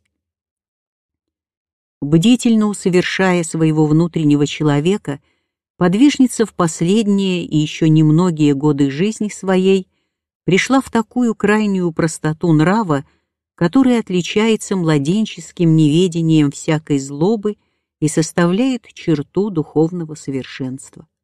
Она не только опровергла возводимые на нее клеветы, но и нисколько не старалась оправдывать себя в глазах людей, напротив – поступками своими как будто подтверждала недоброе о себе мнение. Иногда келейницы ее прибирают дрова около келии. Что-то наши девчата утомились, пойти их подбодрить, скажет схимница и выйдет на крыльцо, по-домашнему одетая, в белом платке на голове, громко и весело разговаривает с своими девчатами. А те, увидев матушку веселую и ласковую, не чувствует никакой усталости. Проходящие же мимо сестры, видя схимницу смеющуюся и неприлично одетую, отходят полные соблазна. В большие праздники, когда в тесной монастырской церкви собиралось много мирского народу, она не ходила в церковь, а скажет бывало, идите все, а я буду келью караулить. Или вишню надо караулить, а то воробьи ее клюют, и сядет на крыльце во время звона ко всеночной в виду всех идущих в церковь. Если при этом кто замечал ей, что сестры ею соблазняются, то она серьезно не понимала, чем они могли соблазниться. Родитель матери Арсении присылал дочери разные шерстяные материи, платки и прочее, чтобы она сама носила и делилась с другими сестрами. Вследствие этого на схемонахине Ардалионе вместо убогой многошвенной одежды стали появляться то приличная ряса, то хорошая шуба. Монахини, видя такую перемену, говорили, что схимница развратилась, потеряла подвиг нестяжания. А мать Ардалиона, слыша такие пересуды, говорила, вот что значит полагать упование на внешний подвиг. Переменил рясу, и человек в их глазах стал уже не тот. И может ли быть ценно то приобретение жизни, которое от перемены рясы может уничтожиться? И самое это рубище мы носим, чтобы приобресть беспристрастие к вещам. Если же к рубищу привяжемся, то это будет тоже страсть, да еще страсть, питающая духовную гордость. Внешние подвиги, учила она, это только орудие добродетелей. И хотя без орудия нельзя приобрести добродетели, но главную целью искания должны быть самые добродетели. А чтоб приобрести их, надо искоренить страсти и всю плотскую нечистоту. Нелегко это, надо трудиться до смерти, надо кровь пролить. И при этом часто приводила известные и Слово Божие глубокого смысла слова «Дашь кровь, и приими дух. Тем труднее этот подвиг душе, что нечистота наша велика. Она объяла всего человека. Наши страсти, плотское кровяное чувство примешиваются даже к нашему человеческому добру, сквернят нашу молитву. Надо подвязаться добрым подвигом, даже до отречения своей души. В 1862 году игумения Версавия подала прошение об увольнении ее от должности настоятельницы за старостью лет. Но сестры монастыря стали просить управляющего тогда Донскую епархию Преосвященного Иоанна, чтобы он не сменял ее. Владыка оставил Версавию на игуменстве и назначил ей помощницей мать Арсению, которую и определил на должность казначей. Пред наступлением Великого Поста 1863 года схемонахиня Ордолеона собрала к себе своих келейниц и сказала им, «До сих пор вы жили моею жизнью, а я жила вашей. Теперь мы будем жить отдельно. Мать, так она всегда называла Арсению, когда говорила о ней с келейными, теперь казначея. Ей надо заниматься делами монастыря. К ней будут приходить сестры с разными вопросами. К ней и вы относитесь с делами келейными. Я хочу затвориться в своей келье. Сюда мне будете подавать пищу. А когда кому будет духовная нужда, постучите в мою дверь, я отворю. На прощенный день все помолились в ее келье и распростились. Много при этом было пролито слез. Келейным казалось, что для них затворяются двери рая. Никто не хотел нарушать глубокого безмолвия затворницы. Но духовная нужда приближенных была так велика, что ей приходилось очень часто отворять двери своего затвора, вследствие чего келейная жизнь ее мало изменилась против прежнего. Духовные же потребности, с какими являлись приходившие, затворница строго разбирала. Она давала ответы только на такие вопросы, которые действительно касались жизни внутренней, самонаблюдательной. Иногда мать Павлина приходила со словами «Благословите говеть». Затворница отвечала «Проси на это благословение у игумении». Раз это Павлина спросила «Матушка, что это читают в церкви в антифонах? В дому Давида весь страх велик». «Я не толкователь Писания», — был ответ. «На это есть богословы. Их этому учат в семинариях и академиях. Часто случалось, что кто-нибудь придет и сидит молча, ожидая слова от затворницы. А она сидит с щетками, опустив голову. Просидит так довольно долго и скажет, наконец, «Если нет у вас дела, идите». Так и отпустит, не сказав ничего. Если б Господу было угодно, объясняла она, он дал бы ход моему слову. Теперь оно в поношении и даже в запрещении гонят и наказывают тех, кто его слушает. Нет мне благословения сообщать его другим. А тем, кто его сам вызывает, кто действительно в нем нуждается, я не имею права не передавать его.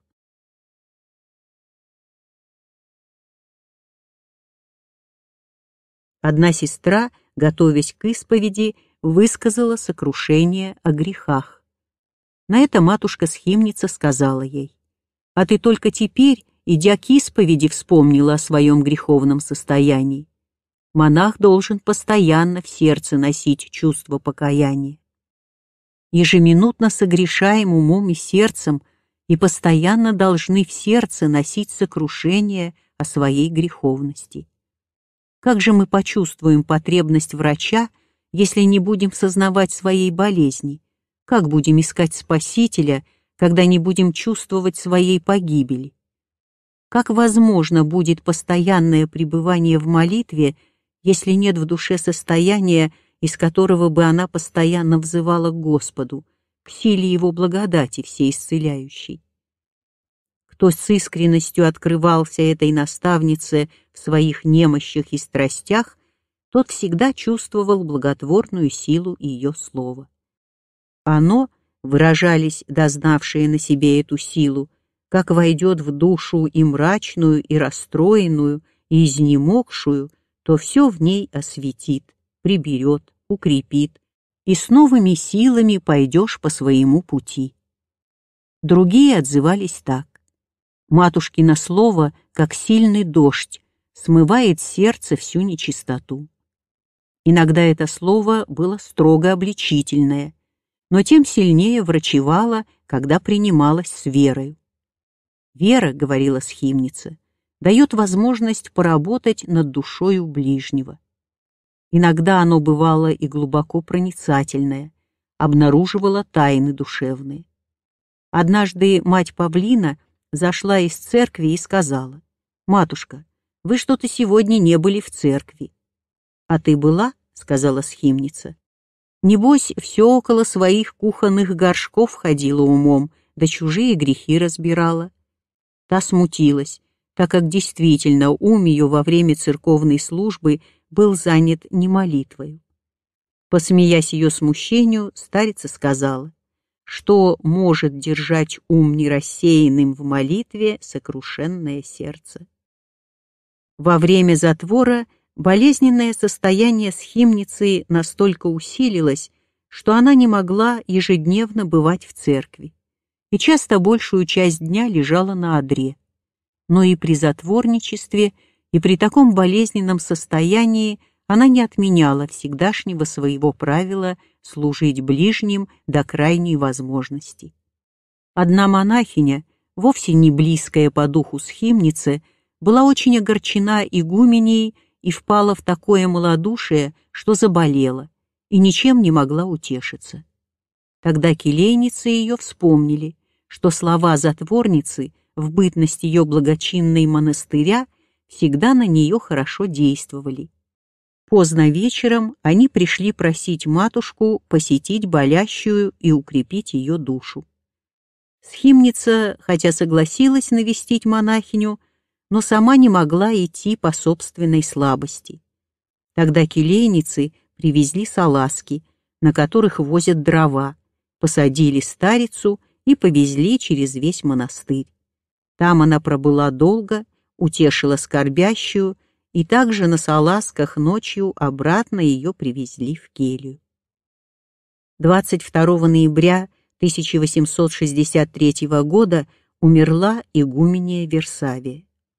После первой панихиды все сестры монастыря единодушно обратились к казначее матери Арсении с просьбой принять на себя начальство монастыря и быть им матерью и игуменей. Мать Арсения, очень огорченная смертью игумении Версавии, которую она с молодых лет привыкла уважать и не желавшая никакой перемены в своей монашеской жизни, просила сестер отложить избрание настоятельницы до погребения умершей игумени и до приезда благочинного монастыря архимандрита Маркелина. Между тем старицы-монахини одна за другой стали приходить к матери Ардалионе и просили ее убедить мать Арсению принять должность игумени. Схимница не только по просьбе сестер, но и по своему собственному желанию стала уговаривать свою ученицу принять предлагаемое игуменство. Ученица, беспрекословно послушная воле своей наставницы, только слезами изъявляла перед ней свою скорбь, что ей тяжело расстаться с той безмолвной жизнью, в которой она провела столько лет, и войти в такую деятельность, какой не лежала ее душа. Схимница Ардалиона говорила ей, «Хотя я желаю, чтобы ты исполнила в этом мою волю, но желаю, чтобы ты сама убедилась в необходимости ее исполнить, чтобы ты с охотой приняла на себя должность, которую предлагают тебе сестры, и которой призывает тебя Господь, чтоб ты с усердием пожелала послужить обители, воспитавшей тебя в монашеской жизни, и еще так продолжала убеждать наставница. Ты всегда дорожила моим словом, жалела, что его никто не слушает, не принимает. Передай же его всей обители, как я его передала тебе. И для тебя самой, для твоего спасения, такая деятельность необходима. Самого поступления в монастырь ты шла уединенной жизнью, работала только над своим внутренним человеком. Если и проходила ты послушание, то в них ты не вкладывала сердце своего, тебя там не было, до тебя, значит, ничего не касалось. А тебе нужна такая деятельность, в которой бы приняли участие все чувства твоего сердца, все способности твоей души. Тогда-то откроется тебе воочию состояние твоей души. Ты увидишь, что в сердце твоем живут страсти, тебе самой неведомые, и самолюбие, и гордость, и тщеславие, и гнев, и самомнение, все обнаружится. А для человека, стремящегося выйти из страстей, важно именно то, чтобы их познать в себе, чтобы они обнаружились, иначе он и бороться с ними не может. Настоящее твое бесстрастие есть только равнодушие ко всему, оттого оно не дает тебе теплоты и полноты внутренней жизни тогда как истинное бесстрастие есть выход из страстей, дающий свободу духу. Чистота сердца не есть его нечувствие, но обилие приобретенного добра, уничтожающее в нем сочувствие к страстям. Твои отношения к ближним холодны от того, что они не растворены ни любовью, ни смирением. Ты готова помочь их нужде, отдать все, что имеешь, но в этой помощи нет тебя самой.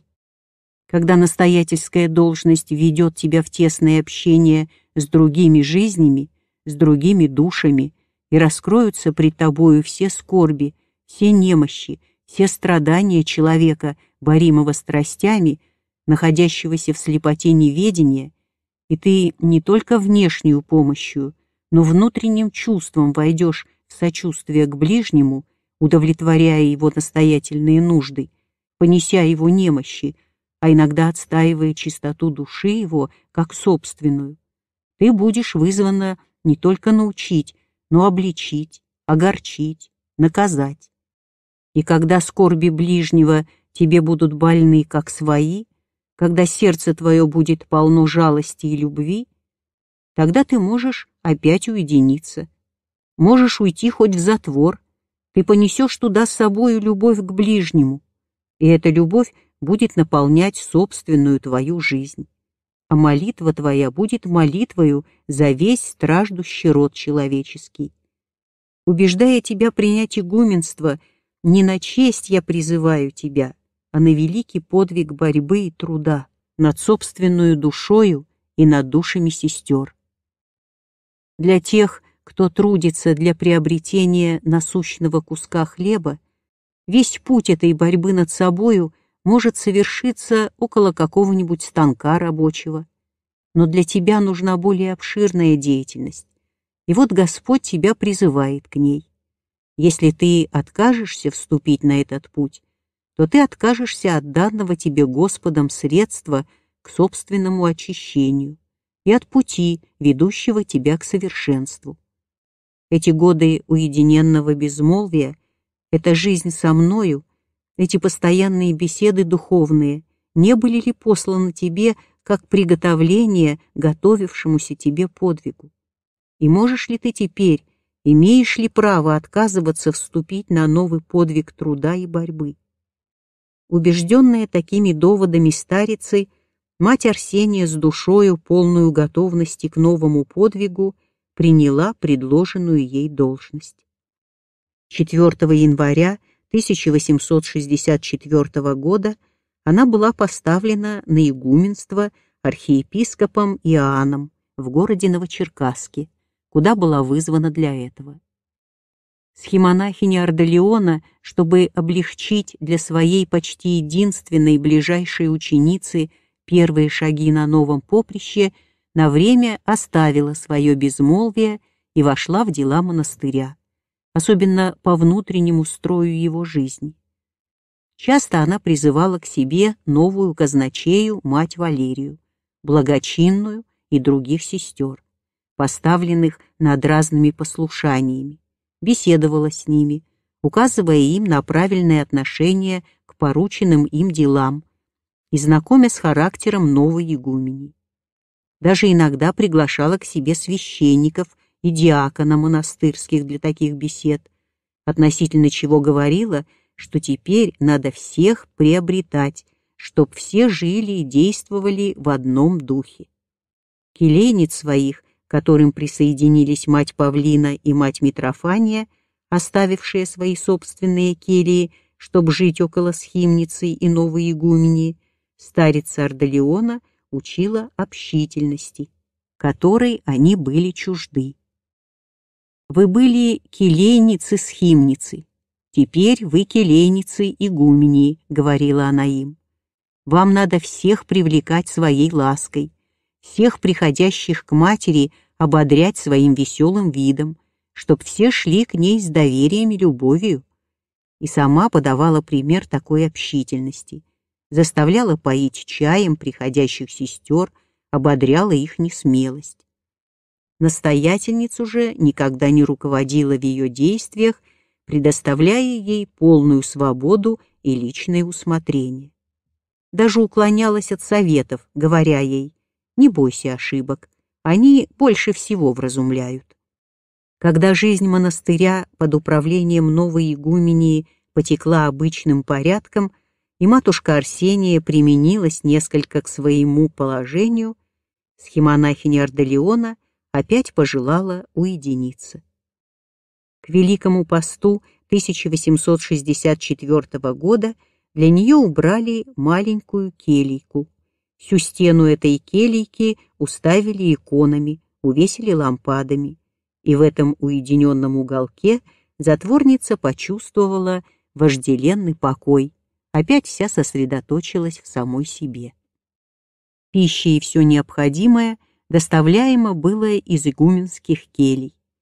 В качестве келейницы в эту келейку к затворнице перешла матери Псимия. Эта послушница с таким почтительным страхом относилась к своей старице, что без зова ее никогда не осмеливалась входить к ней. Потому случалось, когда игуменья зайдет вечером и узнает, что матушке не был подан обед, начнет упрекать Репсимию, почему не спросила. Матушка же говорила на это. Я и забыла, что не обедала. Так рада, что про меня хоть день один забыли, дали мне покой. Иногда затворница целый день не отворит оконных ставней, сидит или по нездоровью лежит в полумраке, занятая умной молитвою. Но строгий и долговременный затвор не был уделом матери Ардалионы. Вскоре она должна была опять расстаться с ним. Ее духовная дочь не могла скоро привыкнуть к самостоятельной общественной деятельности. Часто какой-нибудь выговор виноватой сестре или высказанное замечание повергали игуменью Арсению в тяжкий недуг. С нею делались жар с бредом и мучительная бессонница. Видя такое страдательное состояние, одна из ее келейниц, мать Митрофания, пошла к схемонахине Ардалионе и все ей передала подробно, со слезами. Затворница — выслушав такую печальную повесть, ничего не отвечая, встала, помолилась на свои иконы и сказала, «Ну, веди меня к матери, пойду к ней жить». Со слезами радости встретила игуменья Арсения свою духовную мать. Она отдала ей свою спальню с смежными комнатами, а сама поместилась в своем кабинете. Это было в мае 1864 года.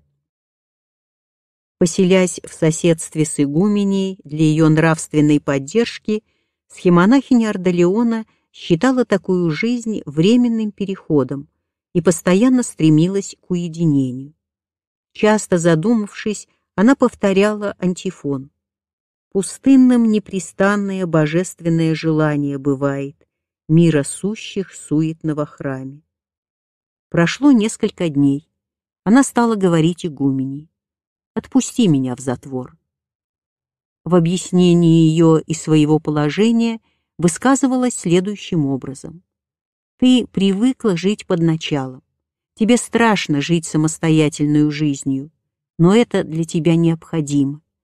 Жизнь земная — это путь к вечности. Зачем же делать остановки на пути?» Нужна была для тебя подначальная жизнь, уединение, и оно было в свое время. Теперь у тебя другая деятельность, и тебе надо идти дальше. Все хорошо в свое время и на своем месте, а не вовремя и самое хорошее вредно. Такое-то оно человеческое добро. То, что вчера нас спасало, сегодня губит. Одно добро Божие вечно, неизменно, всегда истинно и не ложно. Оно-то одно и спасет нас. Не дорожи же своим добром, то есть привязанностью к уединению и к подначальной жизни. Отрекайся от него, когда предстоит исполнить заповедь Божию о любви к ближнему, когда ты призвана ему послужить, поработать для спасения. Ты не можешь свободно действовать в том мире, где ты видишь, что меня уже нет потому что боишься отклониться от меня в моей жизни. А я вижу, что хотя поддерживаю твой дух, но жить тебе мешаю. А что мешает нам на пути, от того надо отрекаться, хотя это будет единодушный друг или даже наставник. Не знаю, к чему Господь меня призывает, к затвору или к исходу из земной жизни, но только я чувствую непреодолимое влечение к жизни вполне отрешенный от вещественного. Последние слова духовная мать неоднократно повторяла своей дочери. Наконец она определенно высказала желание уединиться. «Мне пришло желание жить в монастырском большом саду», — сказала она. «Если ты меня отпустишь и благословишь, то я попрошу сестру твою А.М., чтобы она выстроила мне там келью. Тебя одну я буду принимать, когда встретится тебе духовная нужда. И ты поймешь, как будет для тебя полезен и дорог отдых в моей безмолвной келье. Находя, что жительство в саду будет полезно для расстроенного здоровья матери Ардалионы, игуменя Арсения склонилась на ее непременное желание и тотчас же написала письмо своей сестре о постройке келии для схимницы, так как не хотела употреблять на этот предмет монастырских средств, всегда недостаточных для самых существенных нужд монастыря.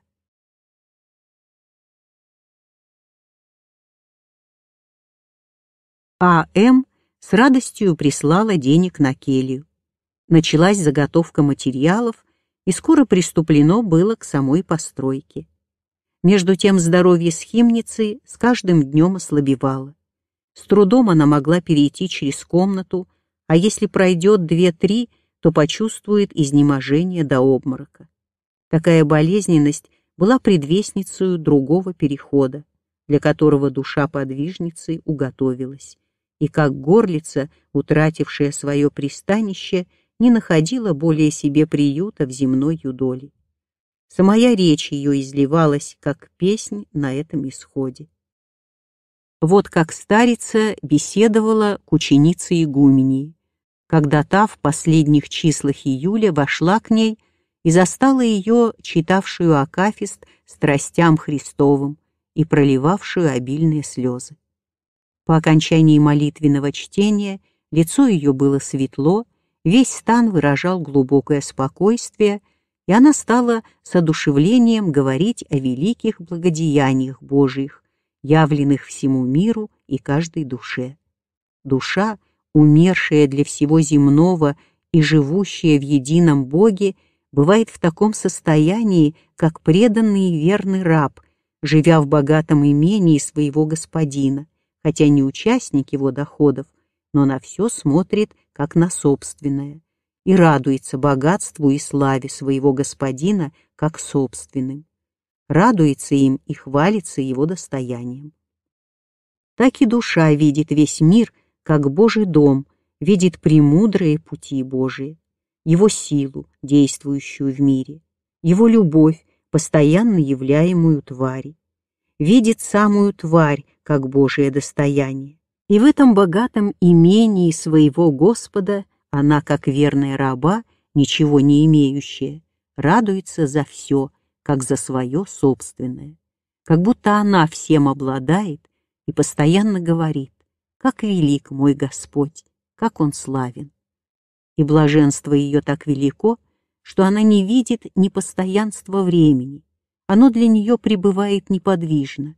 У нее нет ни прошедшего, ни будущего, одна настоящая минута, как бы она тяжела ни была по обстоятельствам внешней жизни или по естественной немощи души или тела. Но эта настоящая минута для нее составляет все блаженство, потому что она живет в Доме Божьем. Она не чувствует времени, потому что уже вышла из временного. Жизнь ее не заключается в приходящем, но вечном. Это состояние настолько удовлетворительно для души, настолько блаженно, что если бы Господу угодно было навсегда ее оставить на земле в трудах жизни, оставить именно в том состоянии, в какое она пришла, то она была бы на это согласна. Но по соображению мне кажется, что такая душа уже недолго останется на земле. Земной подвиг ее уже окончен, и она с апостолом Павлом должна сказать «Время моего отшествия наста». Второе послание к Тимофею, глава 4, стих 6. 1 августа схемонахиня Ордолеона была в церкви. Придя от вечерни, она сказала игумении, что чувствует себя нехорошо и желала бы посидеть на воздухе. Обе вышли в садик, находящийся подле игуменского дома и прилегающий к бывшей келье монахини Арсении. Около этой кельи в тени дерев сели и много беседовали, воспоминая прошедшую жизнь.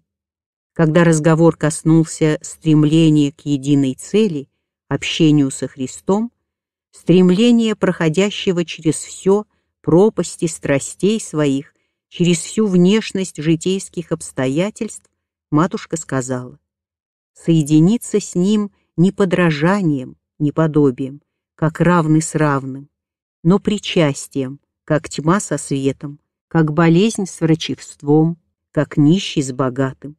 Для того нужна смерть собственной самости, чтобы жить со Христом в Боге. Не к тому, говорит апостол, живу ас, но живет во мне Христос. Послание к Галатам, глава 2, стих 20.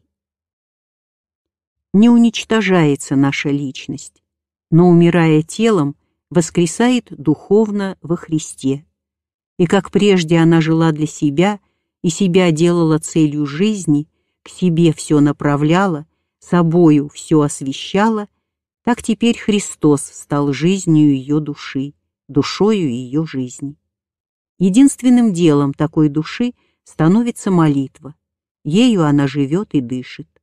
Какие чудеса угодно Господу являть такой душе, и через нее же миру, это ему одному известно. Сама же душа ничего больше не желает. Это предел ее исканий. От сели ждет смерти, чтобы разрешиться и со Христом быть. В будущей жизни совершенства – а в этом несовершенном мире и самое совершенство несовершенно. Здесь Христос как врачевание немощи, там Христос как венец совершенства. В этой беседе они не заметили, как село солнце. Наступившая прохлада ночи заставила их вернуться в келью. В течение десяти последующих дней схимница страдала серьезную болезнью. Лихорадочный озноб сменялся сильным жаром, и чувствовала сильная головная боль. Но врача она не пожелала пригласить, говоря, что доктора ей никогда не помогали в ее болезнях, а теперь тем более, когда в теле не осталось больше сил для жизни. Постоянно стала говорить о смерти, но окружающие не принимали этого во внимание, видя больную всегда бодрую духом хотя она лежала в жару, но не прерывала умной молитвы. Иногда заставляла прочитать по вечере или какой-то акафист и выслушивала со вниманием. 10 числа игуменя Арсения, беседуя с болящей старицей, старалась навести разговор опять на тот же предмет, о котором они говорили в саду. Схимонахиня так продолжала его. Господь сказал, аще зерно пшеничное пад на землю не умрет, то едино пребывает, и когда же умрет, мног плод сотворит. Евангелие от Иоанна, глава 12, стих 24. Эти слова Господь сказал о себе самом, и на нем они совершились. Господь принял на себя человечество, и когда Он по человечеству пострадал, умер и воскрес, то прославился, сидя и одесную Бога Отца, и с тех пор страдания его стали приносить обильные плоды духовные. Также исполняется это слово в духовной жизни человека. Пока живет он самостью, в своих человеческих страстях, то не приносит он плода добродетелей. Когда же самость его распнется на кресте самоотвержения, и умирает совершенным самоотречением, и когда воскреснет душа во Христе и сбывается на ней слово «Ас и Отец приидем, и обитель у Него сотворим», Евангелие от Иоанна, глава 14, стих 23, тогда душа не живет уже своей жизнью, но Господь живет и действует в ней и через нее, как через какое орудие своей благодати – действует на мир. Ум, умерший своему мудрованию, становится проводником тайн Божьих, ему открывается видение судов Божьих и его всесвятой воли. Сердце, умертвившее в себе свою самость, делается жилищем божественного добра, усвоением его всесвятых заповедей, дух человека приобщается Духу Христову. И когда Христос живет в душе, то какого добра не в силах Он плодотворить, и какие чудеса не явит Он душе. А душа, свидетельница этих чудес, этой силы, действующей в ней, в благоговейном трепете будет благодарить Его за то, что он в великом премудром совете своем так определил, что она получает свое совершенство в нем, а не в себе самой. И радоваться будет душа своей немощи. И захочет ли такая душа показать себя чем-то великим пред людьми? Напротив, она хочет, чтобы все видели ее немощь, ее низость, ее убожество и ничтожество. Она на деле в себе самой проповедует эту недостаточность человека. Она даже не может взять на себя никакого личного человеческого добра, потому что жизнь ее в истинном добре, перед которым уничтожается ее самость. Смирение — это та земля, на которую зерно должно упасть, чтобы умереть. Умереть, чтобы ожить во Христе и оплодотвориться духом. Если же оно и не умрет, то едино пребывает, едино в своем несовершенстве человеческом, не приобщенное Христу. Окончив беседу, схимница опять, лежа на койке, безмолвствовала, погруженная в умную молитву. Пищи почти не употребляла, довольствовалась одним питьем.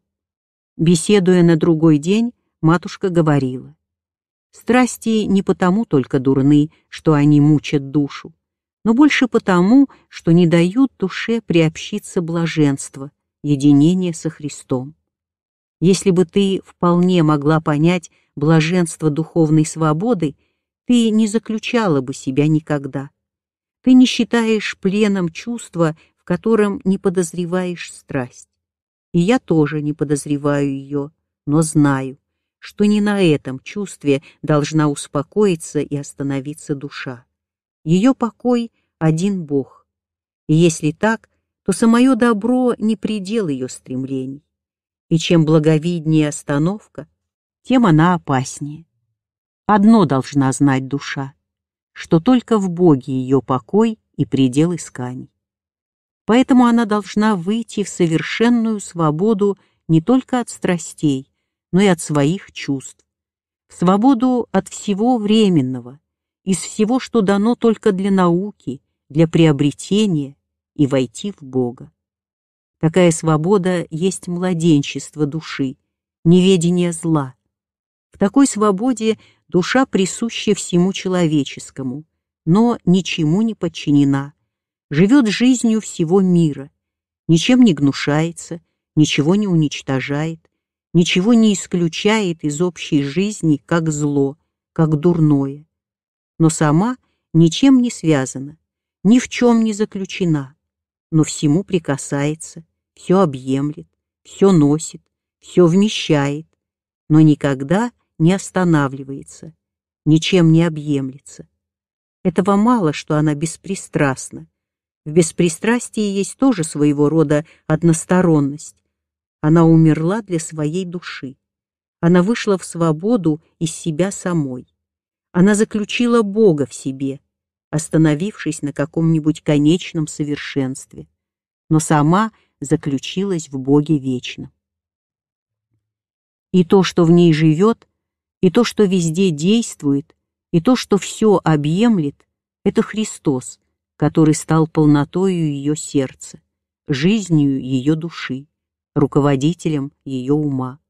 Мало этого. Он стал сердцем сердца, душою души, умом ума. К такому состоянию приводит свобода от всего человеческого. Вот для чего даны все заповеди дано все руководство закона и самая земная жизнь. Это была последняя беседа с химонахиней Арделеоной с игуменей Арсенией. 12 августа родитель игумени Арсении прислал экипаж и лошадей, прося дочь приехать в деревню за 80 верст от монастыря погостить вместе с другими детьми его, которые все собрались к нему не доставало только ее одной. Арсения не хотела ехать по случаю болезни матушки Схимницы и думала отослать экипаж назад. Но матушка уговорила ее не отсылать экипаж, а условилась дождаться утра, Если на утро больной будет хуже, то игумения не поедет. На другой день утром игумения Арсения входит к схемонахине Ардалионе и застает ее одетую и сидящую в кресле. «Сегодня мое здоровье несравненно лучше», — говорит матушка. «Я буду уже выздоравливать, и тебе нет никакой причины огорчать своего отца отказом приехать на его зов». Напомнила ей про любовь ее отца, отдавшего всю жизнь свою детям и воспитавшего их в благочестии, что такого отца следует не только любить и почитать, но и утешать, и привела в пример – какую Господь Иисус Христос показал заботливость о своей пречистой матери, когда, страдая на кресте, вручил ее своему любимому ученику. А если б мне и случилось умереть без тебя, то какая же беда? Если Богу будет угодно, увидимся на том свете. А здесь мое дело, около тебя все сделано. Все, что открыл мне Господь, не скрыла и я от тебя. Все свои духовные понятия я передала тебе от альфы до омеги, и с собою ничего не унесу в могилу. Проводить игуменью больная старица вышла в другую комнату и, совсем прощаясь, сказала, «Бог да благословит тебя, а мы с тобой больше не увидимся». Но эти слова ни на игуменью, ни на кого из окружающих не произвели должного впечатления так как все были далеки от мысли о смерти любимой и обожаемой матери. И тем более, что матушка-схимница в последние месяцы всем твердила о своей смерти. Еще с кончины игумении Версавии сказала она, «Теперь пора и мне умирать. Теперь все мои скорби окончились, и на земле нечего мне больше делать». В эти дни игумения и все сестры монастыря говели, и готовились приобщаться святых тайн в день Успения Божией Матери. Игумения, уезжая, сказала, чтобы сестры причащались без нее, а матушку-схимницу просила подождать и говорила, «Когда приеду, тогда мы вместе приобщимся святых тайн». Матушка, чтобы успокоить ее, обещала дождаться. Проводившая игуменью, она легла на койку и в тот же день к вечеру с ней сделался сильный жар, не прекращавшийся до самой кончины. В последние дни свои больная ни с кем не говорила, односложно отвечала на вопросы келейницы, пищи совсем не употребляла. Келейницам благословила причащаться, а я, сказала, дождусь матери, когда приедет, то она всем распорядится. 16 числа Матери Псимия и мать Викторина, бывшие при ней неотлучно, видя, что она слабеет, предложили ей приобщиться святых тайн. «Да, я готовлюсь», — сказала она. Ночью матери Псимия, сидя около умирающей, плача говорила, «Как мы будем жить, когда тебя с нами не будет?» «У вас останется мать», — ответила. «Она вас может поддержать и руководить. Вот у нее без меня во всем мире не будет человека, которому бы она могла открыть свою душу, кто укрепил бы ее дух, направил бы ее дальнейшие шаги.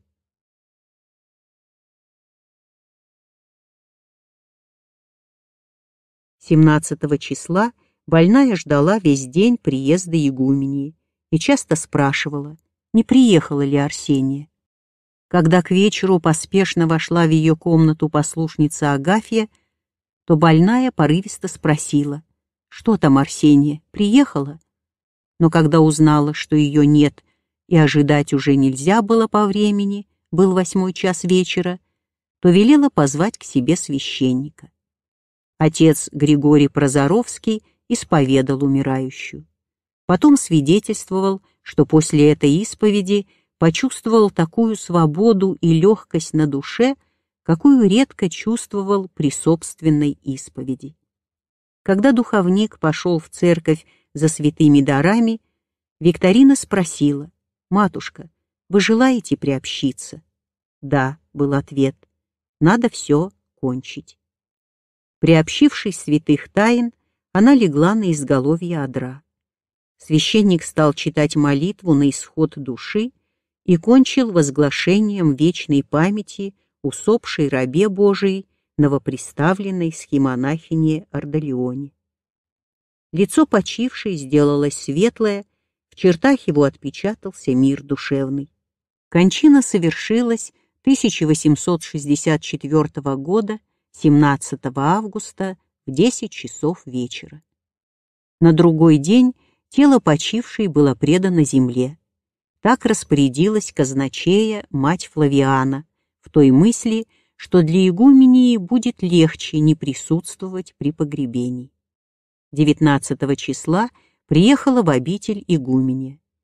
Погоревала она с прочими близкими сестрами, что погребение совершилось в ее отсутствие, и самое место могилы ей весьма не нравилось. Так что, если бы она сама погребла, то никак не выбрала бы это место. Но это-то последнее обстоятельство, быть может, и было действием особого промысла Божия. Для чего состоялось оно в отсутствии игумени, как это она увидела впоследствии. В 1874 году была снята маленькая церковь апостолов Петра и Павла, около которой была погребена схимница, и на месте ее заложен был большой храм во имя Казанской Божией Матери с пределом апостолов. Размещая с архитектором место для нового храма, игуменя Арсения была приятно изумлена и обрадована – что могила схемонахини Ордолеоны пришлась под церковью в подвальном этаже на одном из самых лучших мест. Вместе с мраморными колоннами, которые выписывались для нового храма из Петербурга, был привезен на могилу памятник-плита серого мрамора с надписью, обозначающей время кончины схемонахини Ордолеоны. Памятник этот сооружен усердием учениц Великой Старицы. Именно игуменей Арсений, схемонахиней Пафнутией, бывшей Репсимией, матерью Митрофанией, матерью Викториной, матерью Агнией и матерью Флавианой, которые все вложили в него свои лепты. Блаженной памяти схемонахини Ордолеона при жизни принимала к себе многих из простого народа, которые с верою в ее молитвы приходили издалека, чтобы попросить у нее совета или получить облегчение в своих недугах. Таких приходящих она всегда с любовью назидала, недушным указывала на молитвы церкви, заставляла часто отслужить молебен Божией Матери. А иногда сама читала над ними Святое Евангелие. По кончине ее вера простых людей была такова, что многие болящие, приходя в обитель, искали ее загробной помощи и просили возлагать на них ее схиму. Некоторые из родных игумени Арсении, принадлежащие к лучшим фамилиям войска Донского, сохранили о ней воспоминания, исполненные истинного уважения. Родная сестра игумении Маржанова – более двадцати лет бывая в монастыре, всегда служила на ее могиле панихиды. Сама игуменя Арсения в тяжелые минуты жизни приходила поверять этой безмолвной могиле свои недоумения и печали. Тогда, говорила она, из глубины ее собственного сердца возникала мысль, отвечающая на ее душевные вопросы. И она верила, что то, влагала в сердце ее загробная молитвенница. Часто упоминаемая всем жизнеописании послушница Репсимия в миру Пороскева-Багрова вскоре по кончине своей старицы была пострижена в монашество и потом в великую схиму, в которой наречена Пафнутией. Для усовершения себя в духовной жизни схимница Пафнутия – пожелала поселиться на безмолвие в той келье, которая была устроена в монастырском саду и предназначалась для старицы Ордолеоны. С благословения игумени Арсении она вошла в эту уединенную келью. Шесть лет провела она в подвиге поста и молитвы в этом затворе, подвергаясь непрестанно искушениям от демонов, которые явно нападали на подвижницу и заставляли испытывать все ужасы отшельнического единоборства с духами злобы. Наконец, ослабленная телесными силами от постоянного и усиленного подвига, затворница Пафнутия была переведена из этой кельи в другую, устроенную внутри монастыря, где и скончалась мирно в 1878 году, марта 30 дня на 67 году жизни, окруженная единомысленными сестрами, с которыми вместе провела годы послушничества своего при старице Ордолеоне. Из писаний матушки-схимницы Ордолеоны. Начало покаяния. Сесть к востоку, как некогда Адам, и размышлять так. Милостиве, помилуй мя, падшего. Начинать плач сицы, воздыхая от всея души и с болезнью сердца говорить. Увы мне грешный, что бег и что содеях, увы, что погубих, Вместо рая возлюбила тленный мир, Вместо Бога и пребывания со святыми ангелами дьявола, Вместо покоя труд и преболезненные слезы, Вместо правды неправду, грехи, лукавство и страсти, неразумие, Вместо беспопечительности и свободы, многопопечительную жизнь и горчайшее рабство — Увы мне, раб страстям соделахся, Увы мне, что сотворю, Отсюда рати смущения, болезни, искушения, беды, страсти, грехи, горести, теснота. Увы мне, окаянный, куда бегу, чего искать не вем. И кто есть аз худшее ничтожество, нечувственный немощнейший. Авраам нарицает себя землею и пеплом, а Давид умершим псом.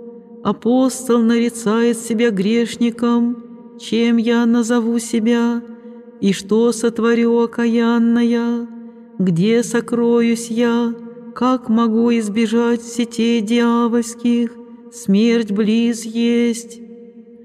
Господи, помоги мне, не остави созданию Твоему погибнуть. Ты всегда печешься мне окаянной. Скажи мне, Господи, путь, вонь же пойду, яко к Тебе взях душу мою.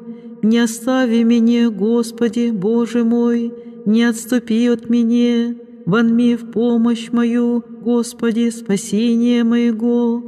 Увы мне нерадивый, много немощствую, много уныния одержит мне, забвение не попускает зреть множество зол моих, зло преступления горшее в разуме, демоны лукавы, грех удобен, слово испытание горько. Кама бегу от себя, я сама вина погибели моя, никто не может меня нудить, а согреших и согрешаю, кого могу обвинять? Господь благ и человека любит, желает всегда моего обращения и покаяния. Ангелы любят меня и хранят. Человецы хотят моего преуспеяния в добродетели. Демоны не могут нудить, не хотяще погибнуть и нерадением или отчаянием. Сама я окаянная виновата, Не хочу положить начало благочестия, Часо ради не родиши, душе моя о себе. Увы мне, увы, Нигда много согрешаю, Стоя пред Богом лукавое помышляю. О, безумие моего, всегда злое творя, Бога всевиться не боюся, муку вем, кайтесь не хочу, царствие люблю, а доброго не стяжах, в Бога верую, а заповеди Его приступаю, дьявола ненавижу, а ему угодное творю. Аще молюсь, не радею, аще пощусь, возношуся и более осуждаюсь, аще бдение совершаю, мнюся нечто творите, и ради тщеславия сие творю. Увы, что буду и что сотворю, Кому не гряду, все грехи обретаю, Бога прогневах, также ангелов опечалих, Человеки многожды оскорби их и соблазни их. Хотех покаянием благоугодите тебе, Но враг искушает и борет душу мою. Господи, прежде даже до конца не погибну, спаси меня. Согреших, яко блудный сын, прими мя кающегося и помилуй мя. Увы мне, кто достойно плакать меня может, а понеже аз сего не творю, Подите горы и покройте меня окаянную, что реку, сколько благ сотворил мне Бог, калика зла неразумие мое показал, и калика он долго терпит.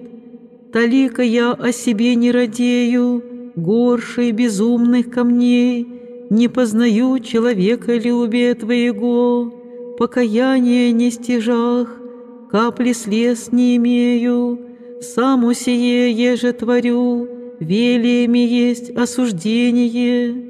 Ангельский ум сподобихся имейте, но нрав окаянный не переменяю, и пасти имам в погибель. Увы мне, каков подвиг имать душа, тело разлучающееся, тогда калика слезит, но никто же помилуя ее. Ко ангелам очи возводящие, к человекам руцы простирающие, не имам помогающего, окружают демони, держащие мною содеянное многое злая, кроме грехов осужденно буду, яко не сохраншая достойно заповеди. Рцы мне, душа, где обеты крещения, сочетание со Христом, где подражание Христу добродетелями, кротостью и смирением, где обещание иноческого образа и подвиги, аще немощью оправдаешься, где вера и упование на Бога, где покаяние, удаляющее от всякого слова лукавого, где сокрушение души, плач, чистота сердца от помыслов, где терпение, сносящее различные скорби, царствие ради небесного, где молитва, попечение о смерти, сетование, целомудрие, мужество, упование, правда, где беспристрастие и совершенная нелицемерная любовь, мир и любовь ко врагам, что имаше отвещать и в аде имеше быти, и сама себе приготовила, но не потому, что согрешала, а потому, что не каешься, как блудный сын, как и его принял бы тебя чадолюбивый отец. Ныне же себя я горше его зрю, сего ради страшуся с демонами пребывания и будущего суда.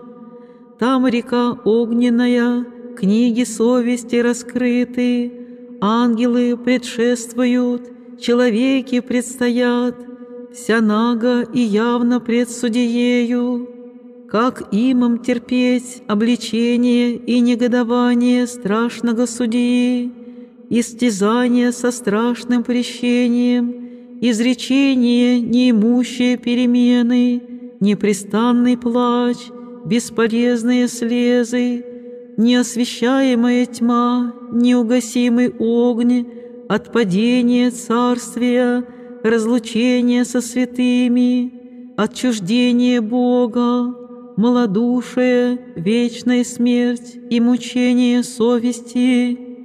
увы мне грешны, что имам пострадати, часо ради зле погибаю, имам еще время покаяния, Владыка призывает мя, и ас отметаюся, доколе душе моя согрешаеши, доколе отложение покаяния приемлеши, прими в уме суд, возопи Христу Богу, прежде даже не осудишь имя, помилуй мя, да не услышим, не вем вас. Заповеди не родением не сохраних, но молюсь, помилуй мя.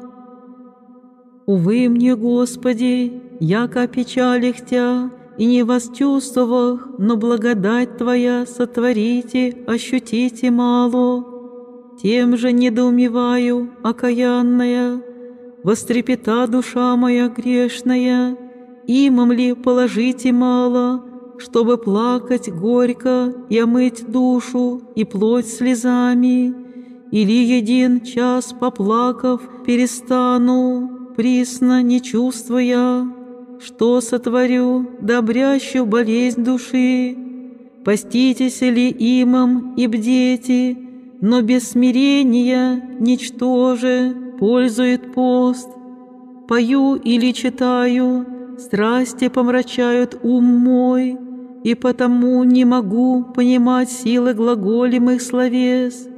Припаду или не имею дерзновения, погуби их душу мою, Господи, помози ми. Помози, яко мытаря прими имя, и яко блудницу, не отвержи меня, рождейся от девы, не презри слез моих, радости ангелов, но прими кающийся ради человеколюбия Твоего и пучины щедрот Твоих, в нюже повергни отчаяние души моя. Дерзаю собирать ум мой во святую память Твою, по ней едино моление со страхом и трепетом многим сотворю Тебе, единому Богу. Припадаю на колено, приношу первое благодарение, потом исповедание пред Тобою, просите начинаю окаянный аз благ, их же сподоби мне сущую прах, персть и пепел, единым умом сподобихся предстати тебе земный весь, от сия души вопию и глаголю, Владыка многомилостиве, благодарю Тя, славлю Тя, пою Тя и поклоняюся, яко сподобил мя в час сей благодарите Тя, исповедую благодать, не скрываю благодеяний, проповедую милости Твоя, прославляю имя Твое вовеки, яко милость Твоя велия на мне, неизреченное снисхождение и долготерпение о множестве согрешений моих, нечестии и лукавстве, я же сотворих и творю всегда, и мех сотворите, от них же избавляет мя благодать Твоя, о сущих в ведении и в неведении, словом, делом и помышлением, яко веси Господи, от рождения моего до конца жизни моя, о них же дерзаю, окаянный, исповедание сотворите пред Тобою, беззаконного, нечестного, несмь достоин возрете на высоту небесную, но дерзая на человеколюбие и милосердие Твое, молюсь о Ти. Помилуй мя, Господи, яко немощен есть, прости множество зол моих, и не попусти тому согрешати или заблудите от правого пути Твоего, ниже скорбите или опечалите кого, но обуздай всякую злобу мою и лукавые обычаи, бессловесное стремление души и тело яростное и похотное, и научи меня творить волю Твою. Помилуй, сестры, о Христе, и сродники, други служащие, и служившие мне окаянной, и заповедавшие молитесь о них, ненавидящие и любящие меня, и их же оскорбих и уничужих, сия же и мне некогда сотворившая, или имущее сотворите, и всех верующих, прости нам всякое согрешение, вольное и невольное, соблюди нашу жизнь и исход из мира сего от нечистых духов и от всякого искушения и всякого греха, лукавства, мнения, отчаяния, безумия, возношения, прелести, мучительства и сети дьявольских, даруй полезное в нынешней и будущей жизни,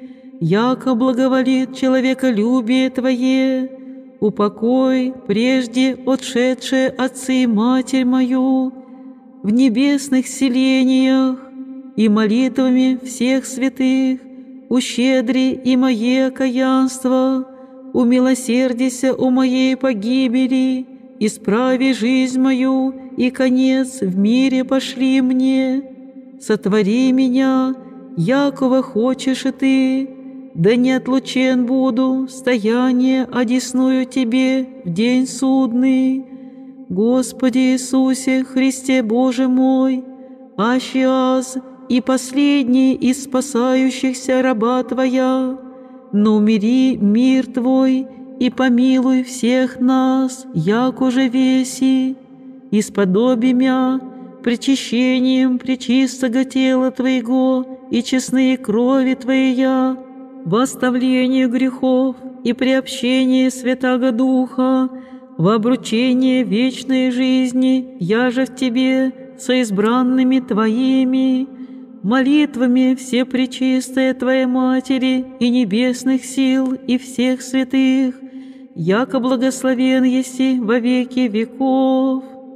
Пресвятая Владычица Богородице, вся небесные силы, святые ангелы и архангелы и все святые, молите о мне грешной.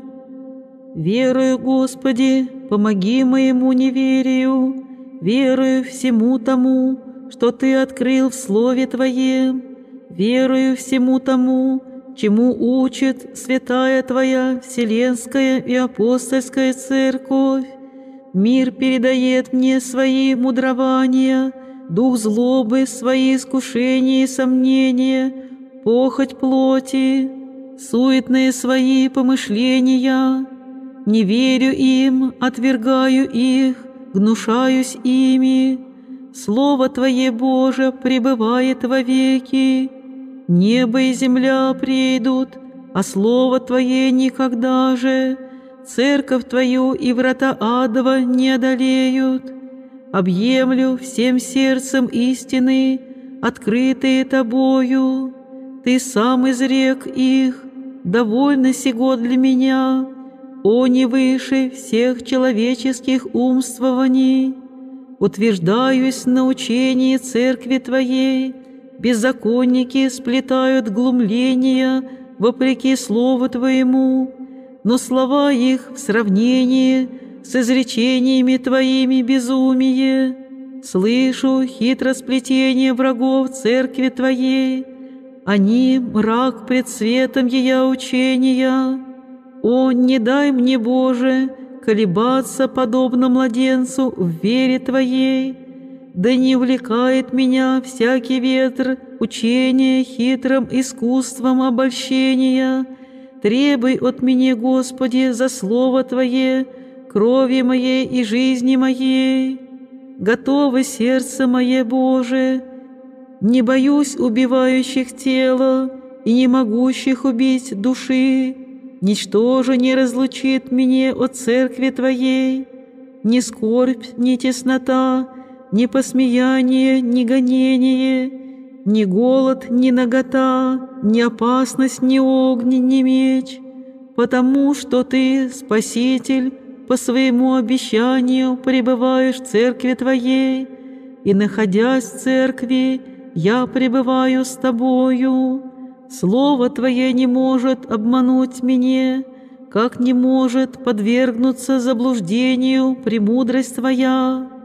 Нет у меня дел, которые могли бы оправдать меня в суде Твоем, Господи, но Ты сам изрек, что верующие в Тебя жить будут вовеки. Я верую, Господи, да вменится вместо дел вера моя, да оправдит и спасет мя, да соединит с Тобою и соделает меня наследником вечного царствия, да открыто лицем к лицу увижу славу Твою. По что унываешь, душе моя, по что смущаешься? Уповай на Бога, Коего всеведущая премудрость знает, беспредельное всемогущество может, неистощимая благость желает, все устроить ко благу моему, на пользу вечного спасения моего. Уповай, душа моя, на Господа, уповай на Его вечную благость, на беспредельное Его милосердие, на страдания и кровь Иисуса Христа, удовлетворившего за Тебя божественному правосудию.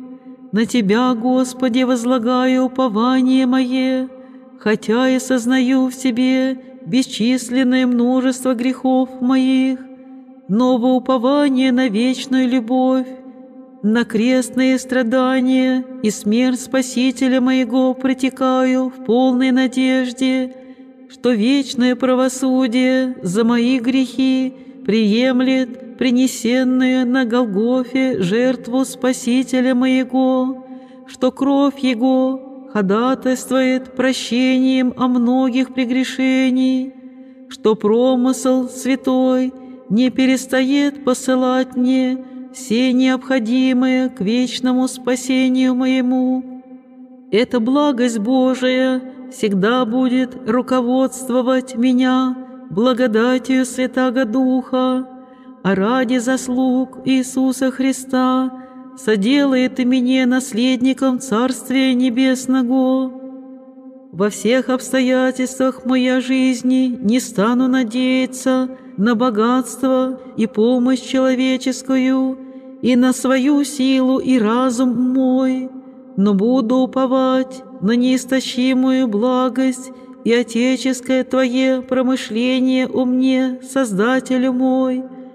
В этом уповании хотя бы все, окружающее меня, восстало против меня, не убоится сердце мое, хотя бы весь мир сокрушился, хотя бы все бедствия мира сего постигли меня, хотя бы казалось даже, что благодать Твоя Божия оставила меня, я не перестану уповать на Тебя, Избавитель мой, твердыня моя, на которой я безопасен, убежище мое, защита моя, на Тебя, Господи, уповаю, не престят меня соблазны мира сего, не увлечет меня на путь порока, похоть плоти, не обостит меня коварство темных духов, во уповании на всесильную благодать Твою, Душа святые, какой не совершу добродетели.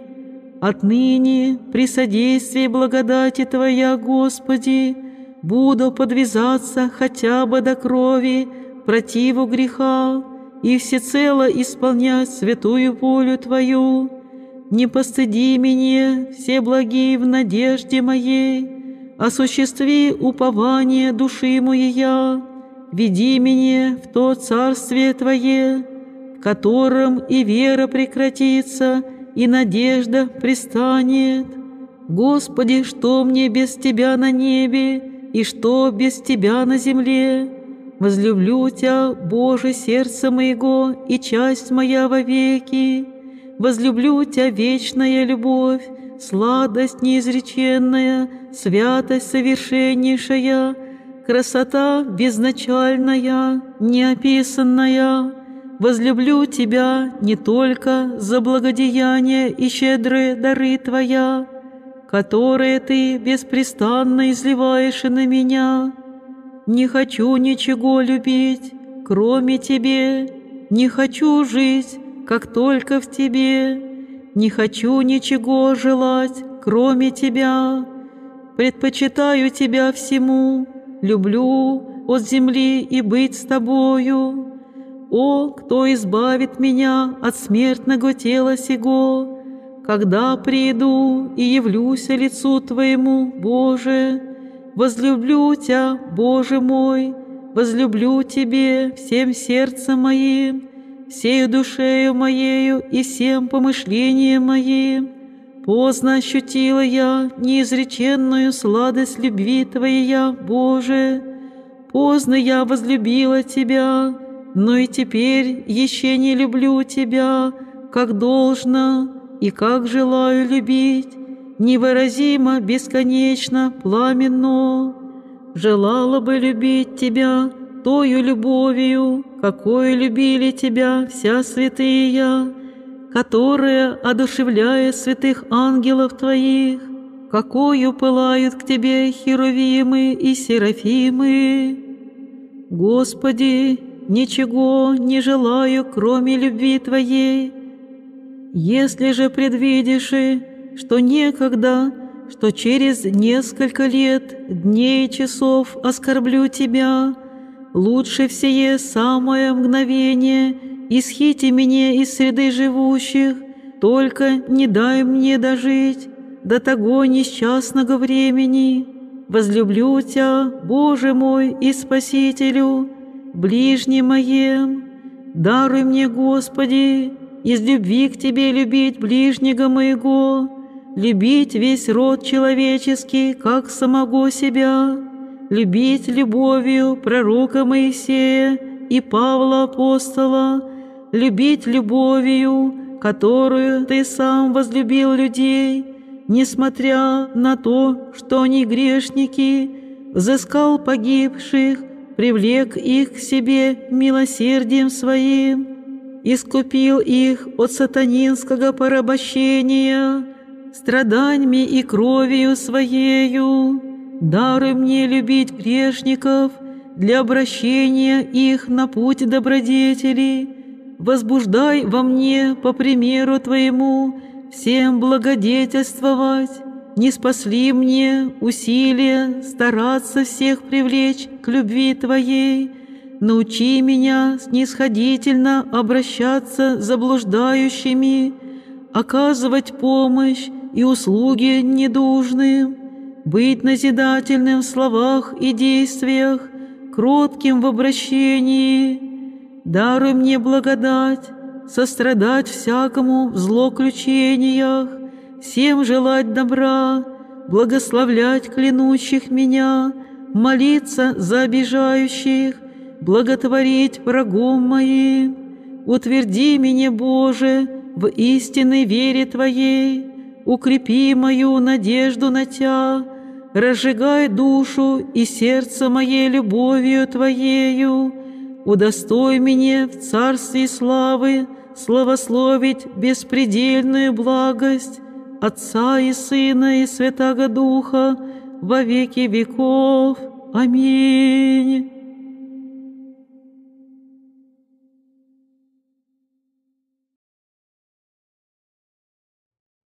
Утреннее возношение ко Господу. Боже, сотворивый видимый свет и поставивай солнце на управление днями, неистощимое милосердие Твое снова обновило меня сонным упокоением, восставило от сна и озарило дневным светом.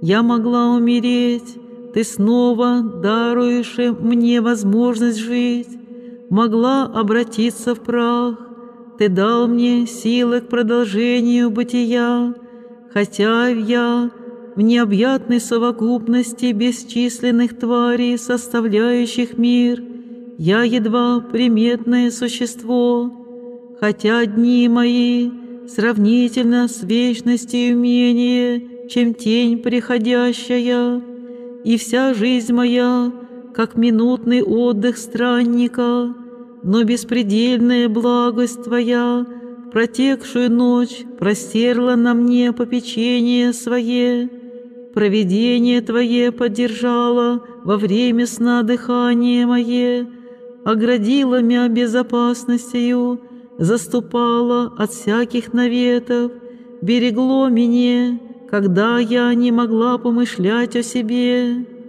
Так сопровождает меня милость Твоя, Господи, во вся дни жизни моей Что же я воздам Отеческой Твоей благости за таликие благодеяния Твои? Что принесу Тебе за отеческое промышление о мне? Ты не требуешь и благ моих, ибо кто Тебе дал что-либо? Или кого Ты обязал платить Тебе? Вся Тебе, Боже, вся Твоею силою сотворено и существует Твоим милосердием. Я восстала теперь от сна и снова сознаю бытие мое, возвожу к Тебе очи мои, возношу душу мою, подвергаюсь в прах пред Тобою, славлю Тебе от всего сердца моего, прими от меня все благие жертву славословия, не вознушайся моим благодарением, да будет имя Твое хвалою и песнею души моей, дары благодать неосужденно призывать Тебя, славить Тебе в правоте сердца, хвалить Тебя во всю жизнь мою, прославлять Тебя до конца дней моих, благословлять имя Твое, превозносить благость Твою, Христе мой. Ты пресносущный свет, необъемлемый никакой тьмою, всевидимый, созданный Тобой свет, тьма и мрак пред светом Твоим. Ты обитаешь во свете неприступном, облекаешься светом якоризою и просвещаешь всякого человека, приходящего в мир сей. Как созданное тобою солнце есть источник света, теплоты и жизни для видимых тварей, так премудрость и слово Отца Небесного, источник света и вечной жизни для существ, одаренных разумом и свободою, озари взор души моя светом Твоего боговедения, просвети мрак ума и помышлений моих познанием оправданий Твоих. Даруй мне благодать углубляться в откровение Твои, научи меня их смыслу и ведению, наставь на истину Твою, вразуми меня в Твоих наставлениях, даруй мне прилепляться к заповедям Твоим, хранить уставы Твоя, соблюдать повеление Твоя. Да будет светильником ногам моим Евангелие Твое, и светом стезям моим закон Твой, да хранит их сердце мое, да не забывает мысль моя. Не допускай меня ходить во тьме греховной, но дай мне жить и действовать во свете Твоем. Благость Твоя, Боже, восставила меня от сна затем, чтоб я исполнил дела, возложенные на меня, возложенные на меня званием, в которым промысл Твой поставил меня. Это путь, которым суждено мне Тобою стремиться к вечному моему назначению. Укажи мне на нем верный путь, по которому мне идти, да руководствует меня Дух Твой по стези прямой. Не оставляй меня на произвол лукавого сердца моего, не допусти пристраститься к образу мыслей моих, полагаться на разум мой, ходить кривыми путями беззаконных, удержи ноги мои от всякого злага пути, утверди стопы моя во стезях Твоих, Даруй мне искать Тебя во всех делах моих, быть оружием воли Твоей и сообщником одних боящихся Тебе, да истоевает душа моя желанием истины и правды Твоей. содействуй мне Твоею благодатью в исполнение обязанностей звания моего. Научи меня творить их охотою, совершать с верою и со всею ревностью.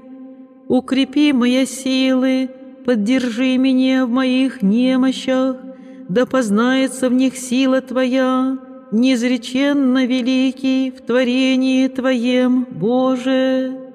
Как радостно появление зари утренней, каким весельем дневный рассвет оживляет все твари, как торжественно восхождение дневного светила, сколько же радостен будет для праведных рассвет вечного дня, сколь восхитительно будет утро всеобщего воскресения для благоугодивших Тебе, Боже, Своею жизнью, сколь вожделенно призывающим Тебя, Спасителю, пришествие Твое для совершения судеб мира сего, когда Ты явишься во всем величии Твоем, со всеми святыми ангелы сядешь на престоле славы Твоя, возвестишь награду и воздаяние Свое праведникам, тогда они в очах всего мира явятся омытыми кровью Твоею,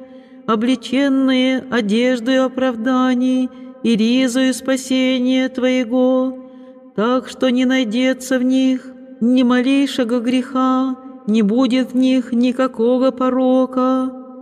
Ты возришь на них тогда оком благоволения, и, радуясь ими, соделаешь их наследниками Царствия Твоего, водворишь их в селениях Твоих, и они воссияют, как светлость тверди небесная, просветятся подобно солнцу навеки.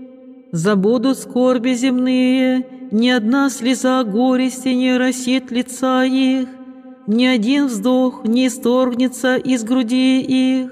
Вечно будут они радоваться и ликовать славе Твоей, наслаждаться неизреченным весельем и блаженством, воспевать и славить Твои совершенства, потому что Ты будешь и вечно Богом их, светом, славою и святилищем их. Тогда помяни меня, Господи, во Царстве Твоем и причисли к оправданным Тобою. Но каким бы страхом поражены были твари, пришли бы в смятение, превратились в стихии, каким бы трепетом потрясся весь мир, если бы видимое солнце сие дивное светило, оставило свое место, сдвинулось с него, устремилось на землю, излило на нее море пламени своего, тоже из грешников стерпит день пришествия Твоего, солнце правды, кто стерпит лютую ярость и пламенный гнев Твой, Господи, когда Ты, расторгнув небеса, снидишь судить преступный мир, каким трепетом поколеблются тогда небеса, потрясется земля, застонет вселенная, когда падут с мест своих небесные светила, вошумят бездны, растают раскалившиеся стихии, потоки обратятся в смолу горящую, прах станет пылающей серою, все зальется огненной рекой, все пожрет огонь, все величие мира понесется и исчезнет в дыму. Кто устоит пред жаром гнева Твоего, Боже, пред пожирающим огнем правосудия Твоего, когда Ты, поставив божественную правду Твоею весами суда Твоего, грозно возришь на нераскаянные грешники на непокорившиеся Евангелию Твоему, презревших уставы Твои, не ходивших под предписанием Твоим. Тогда познают они, что трудились для огня, собирали гнев Твой, отсюда нападет на них ужас, подымутся плач и стенания, скажут холмам, покройте нас, горам, падите на нас, предпочтут смерть своему бессмертию, но Ты не помилуешь их, не пощадит их уже око Твое, боль и мука обнимут их, точащий червь водворится в костях их, не будет конца горю их, потому что правда Твоя, Боже, не зренет их в озеро огненное, поднимется на них Его пламенная пучина. Будет пылать и не потухнет во веки веков. Так, совершая, Господи, суд свой, покажешь святость свою, явишь величие свое. Помилуй меня тогда, Господи, пощади Твоим милосердием ради милости Твоей я, покрый оправданием Твоим и прости грехи и беззакония мои, удостой царствия Твоего, поставь в нем хоть на последней его черте, да славлю благость и милосердие Твое, Отче, Сыне, Душе Святый, во веки веков. Аминь.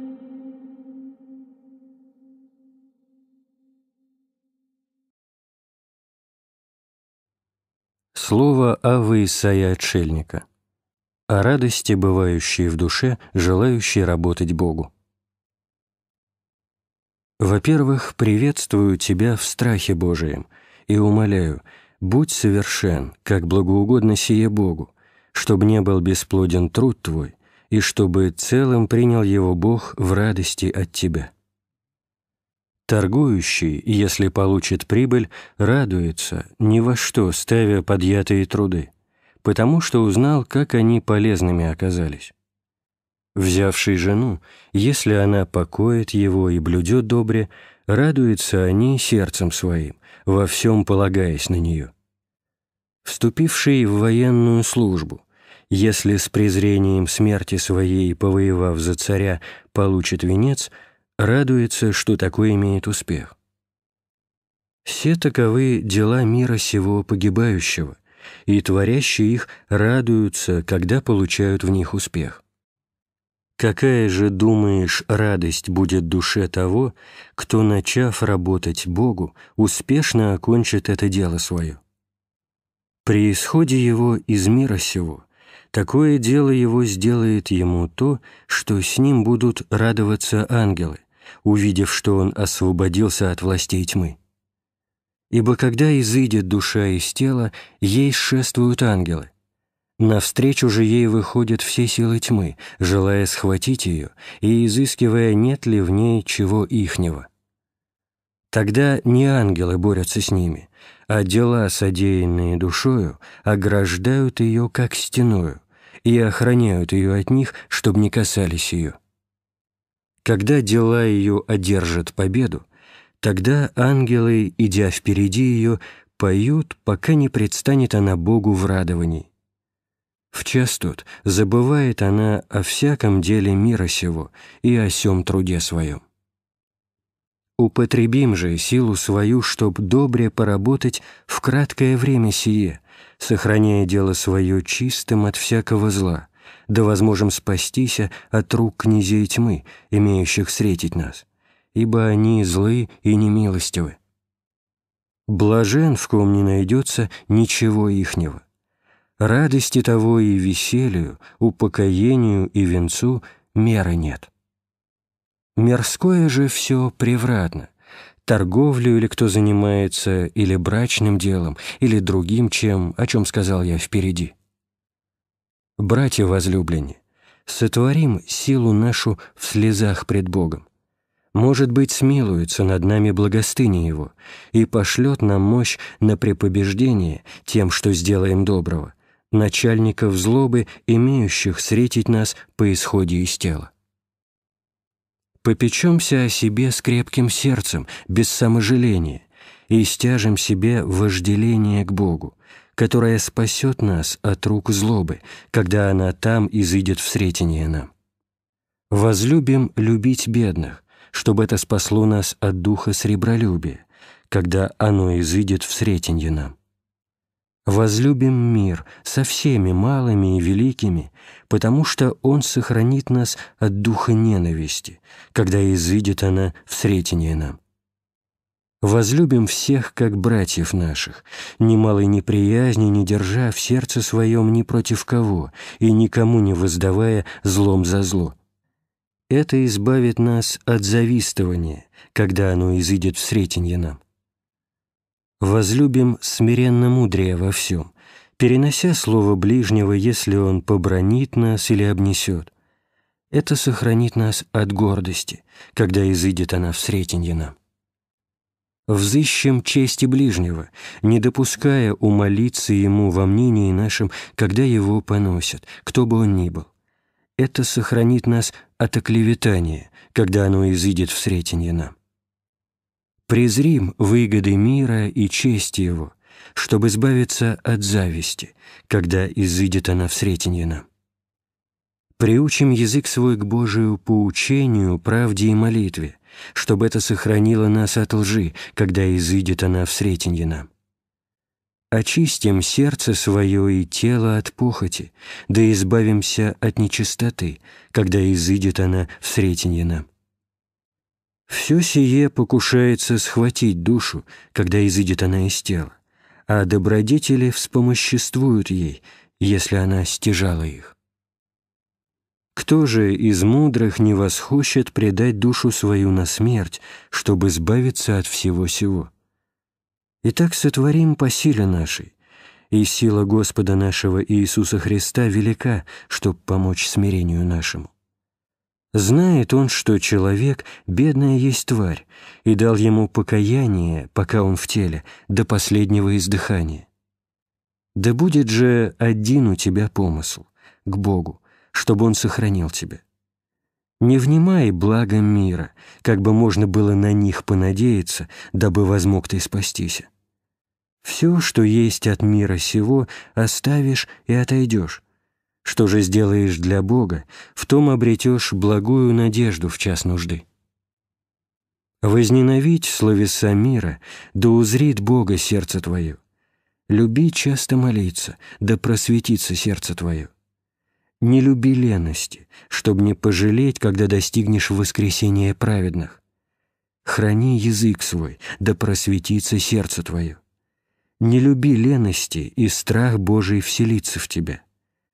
Дай ныне нуждающемуся богатым оком, будь милостив к нуждающимся, да не посрамишься пред святыми и благими делами их. Возненавидь похотение яств, чтоб Амалик не преградил тебе пути. Не спеши в отправлении служб своих, молитвенных правил, чтобы не пожрали тебя звери. Не люби вина до опьянения, чтобы не быть лишену обрадования Божия.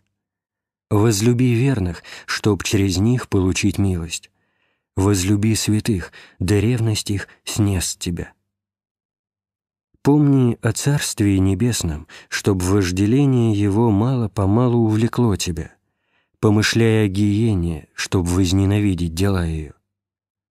Просыпаясь утром каждый день, вспоминай, что дашь отчет Богу о всяком деле, и не согрешишь пред Ним, и страх Его вселится в тебя.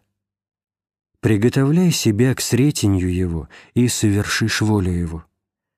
Обсуждай себя здесь каждый день, в чем недостаточествуешь, и не будешь в затруднении в час нужды смертной. Да видят братья твои дела твои, и ревность твоя снест их. Испытывай каждый день самого себя, какую страсть победил, и, однако ж, не думай много о себе, потому что то милость и сила Божия есть. Не почитай себя верным до последнего издыхания, не высокомудрствуй, будто ты добр, ибо не можешь верить себя врагам своим.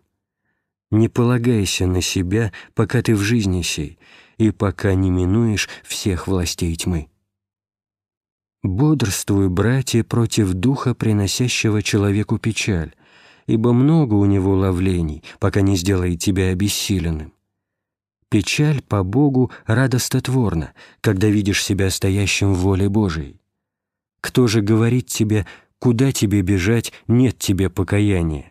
тот от вражьей стороны, и говорит так, чтоб склонить человека оставить намерение вести прочее воздержную жизнь. А печаль по Богу не налегает на человека, подавляющую тяготую, но говорит ему «не бойся, приди опять к Богу, ибо знает он, что человек немощен, и подает ему силу». Рассудительное имей сердце при помыслах находящих, и они пооблегчатся у тебя. Кто боится их, того расслабляют они тяжестью своей. Боящийся воздействий вражеских обнаруживает, что не имеет веры в Бога. Немерение себя и почитание себя невеждою показывает человека, который не поблажает страстям, чтоб творить волю их, а творит волю Божию. А желающий сказать слово свое при многих обнаруживает, что страха Божия нет в нем. Страх Божий есть страж и помощник для души, охранитель внутреннего владычественного ума в деле истребления всех врагов его ищущий чести Божией, старается отогнать от себя нечистоту. Разумное себе попечение отсекает страсти, ибо написано «попечение найдет на мужа мудрого». «Впади от попечения мужу смысленну, безумнее же размышляют злая». Книга притчи Соломона, глава 17, стих 12. «Заболевший познает цену здравия, венчаемый венчается за то, что победил врагов царя. Есть страсти, есть и добродетели. Но если мы унывливы, ленивы, то явно, что мы как предатели. Мужество сердца есть помощь для души после Бога, как уныние, разленение есть помощь злу. Сила желающих стяжать добродетели вот в чем чтобы, если падут, не малодушествовать, но опять воспринимать попечение о спасении. Орудия добродетелей — суть телесные труды с разумом. Порождения страстей бывают от нерадения. Неосуждение ближнего есть стена ограждения для разумно ведущих брань, осуждение же его разоряет сию стену в неразумии. Попечение о языке явным делает, что человек такой из деятельных, а необуздание языка означает, что он не имеет внутри себя добродетели. Милостыня с разумом творимая рождает презрение имущества и руководит к любви, а немилостивость означает, что нет в человеке добродетели.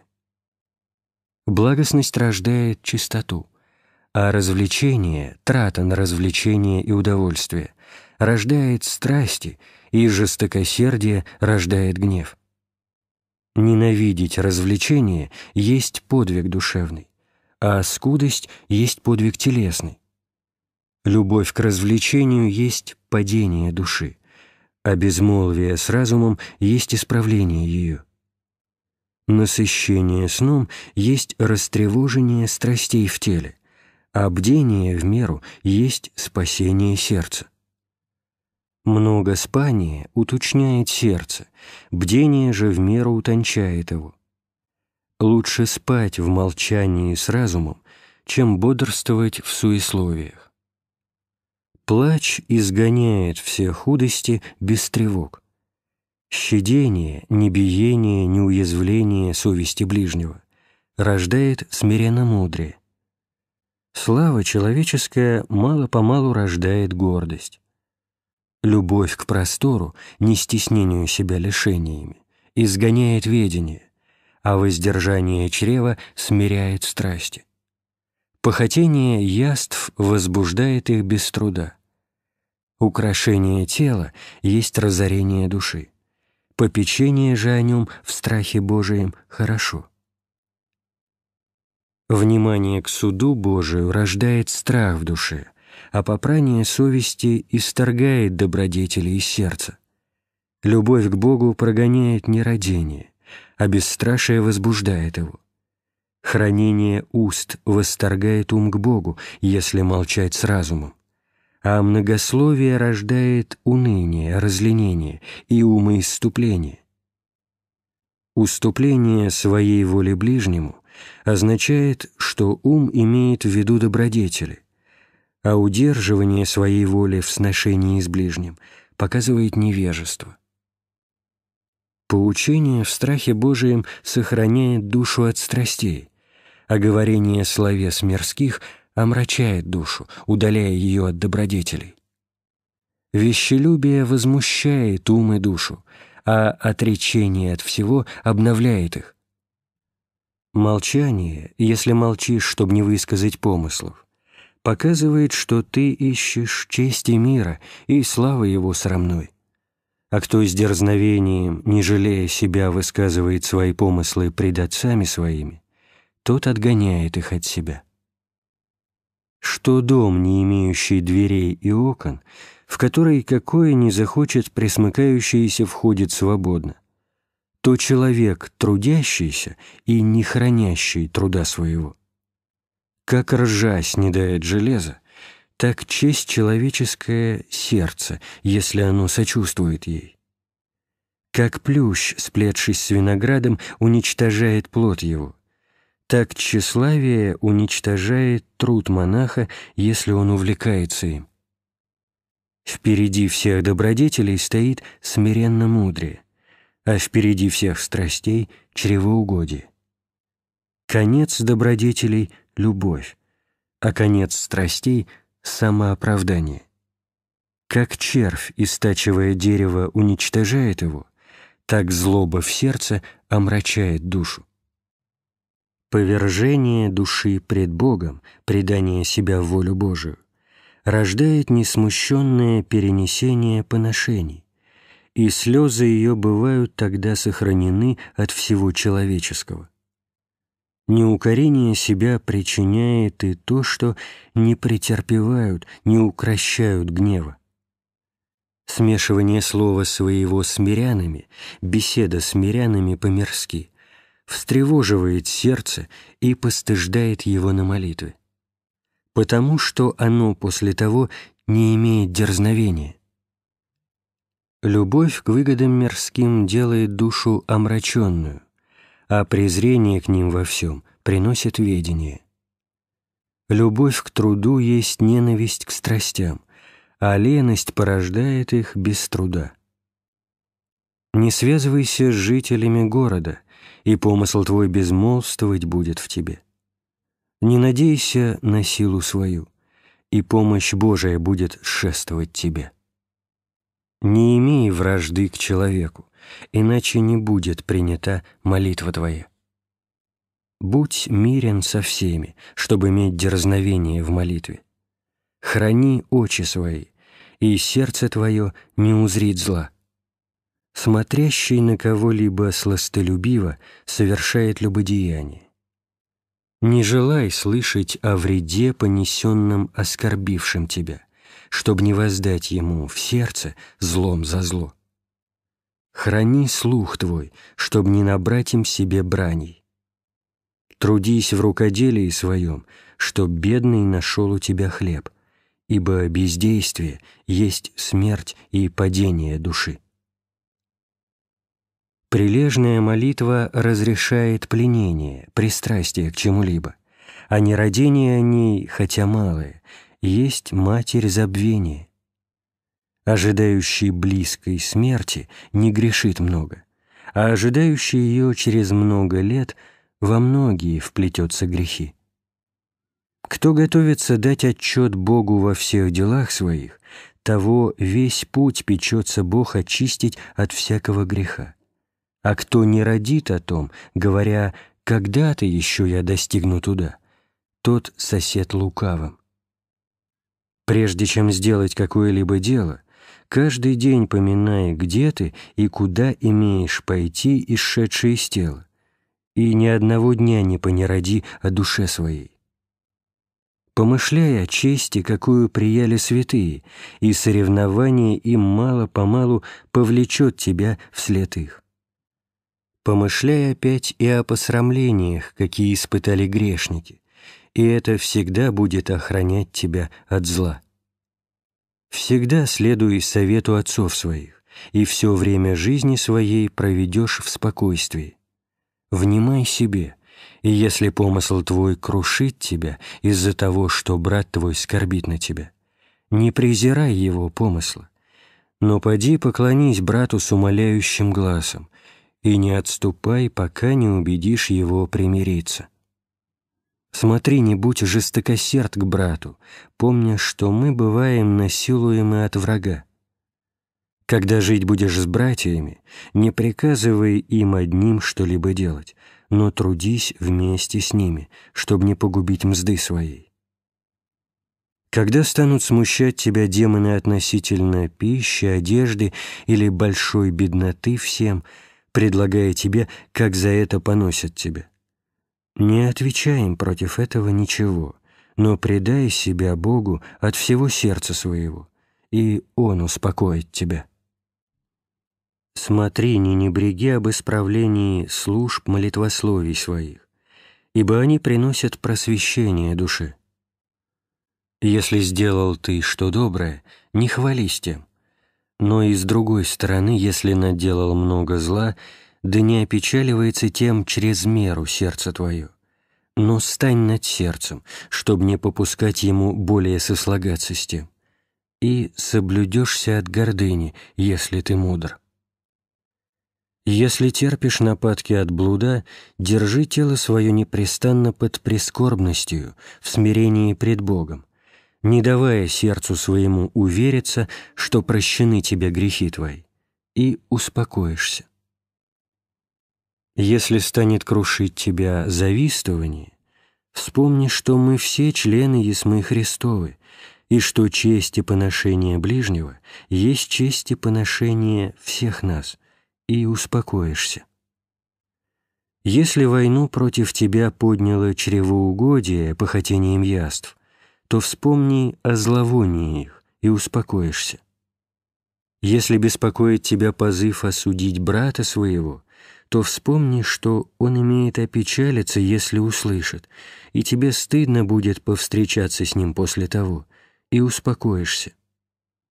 Если станет одолевать тебя гордыня, то вспомни, что она губит весь твой труд, и что нет покаяния со сложившимся с нею, и успокоишься.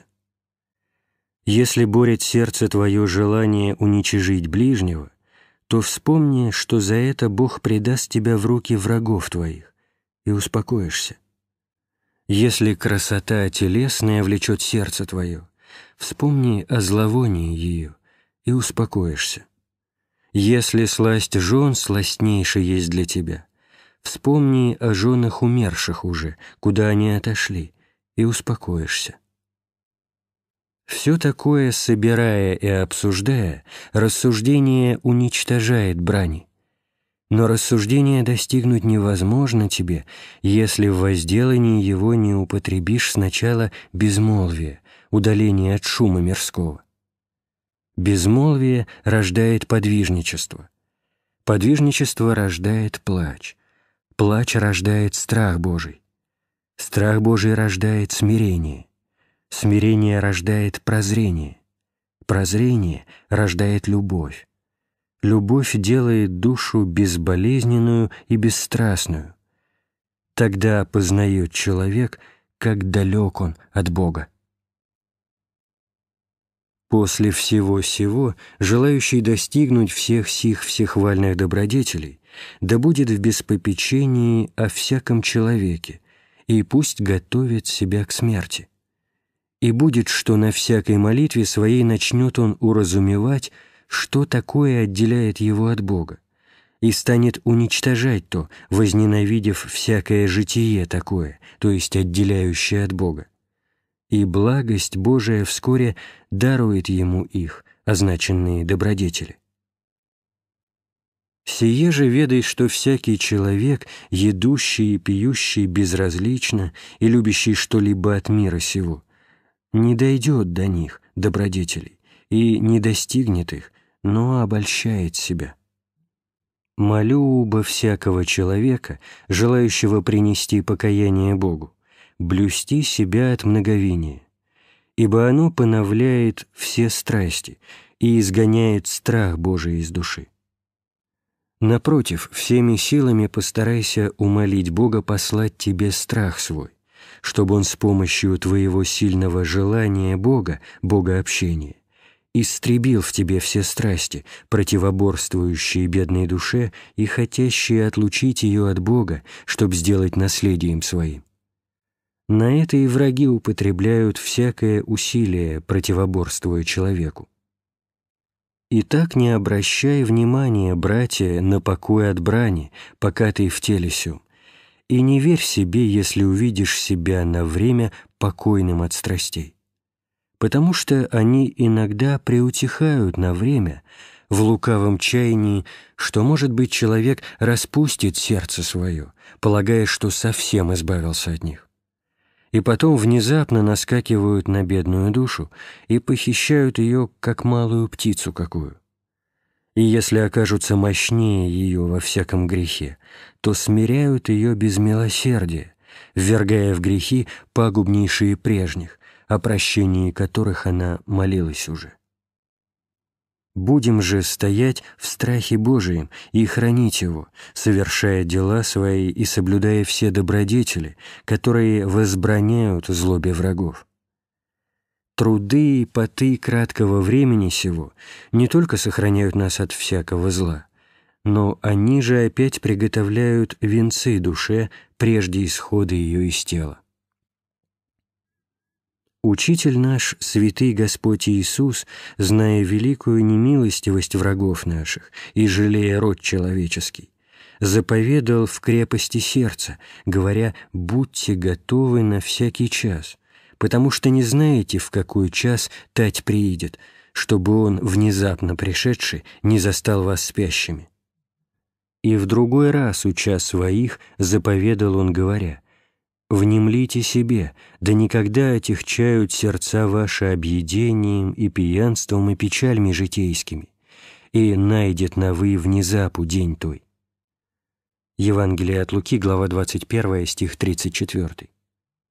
«Зная же, что лукавые духи много превосходят нас, и показывая своим, что мочь противостоять им есть его дело, и что потому им нечего бояться, сказал им, «Се посылаю вас, яко овцы посреди волков».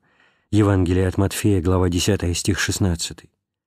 Но притом заповедал им ничего не брать в путь, ибо по калику они ничего не имели из принадлежащего тем волкам, то они, волки, не могли их поглотить. Когда же возвратились они здравыми и соблюдшими заповедь, то он возрадовался с ними, благодаря Бога и Отца за них, и, укрепляя сердце их, сказала, «Видях сатану, яко молнию с небесе спадше. Се даю вам власть наступать и на змею, и на скорпию, и на всю силу вражию, и ничесо же вас вредит». Евангелие от Луки, глава 10, стихи 18 и 19. Итак, послание его было со страхом и опасливостью, но когда они исполнили его заповедь, он дал им власть силою. Эти слова не к ним только относятся, но и ко всем исполняющим заповеди. Возлюбив их совершенную любовью, он сказал им, «Не бойся, малое стадо, яко благоизволи Отец ваш дать и вам царство. Продадите имение ваше и дадите милостыню. Сотворите себе влагалище неветшающее, сокровище нескудеемо на небесех. Евангелие от Луки, глава 12, стихи 32 и 33. Когда же они исполнили и это слово, сказал им «Мир оставляю вам, мир мой даю вам». Евангелие от Иоанна, глава 14, стих 27. Удостоверяя их всем, он говорил «Аще кто любит мя, слово мое соблюдет, и Отец мой возлюбит его, и к нему приидем, и обитель у него сотворим». Евангелие от Иоанна, глава 14, стих 23. Воодушевляя их не страшиться мира, он сказал им, «В мире скорбни будете, но дерзайте, яко аз победих мир». Евангелие от Иоанна, глава 16, стих 33. Укрепляя их не падать духом в скорбях, сказал им, вливая радость в сердца их, «Вы, есте, прибывши со мною в напастях моих, и аз завещеваю вам, яко же завеща мне Отец мой царство, да ясте и пиете на трапезе моей во царствии моем». Евангелие от Луки, глава 22, стихи с 28 по 30. Это же сказал он не всем, а потерпевшим его в искушениях. Но кто такие, потерпевшие Иисуса в искушениях, если не стоящие против неестественностей, страстей, пока не отсекут их? Сказал это он им, идя на крест. Почему желающие есть и пить на трапезе его, да шествует ему на сей крест? Ибо крест Иисуса есть обуздание всякой страсти, пока не отсекут их все. Се и возлюбленный апостол, отсекший их, дерзнул сказать, «Христови распяхся, живу же не к тому аз, но живет во мне Христос».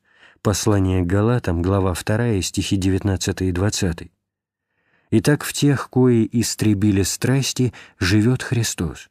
Почему, уча чад своих, сей же апостол сказал, «И же Христовый суть, плоть распяша со страстьми и похотьми».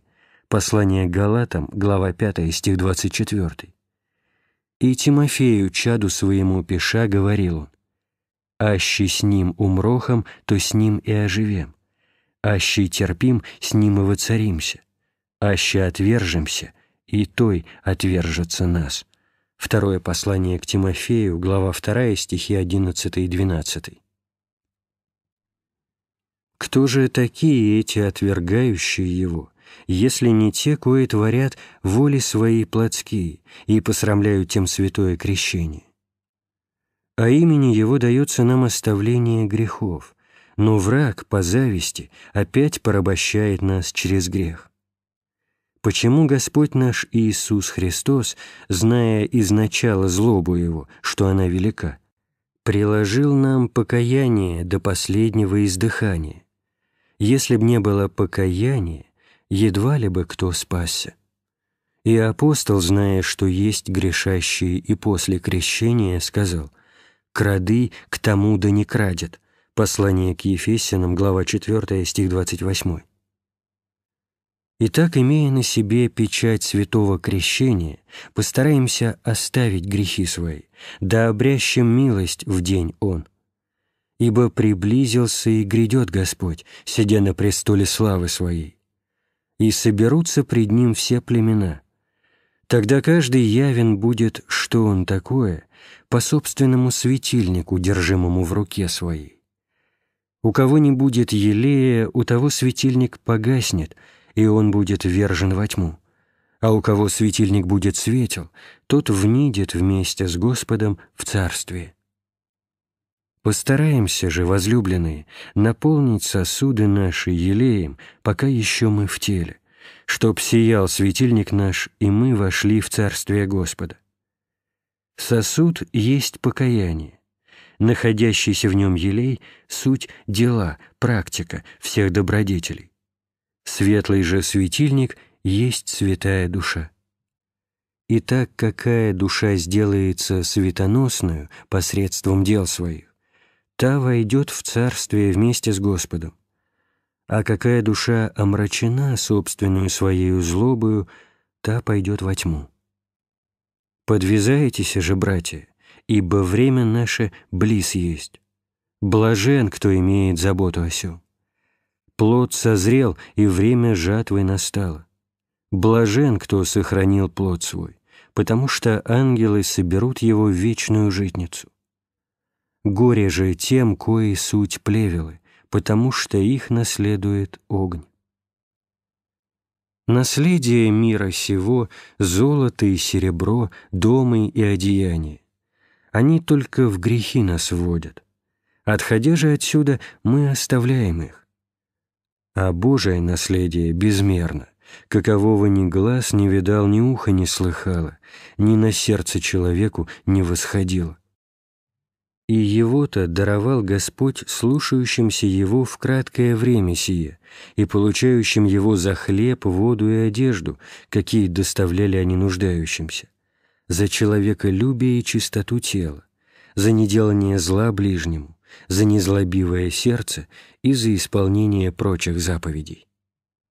Соблюдающие сие и всем веке имеют покой и пользуются почетом от людей, и когда изыдут из тела, радость вечную получат а которые творят хотения свои в грехе и не каются, но в сластолюбных развлечениях и самопрельщении удовлетворяют худым влечением своим, словоохотству и болтливости, брончивости и спорливости, немилостивости к бедным при безбоязненности суда Божия и прочим грехам. Таковых лица будут исполнены посрамления в всем веке, и люди будут презирать их, и когда изыдут из тела, срам и стыд будут сопровождать их в гиену. Силен же есть Бог сподобить нас преуспеть в делах Его с соблюдением себя от всякого дела лукавого, да возможем спастись в годину искушения, имеющую прийти на весь мир. Ибо не коснит, не медлит Господь наш Иисус, но приидет, имея с собою воздаяние, и нечестивых пошлет в огонь вечный, и своим даст награду. И внидут они вместе с ним в царство его, и упокоятся в нем во веки веков. Аминь.